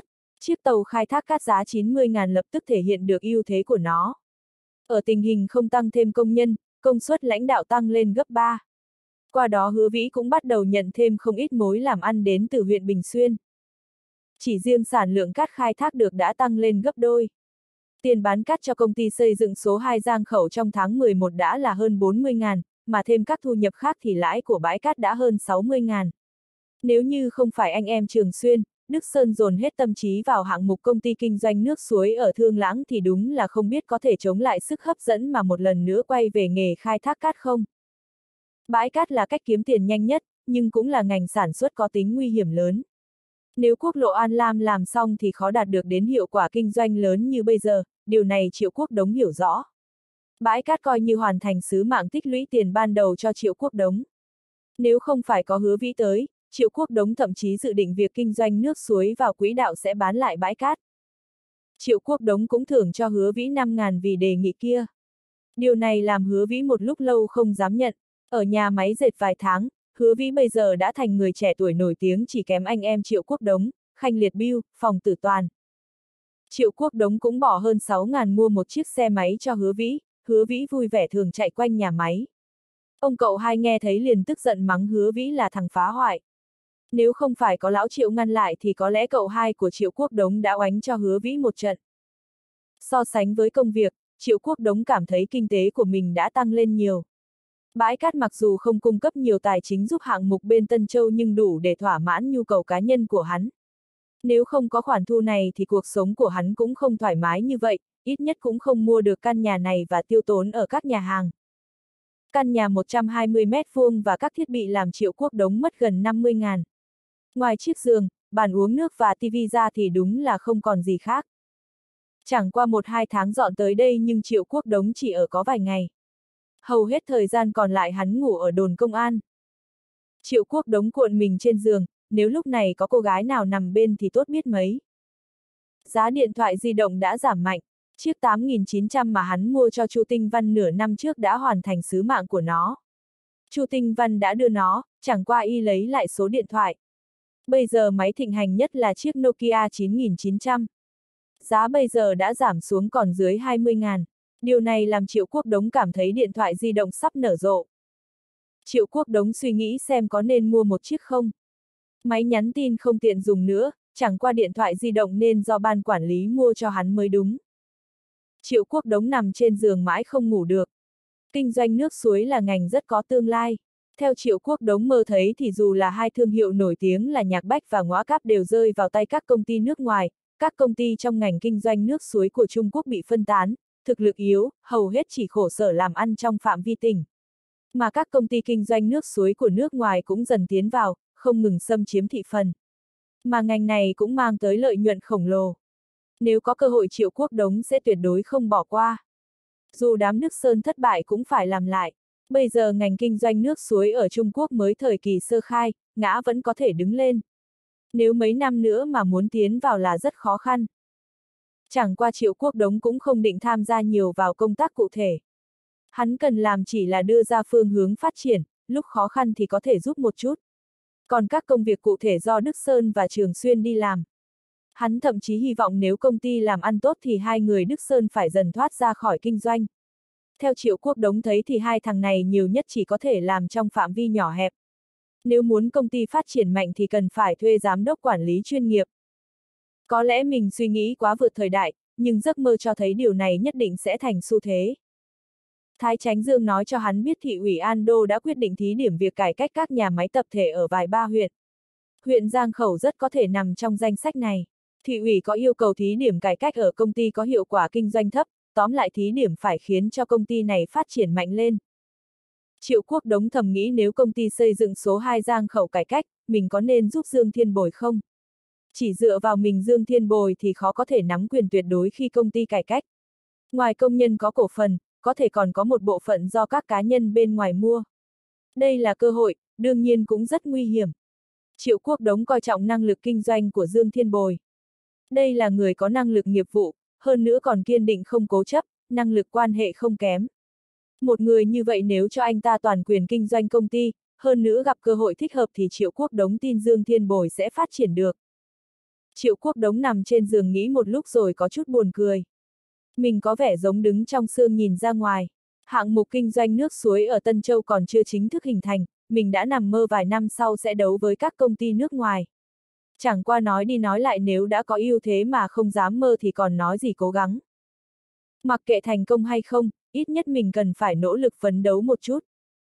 Quyển 3, chương 33, phân công quản lý. Cụ vận bạch nhận được điện của Lương Kiến Hoàng thì vừa mừng vừa lo, vui vì Triệu Quốc Đống nếu phụ trách mảng thu hút đầu tư thì cô nhẹ nhàng hơn nhiều. Triệu Quốc Đống mặc dù còn trẻ nhưng năng lực giao tiếp lại rất tốt. Nhưng cô lại lo cho tình hình an ninh trật tự của khu khai phát. Triệu Quốc Đống nếu bỏ công việc của đồn công an, đồn công an còn có uy lực như tước không? Nhưng so sánh với áp lực thu hút đầu tư rất gấp bây giờ, các vấn đề khác đều có thể bỏ qua. Nếu ngay cả khu khai phát bị xóa sổ thì tình hình an ninh trật tự có tốt hay không cũng không quá quan trọng, ít nhất không quan hệ với cô. Ngay cả khu khai phát cũng không còn, cô là chủ nhiệm ban quản lý thì còn làm gì được nữa. Trong điện thoại Lương Kiến Hoàng cũng nói rõ thái độ của lãnh đạo huyện. Khu khai phát giang khẩu nhất định phải có bộ mặt mới trước tháng 5 năm sau. Bây giờ không còn nửa năm thì nhất định phải thu hút được vài công ty có quy mô nhất định. Mỗi công ty đầu tư không được thấp hơn 3 triệu, hơn nữa tổng số tiền thu hút đầu tư không được thấp hơn 20 triệu. Mà cả năm 93 khu khai phát giang khẩu chỉ thu hút được 3 công ty, quy mô không đến 5 triệu. Cụ vận bạch cả đêm không ngủ nên khá tiểu tụy. Khi Triệu Quốc Đống từ Giang Khẩu chạy đến hội trợ thương mại An Đô thì cô mới vội vàng đi trang điểm. Chẳng qua Triệu Quốc Đống có thể cảm nhận được rõ ràng đối phương ngủ không ngon. Cô tỷ sao thế, mặt khá khó coi, tối qua chị không ngủ được sao? Hừ, cậu đừng giả vờ trước mặt tôi. Chủ tịch Lương đã nói với tôi là cậu phụ trách công việc của Bành Hiểu Phương. Chúng ta bây giờ bị buộc lên một sợi dây, không ai có thể chạy được cả. Trước tháng 5 năm sau mà công tác của khu khai phát không thay đổi, cậu và tôi chỉ có thể mất việc. Cụ vận bạch nghiêm mặt nói. Người đẹp dù nghiêm mặt lại cũng rất quyến rũ. Cô nhíu mày, những mi thì đúng là có chút oai phong, nhưng triệu quốc đống thấy chỉ có mỗi quyến rũ. Cụ tỷ, chân đất không sợ chân đi giày, chị làm chủ nhiệm không sợ, chẳng lẽ tôi là phó chủ nhiệm còn sợ sao? Cùng lắm tôi về cục công an. Triệu quốc đống cười hì hì nói. Chẳng qua tôi tự tin có thể thay đổi khu khai phát giang khẩu chúng ta. Hôm qua mấy nhà đầu tư kia đều có thực lực, tôi dự định buộc mấy người này thật chặt. Chỉ cần bọn họ muốn xây dựng nhà máy ở Ando, tôi quyết không thể bọn họ chạy ra khỏi giang khẩu. Ồ, nghe Triệu Quốc Đống nói chắc chắn như vậy, mắt cụ vận bạch sáng lên mà nói. Cậu chắc chắn như vậy sao? Chuyện do người mà, cụ tỷ không phải nói chúng ta đã bị buộc lên một sợi dây sao? Cho dù bản thân tôi không sao, nhưng tôi phải có trách nhiệm với nửa đời sau của chị mà, phải không? Lời triệu quốc đống hơi mập mờ làm cụ vận bạch đỏ mặt. Không biết lớn nhỏ, dám trêu cụ tỷ à. Trên thực tế cụ vận bạch khi công tác ở thị trấn, công ty đã nghe không ít lời trêu chọc này, chẳng qua cô đều giả vờ không biết, không thèm để ý. Nhưng chỉ có cậu thanh niên trẻ hơn mình vài tuổi lại làm cô chú ý, thi thoảng lại kích thích tâm tư của cô. Ha ha, tôi chỉ là nói phó chủ nhiệm phải chịu trách nhiệm trong công việc với chủ nhiệm mà, cụ tỷ đừng nghĩ sai đó. Tôi là thanh niên trong sáng. Triệu quốc đống nghiêm túc nói. Được rồi, cậu ở trước mặt tôi mà còn ba hoa như vậy, tôi thấy hôm trước cậu trước mặt mấy cô bé kia lại gãi đầu gãi tai, có phải giả vờ không? Cù vận bạch trừng mắt nhìn đối phương. Triệu quốc đống có chút ngạc nhiên vì cù vận bạch chú ý đến việc tiếp xúc mấy cô bé kia. Người phụ nữ nếu chú ý đến anh, như vậy có quan hệ khá căng thẳng, hoặc là có quan hệ tình cảm. Mình và cù vận bạch có quan hệ gì nhỉ? Có phải loại thứ hai không? Triệu quốc đống nhìn cù vận bạch làm cô hơi hoảng hốt. Chẳng qua cù vận bạch vẫn cố giữ vẻ bình tĩnh. Sao, bị bệnh gì à mà ra vẻ thần bí như vậy hả? Không có gì cả, chỉ là cảm thấy hôm nay cù tỷ có chút kỳ quái. Triệu quốc đống cười cười nhìn triệu quốc đống. Có gì kỳ quái chứ hả, chẳng lẽ cụ tỷ chỉ một ngày mà thay đổi được sao? Cụ vận bạch có chút trột dạ xoay đầu sang bên. Đi thôi, hôm nay đến đợt cao điểm của hội trợ thương mại. Tôi thấy chủ nhiệm mấy khu khai phát các huyện khá tích cực, xem ra chúng ta không cố gắng sẽ bị loại thải. Cụ tỷ, tìm nhà đầu tư không có mục đích thì cũng không có tác dụng gì cả. Tôi cảm thấy chúng ta cần phải tìm đối tượng thích hợp theo dự định của mình. Nếu chúng ta đã xác định hướng phát triển của khu khai phát giang khẩu là các công ty cơ giới và sản xuất thiết bị ô tô thì phải nhằm vào đó. Nơi này có tôn cầm là đủ rồi. Tôi nghĩ nên đi xem mấy mục tiêu quan trọng là tốt hơn. Triệu Quốc Đống lắc đầu nói. Cụ vận bạch suy nghĩ một chút rồi nói. Cậu nói đúng, nhưng bên này dù sao cũng là gian hàng chính, chúng ta phải lưu một người lại mới được. Như vậy đi, tôi và Tiểu Tôn ở lại, cậu dẫn trưởng phòng Hoàng đi liên lạc. Khi Hoàng Trung Kiệt biết huyện đã quyết định triệu quốc đống thay Bành Hiểu Phương phụ trách công tác thu hút đầu tư, y cảm thấy rất phức tạp. Bành Hiểu Phương ở khu khai phát chỉ là cho có, nếu không có quan hệ sau lưng thì sao có thể đứng được ở khu khai phát. Nhưng Bành Hiểu Phương đã hứa với Hoàng Trung Kiệt là chỉ cần làm thay, khi Bành Hiểu Phương rời đi sẽ đề cử y là người thế chỗ. Mặc dù đây chỉ là thủ đoạn nhưng đó cũng là sức hấp dẫn đối với Hoàng Trung Kiệt. Hoàng Trung Kiệt biết rõ ưu và khuyết điểm của mình ưu thế đó là y tốt nghiệp đại học, tuy không phải đại học hàng hiệu nhưng cũng hiếm có trong khu khai phát, năng lực nghiệp vụ cũng được, quan hệ với cấp trên, cấp dưới cũng được. Thiếu chính là một quan hệ mạnh mà thôi. Mặc dù chủ nhiệm trước và cụ vận bạch bây giờ đều đánh giá Hoàng Trung Kiệt khá cao, nhưng bọn họ chỉ có thể làm y là một cán bộ trung tầng có quyền lực, tiến thêm một bậc thì bọn họ không có khả năng. Huống chi Hoàng Trung Kiệt cũng tự nhận mình chưa đến mức để cụ vận bạch có thể hết sức đề cử. Cụ vận bạch khi mới tiếp xúc thì không thấy có gì đặc biệt ngoài đẹp. Nhưng chỉ cần một thời gian là sẽ thấy cụ vận bạch có thể làm chủ nhiệm ban quản lý khu khai phát cũng có bản lĩnh của mình. Cụ vận bạch mặc dù có lúc do dự nhưng khi có quyết định lại quyết không lùi bước. Hoàng Trung Kiệt vẫn hy vọng được cụ vận bạch tán thành nhưng vẫn không được. Mặc dù Hoàng Trung Kiệt đã kết hôn nhưng cụ vận bạch đúng là rất quyến rũ, người đàn ông nào chẳng muốn thể hiện với cụ vận bạch. Quan hệ của cụ vận bạch với ai cũng có vẻ tốt làm người ta thấy phấn chấn, nhưng chỉ ai muốn tiến thêm một bước trong quan hệ với cô thì mới thấy sự đề phòng của cô. Đây là kết luận sau nhiều lần thử của Hoàng Trung Kiệt. Đây là một người phụ nữ mà đàn ông khó có thể tiến vào trái tim. Mỗi khi Hoàng Trung Kiệt và Cụ Vận Bạch nói chuyện vui vẻ, y đều có chút khó hiểu, tại sao Triệu Quốc Đống lại có thể nói chuyện thân mật với Cụ Vận Bạch như vậy. Điều này làm y có chút khó hiểu, chẳng lẽ Cụ Vận Bạch thích trai trẻ. Hình như hơi quá, nhưng Cụ Vận Bạch hơn Triệu Quốc Đống 5-6 tuổi cơ mà. Hoàng Trung Kiệt không tin hai người có tình yêu chị em như trên TV. Nhân tài như Triệu Quốc Đống cũng đâu cần phải dựa vào cách này mà tiến lên. Bành Hiểu Phương có thể từ một cán bộ bình thường ở ban tuyên giáo điều đến khu khai phát làm phó chủ nhiệm, ai cũng biết sau lưng y là Quách Chiêm Xuân. Nghe nói bố Bành Hiểu Phương có họ hàng gì đó với Quách Chiêm Xuân. Hoàng Trung Kiệt có chút không cam tâm khi Triệu Quốc Đống lại lên chức. Khi thấy tên này nhỏ hơn mình chục tuổi mà lại là lãnh đạo trực tiếp của mình thì có chút buồn bực. Lúc trước quan hệ khá tốt đó là vì Triệu Quốc Đống chỉ là kiêm nhiệm phó chủ nhiệm mà thôi. Bây giờ Triệu Quốc Đống lại phụ trách phòng thu hút đầu tư của y. Triệu Quốc Đống cũng nhạy cảm thấy được tâm trạng Hoàng Trung Kiệt khá kém. Chẳng qua Triệu Quốc Đống không thèm để ý, dù là ai cũng phải có tâm trạng mình, nếu là hắn cũng thế. Quan trọng nhất là sau khi bình tĩnh sẽ có thái độ gì. Nếu Hoàng Trung Kiệt vẫn có thái độ này thì Triệu Quốc Đống sẽ không hề do dự đổi trưởng phòng thu hút đầu tư. Một cấp dưới không hoàn toàn nghe lời chỉ gây phiền phức mà thôi. Quyển 3, chương 34, thằng em khóa dưới. Thái Tránh Dương gọi điện xong liền trêu chọc. Chú nói xem đây là lần thứ mấy anh gọi giúp chú rồi. Anh sắp thành phó chủ tịch huyện phụ trách công nghiệp và thu hút đầu tư của huyện Giang Khẩu rồi. Nếu Hoa Dương và Vọng Đường biết bọn anh giúp Giang Khẩu như vậy, anh đám đến mấy nơi đó sao? Dù là Bích Trì thì có lẽ cũng rất khó chịu với anh. Ha ha, Thái ca, làm một bộ phận người giàu lên chỉ là bước đầu, mục đích là phải làm tất cả mọi người giàu lên. Bây giờ khu khai phát của Hoa Dương, vọng đường được cục chiêu thương giúp đỡ, anh sao phải thuê hoa trên gấm. Giang khẩu mới cần giúp đỡ mà.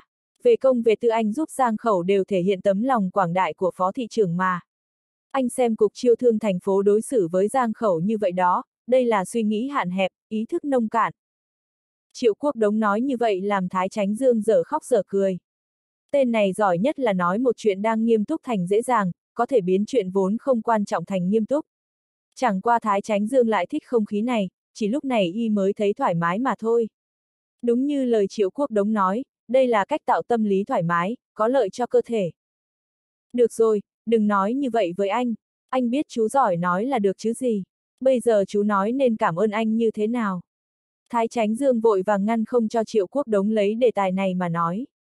Nếu cho tên này một điểm tựa thì không biết hắn lừa dối không biết Đông Tây Nam Bắc nào. Ồ, chúng ta đã đến uống cà phê ở giả Nhật Hoa Viên, quân duyệt rồi mà. Hay là đến quán ý ăn, đồ ở đó rất ngon đó anh. Triệu Quốc Đống trợn mắt nói. Một bữa là đuổi được anh đây đi sao? Thái Tránh Dương liền kêu lên. Một cuộc điện của phó thị trưởng như anh sao rẻ vậy? Vậy nếu chuyện thành công em trả anh 20 ngàn, vấn đề là anh có dám nhận không? Triệu quốc đống khinh thường bĩu môi. Con người bất cứ lúc nào cũng phải chịu khổ trước, hưởng thụ sau. Thái ca, anh thành thật mang đuôi làm người đi. Bị triệu quốc đống trêu như vậy, Thái Tránh Dương lắc đầu nói. Chú đó, đúng là chú nhìn thấu anh. Không được, dù như thế nào cũng phải thêm một chầu cà phê. Được rồi, đường đường là phó thị trưởng mà chẳng lẽ cứ suốt ngày đòi ăn của cấp dưới sao? Cán bộ chúng ta có tư tưởng như vậy thì kinh tế thành phố An Đô sao có thể phát triển được? Triệu quốc đống chắp tay sau lưng đi quanh văn phòng Thái Tránh Dương một vòng rồi nói. Tôi đề nghị các thường vụ nhất định phải suy nghĩ làm như thế nào tăng cao tố chất của cán bộ. Trưởng ban viên chiêu, điểm này hy vọng anh sau đây sẽ đưa ra một phương án có thể khả thi trong hội nghị thường vụ lần tới.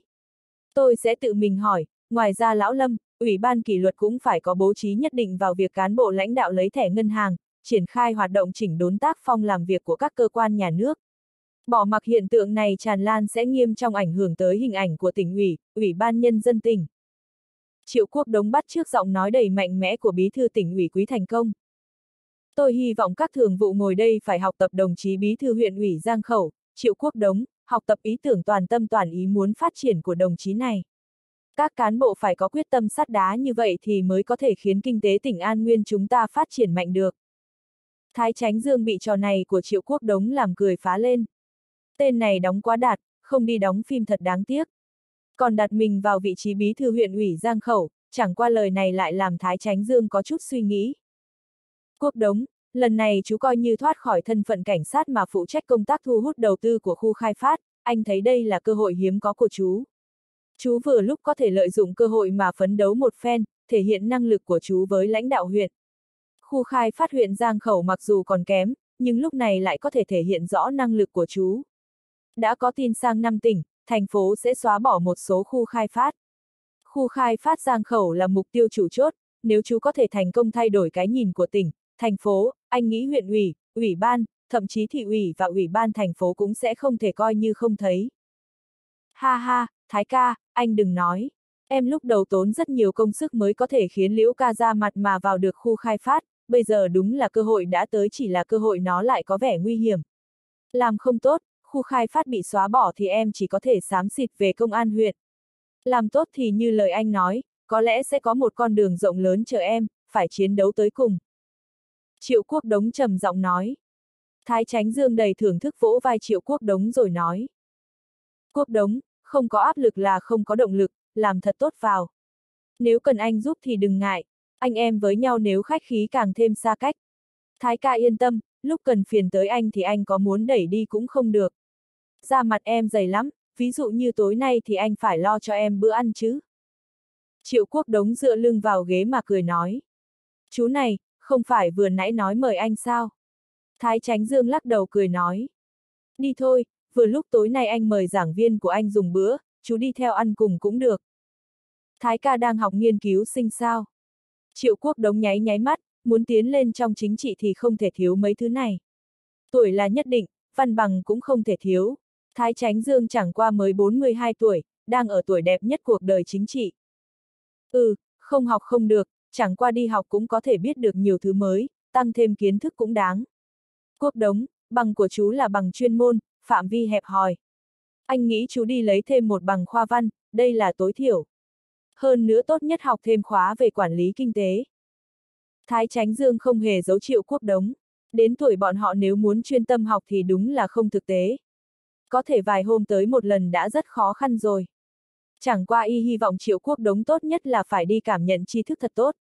Có lẽ triệu quốc đống thể hiện kiến thức uyên bác hơn xa nghiên cứu sinh, nhưng bên tổ chức chỉ xem bằng cấp. Ha ha Thái ca, em đã đăng ký rồi, em học lớp quản lý công thương Đại học An Nguyên, chẳng qua là tại chức thôi. Thái ca, chúng ta có phải cùng trường không nhỉ? Triệu Quốc Đống cười nói. Chỉ bằng điểm này anh cũng phải mang thằng em khóa dưới đi cho quen mặt, phải không? Quyển 3, chương 35, giảng viên. Bữa tối được tổ chức ở nhà hàng Hoa Đình gần Đại học An Nguyên. Đây là nhà hàng sang trọng do ông Đài Loan kinh doanh. Theo lý thuyết người phúc kiến Đài Loan sang An Nguyên không nhiều, nhưng có lẽ hiếm nên quý, hoặc là nói quận An Đô chỉ có nhà hàng này là món Đài Loan chính cống. Vì vậy ở đây hấp dẫn không ít khách tới. Lần đầu Triệu Quốc Đống ăn món Đài Loan, một loạt món đồ do đầu bếp nhà hàng nấu, hơn nữa còn có mấy món như canh tôm, món ăn nhẹ là bánh xuân và mắt phượng, bữa ăn này khá đắt. Giảng viên hướng dẫn của Thái Chánh Dương, Bùi Hoài Viễn là học giả có tiếng ở Đại học An Nguyên. Chẳng qua người này cũng không hề tỏ vẻ kiêu căng, lạnh nhạt như Triệu Quốc Đống nghĩ, cách nói chuyện khá thân thiện, khôi hài. Điều này làm Triệu Quốc Đống càng tôn trọng Bùi Hoài Viễn hơn. Thái tránh Dương học ở lớp nghiên cứu sinh kinh tế của trường, bình thường y không có nhiều thời gian tới lớp. Nhưng Thái Tránh Dương mỗi lần đều xin nghỉ đáng hoàng, y cũng giữ được tinh thần tôn sư trọng đạo. Đây cũng là điều làm Bùi Hoài Viễn có ấn tượng tốt đối với Thái Tránh Dương. Bùi Hoài Viễn có chút kinh ngạc khi Thái Chánh Dương mang theo một cậu thanh niên tới cùng. Mới đầu còn nghĩ đó là cháu của Thái Chánh Dương. Bùi Hoài Viễn biết thư ký của Thái Chánh Dương, nhưng sau đó mới phát hiện hai người xưng anh em, quan hệ có vẻ rất thân. Nhất là khi nói đến việc phát triển kinh tế trong nước, Bùi Hoài Viễn mới cảm thấy Thái Chánh Dương mang Triệu Quốc Đống tới là có mục đích. Mặc dù Triệu Quốc Đống rất cẩn thận về cách dùng từ, nhưng Bùi Hoài Viễn không tốn mấy công sức đã tìm được ý tưởng mới mẻ của Triệu Quốc Đống. Một loạt vấn đề như quốc lui, dân tiến, cạnh tranh trong các ngành sản xuất, các ngành kinh tế quan trọng nhất sẽ do tập đoàn nhà nước nắm giữ. Những quan niệm này ở hơn 10 năm sau là rất bình thường, chẳng qua ở những năm 93, 94 thì nó lại là quá hoang đường. Đương nhiên đây chỉ là trong mắt người bình thường, nhưng đối với một chuyên gia kinh tế nổi tiếng của cả tỉnh An Nguyên thì lại như chúng một cơn đại hồng thủy, nó đánh mạnh vào suy nghĩ của Bùi Hoài Viễn. Triệu Quốc Đống cũng hiểu quan điểm của mình khiến vị chuyên gia Bùi Hoài Viễn này phải suy nghĩ. Nguyên nhân chính là hắn sớm nói ra phương hướng phát triển kinh tế của quốc gia, nói lịch sử thành quan điểm của mình. Nhưng lúc này lại rất dễ dẫn đến phong ba. Cũng may hắn chỉ là một nhân vật nhỏ bé, nếu quan điểm này do chuyên gia như Bùi Hoài Viễn nói ra thì sợ sẽ khác. Khi Triệu Quốc Đống đi lấy xe, Bùi Hoài Viễn nhìn theo và nói. Tránh Dương, cậu ta làm gì vậy? Là sinh viên của Đại học An Nguyên. Thái Tránh Dương cười nói. Ồ, khóa nào vậy? Bùi Hoài Viễn nhướng mày nói. Thái Tránh Dương cười nói. Bùi lão thấy tài năng của cậu ta sao? Chẳng qua rất đáng tiếc, cậu ta chỉ là sinh viên tại chức kinh tế của trường mà thôi. Tại chức ư? Bùi Hoài Viễn nói. Vâng, cậu ta đang là phó chủ nhiệm ban quản lý khu khai phát Giang Khẩu. Thái Tránh Dương gật đầu nói. Ồ, phó chủ nhiệm ban quản lý khu khai phát cấp huyện mà có sự quan sát và quan điểm mới mẻ như vậy thì không đơn giản, nhân tài thành phố An Đô nhiều đến mức như vậy sao? Bùi Hoài Viễn tất nhiên không tin lời Thái Tránh Dương nói. Giáo sư Bùi cảm thấy quan điểm của cậu ta rất độc đáo sao?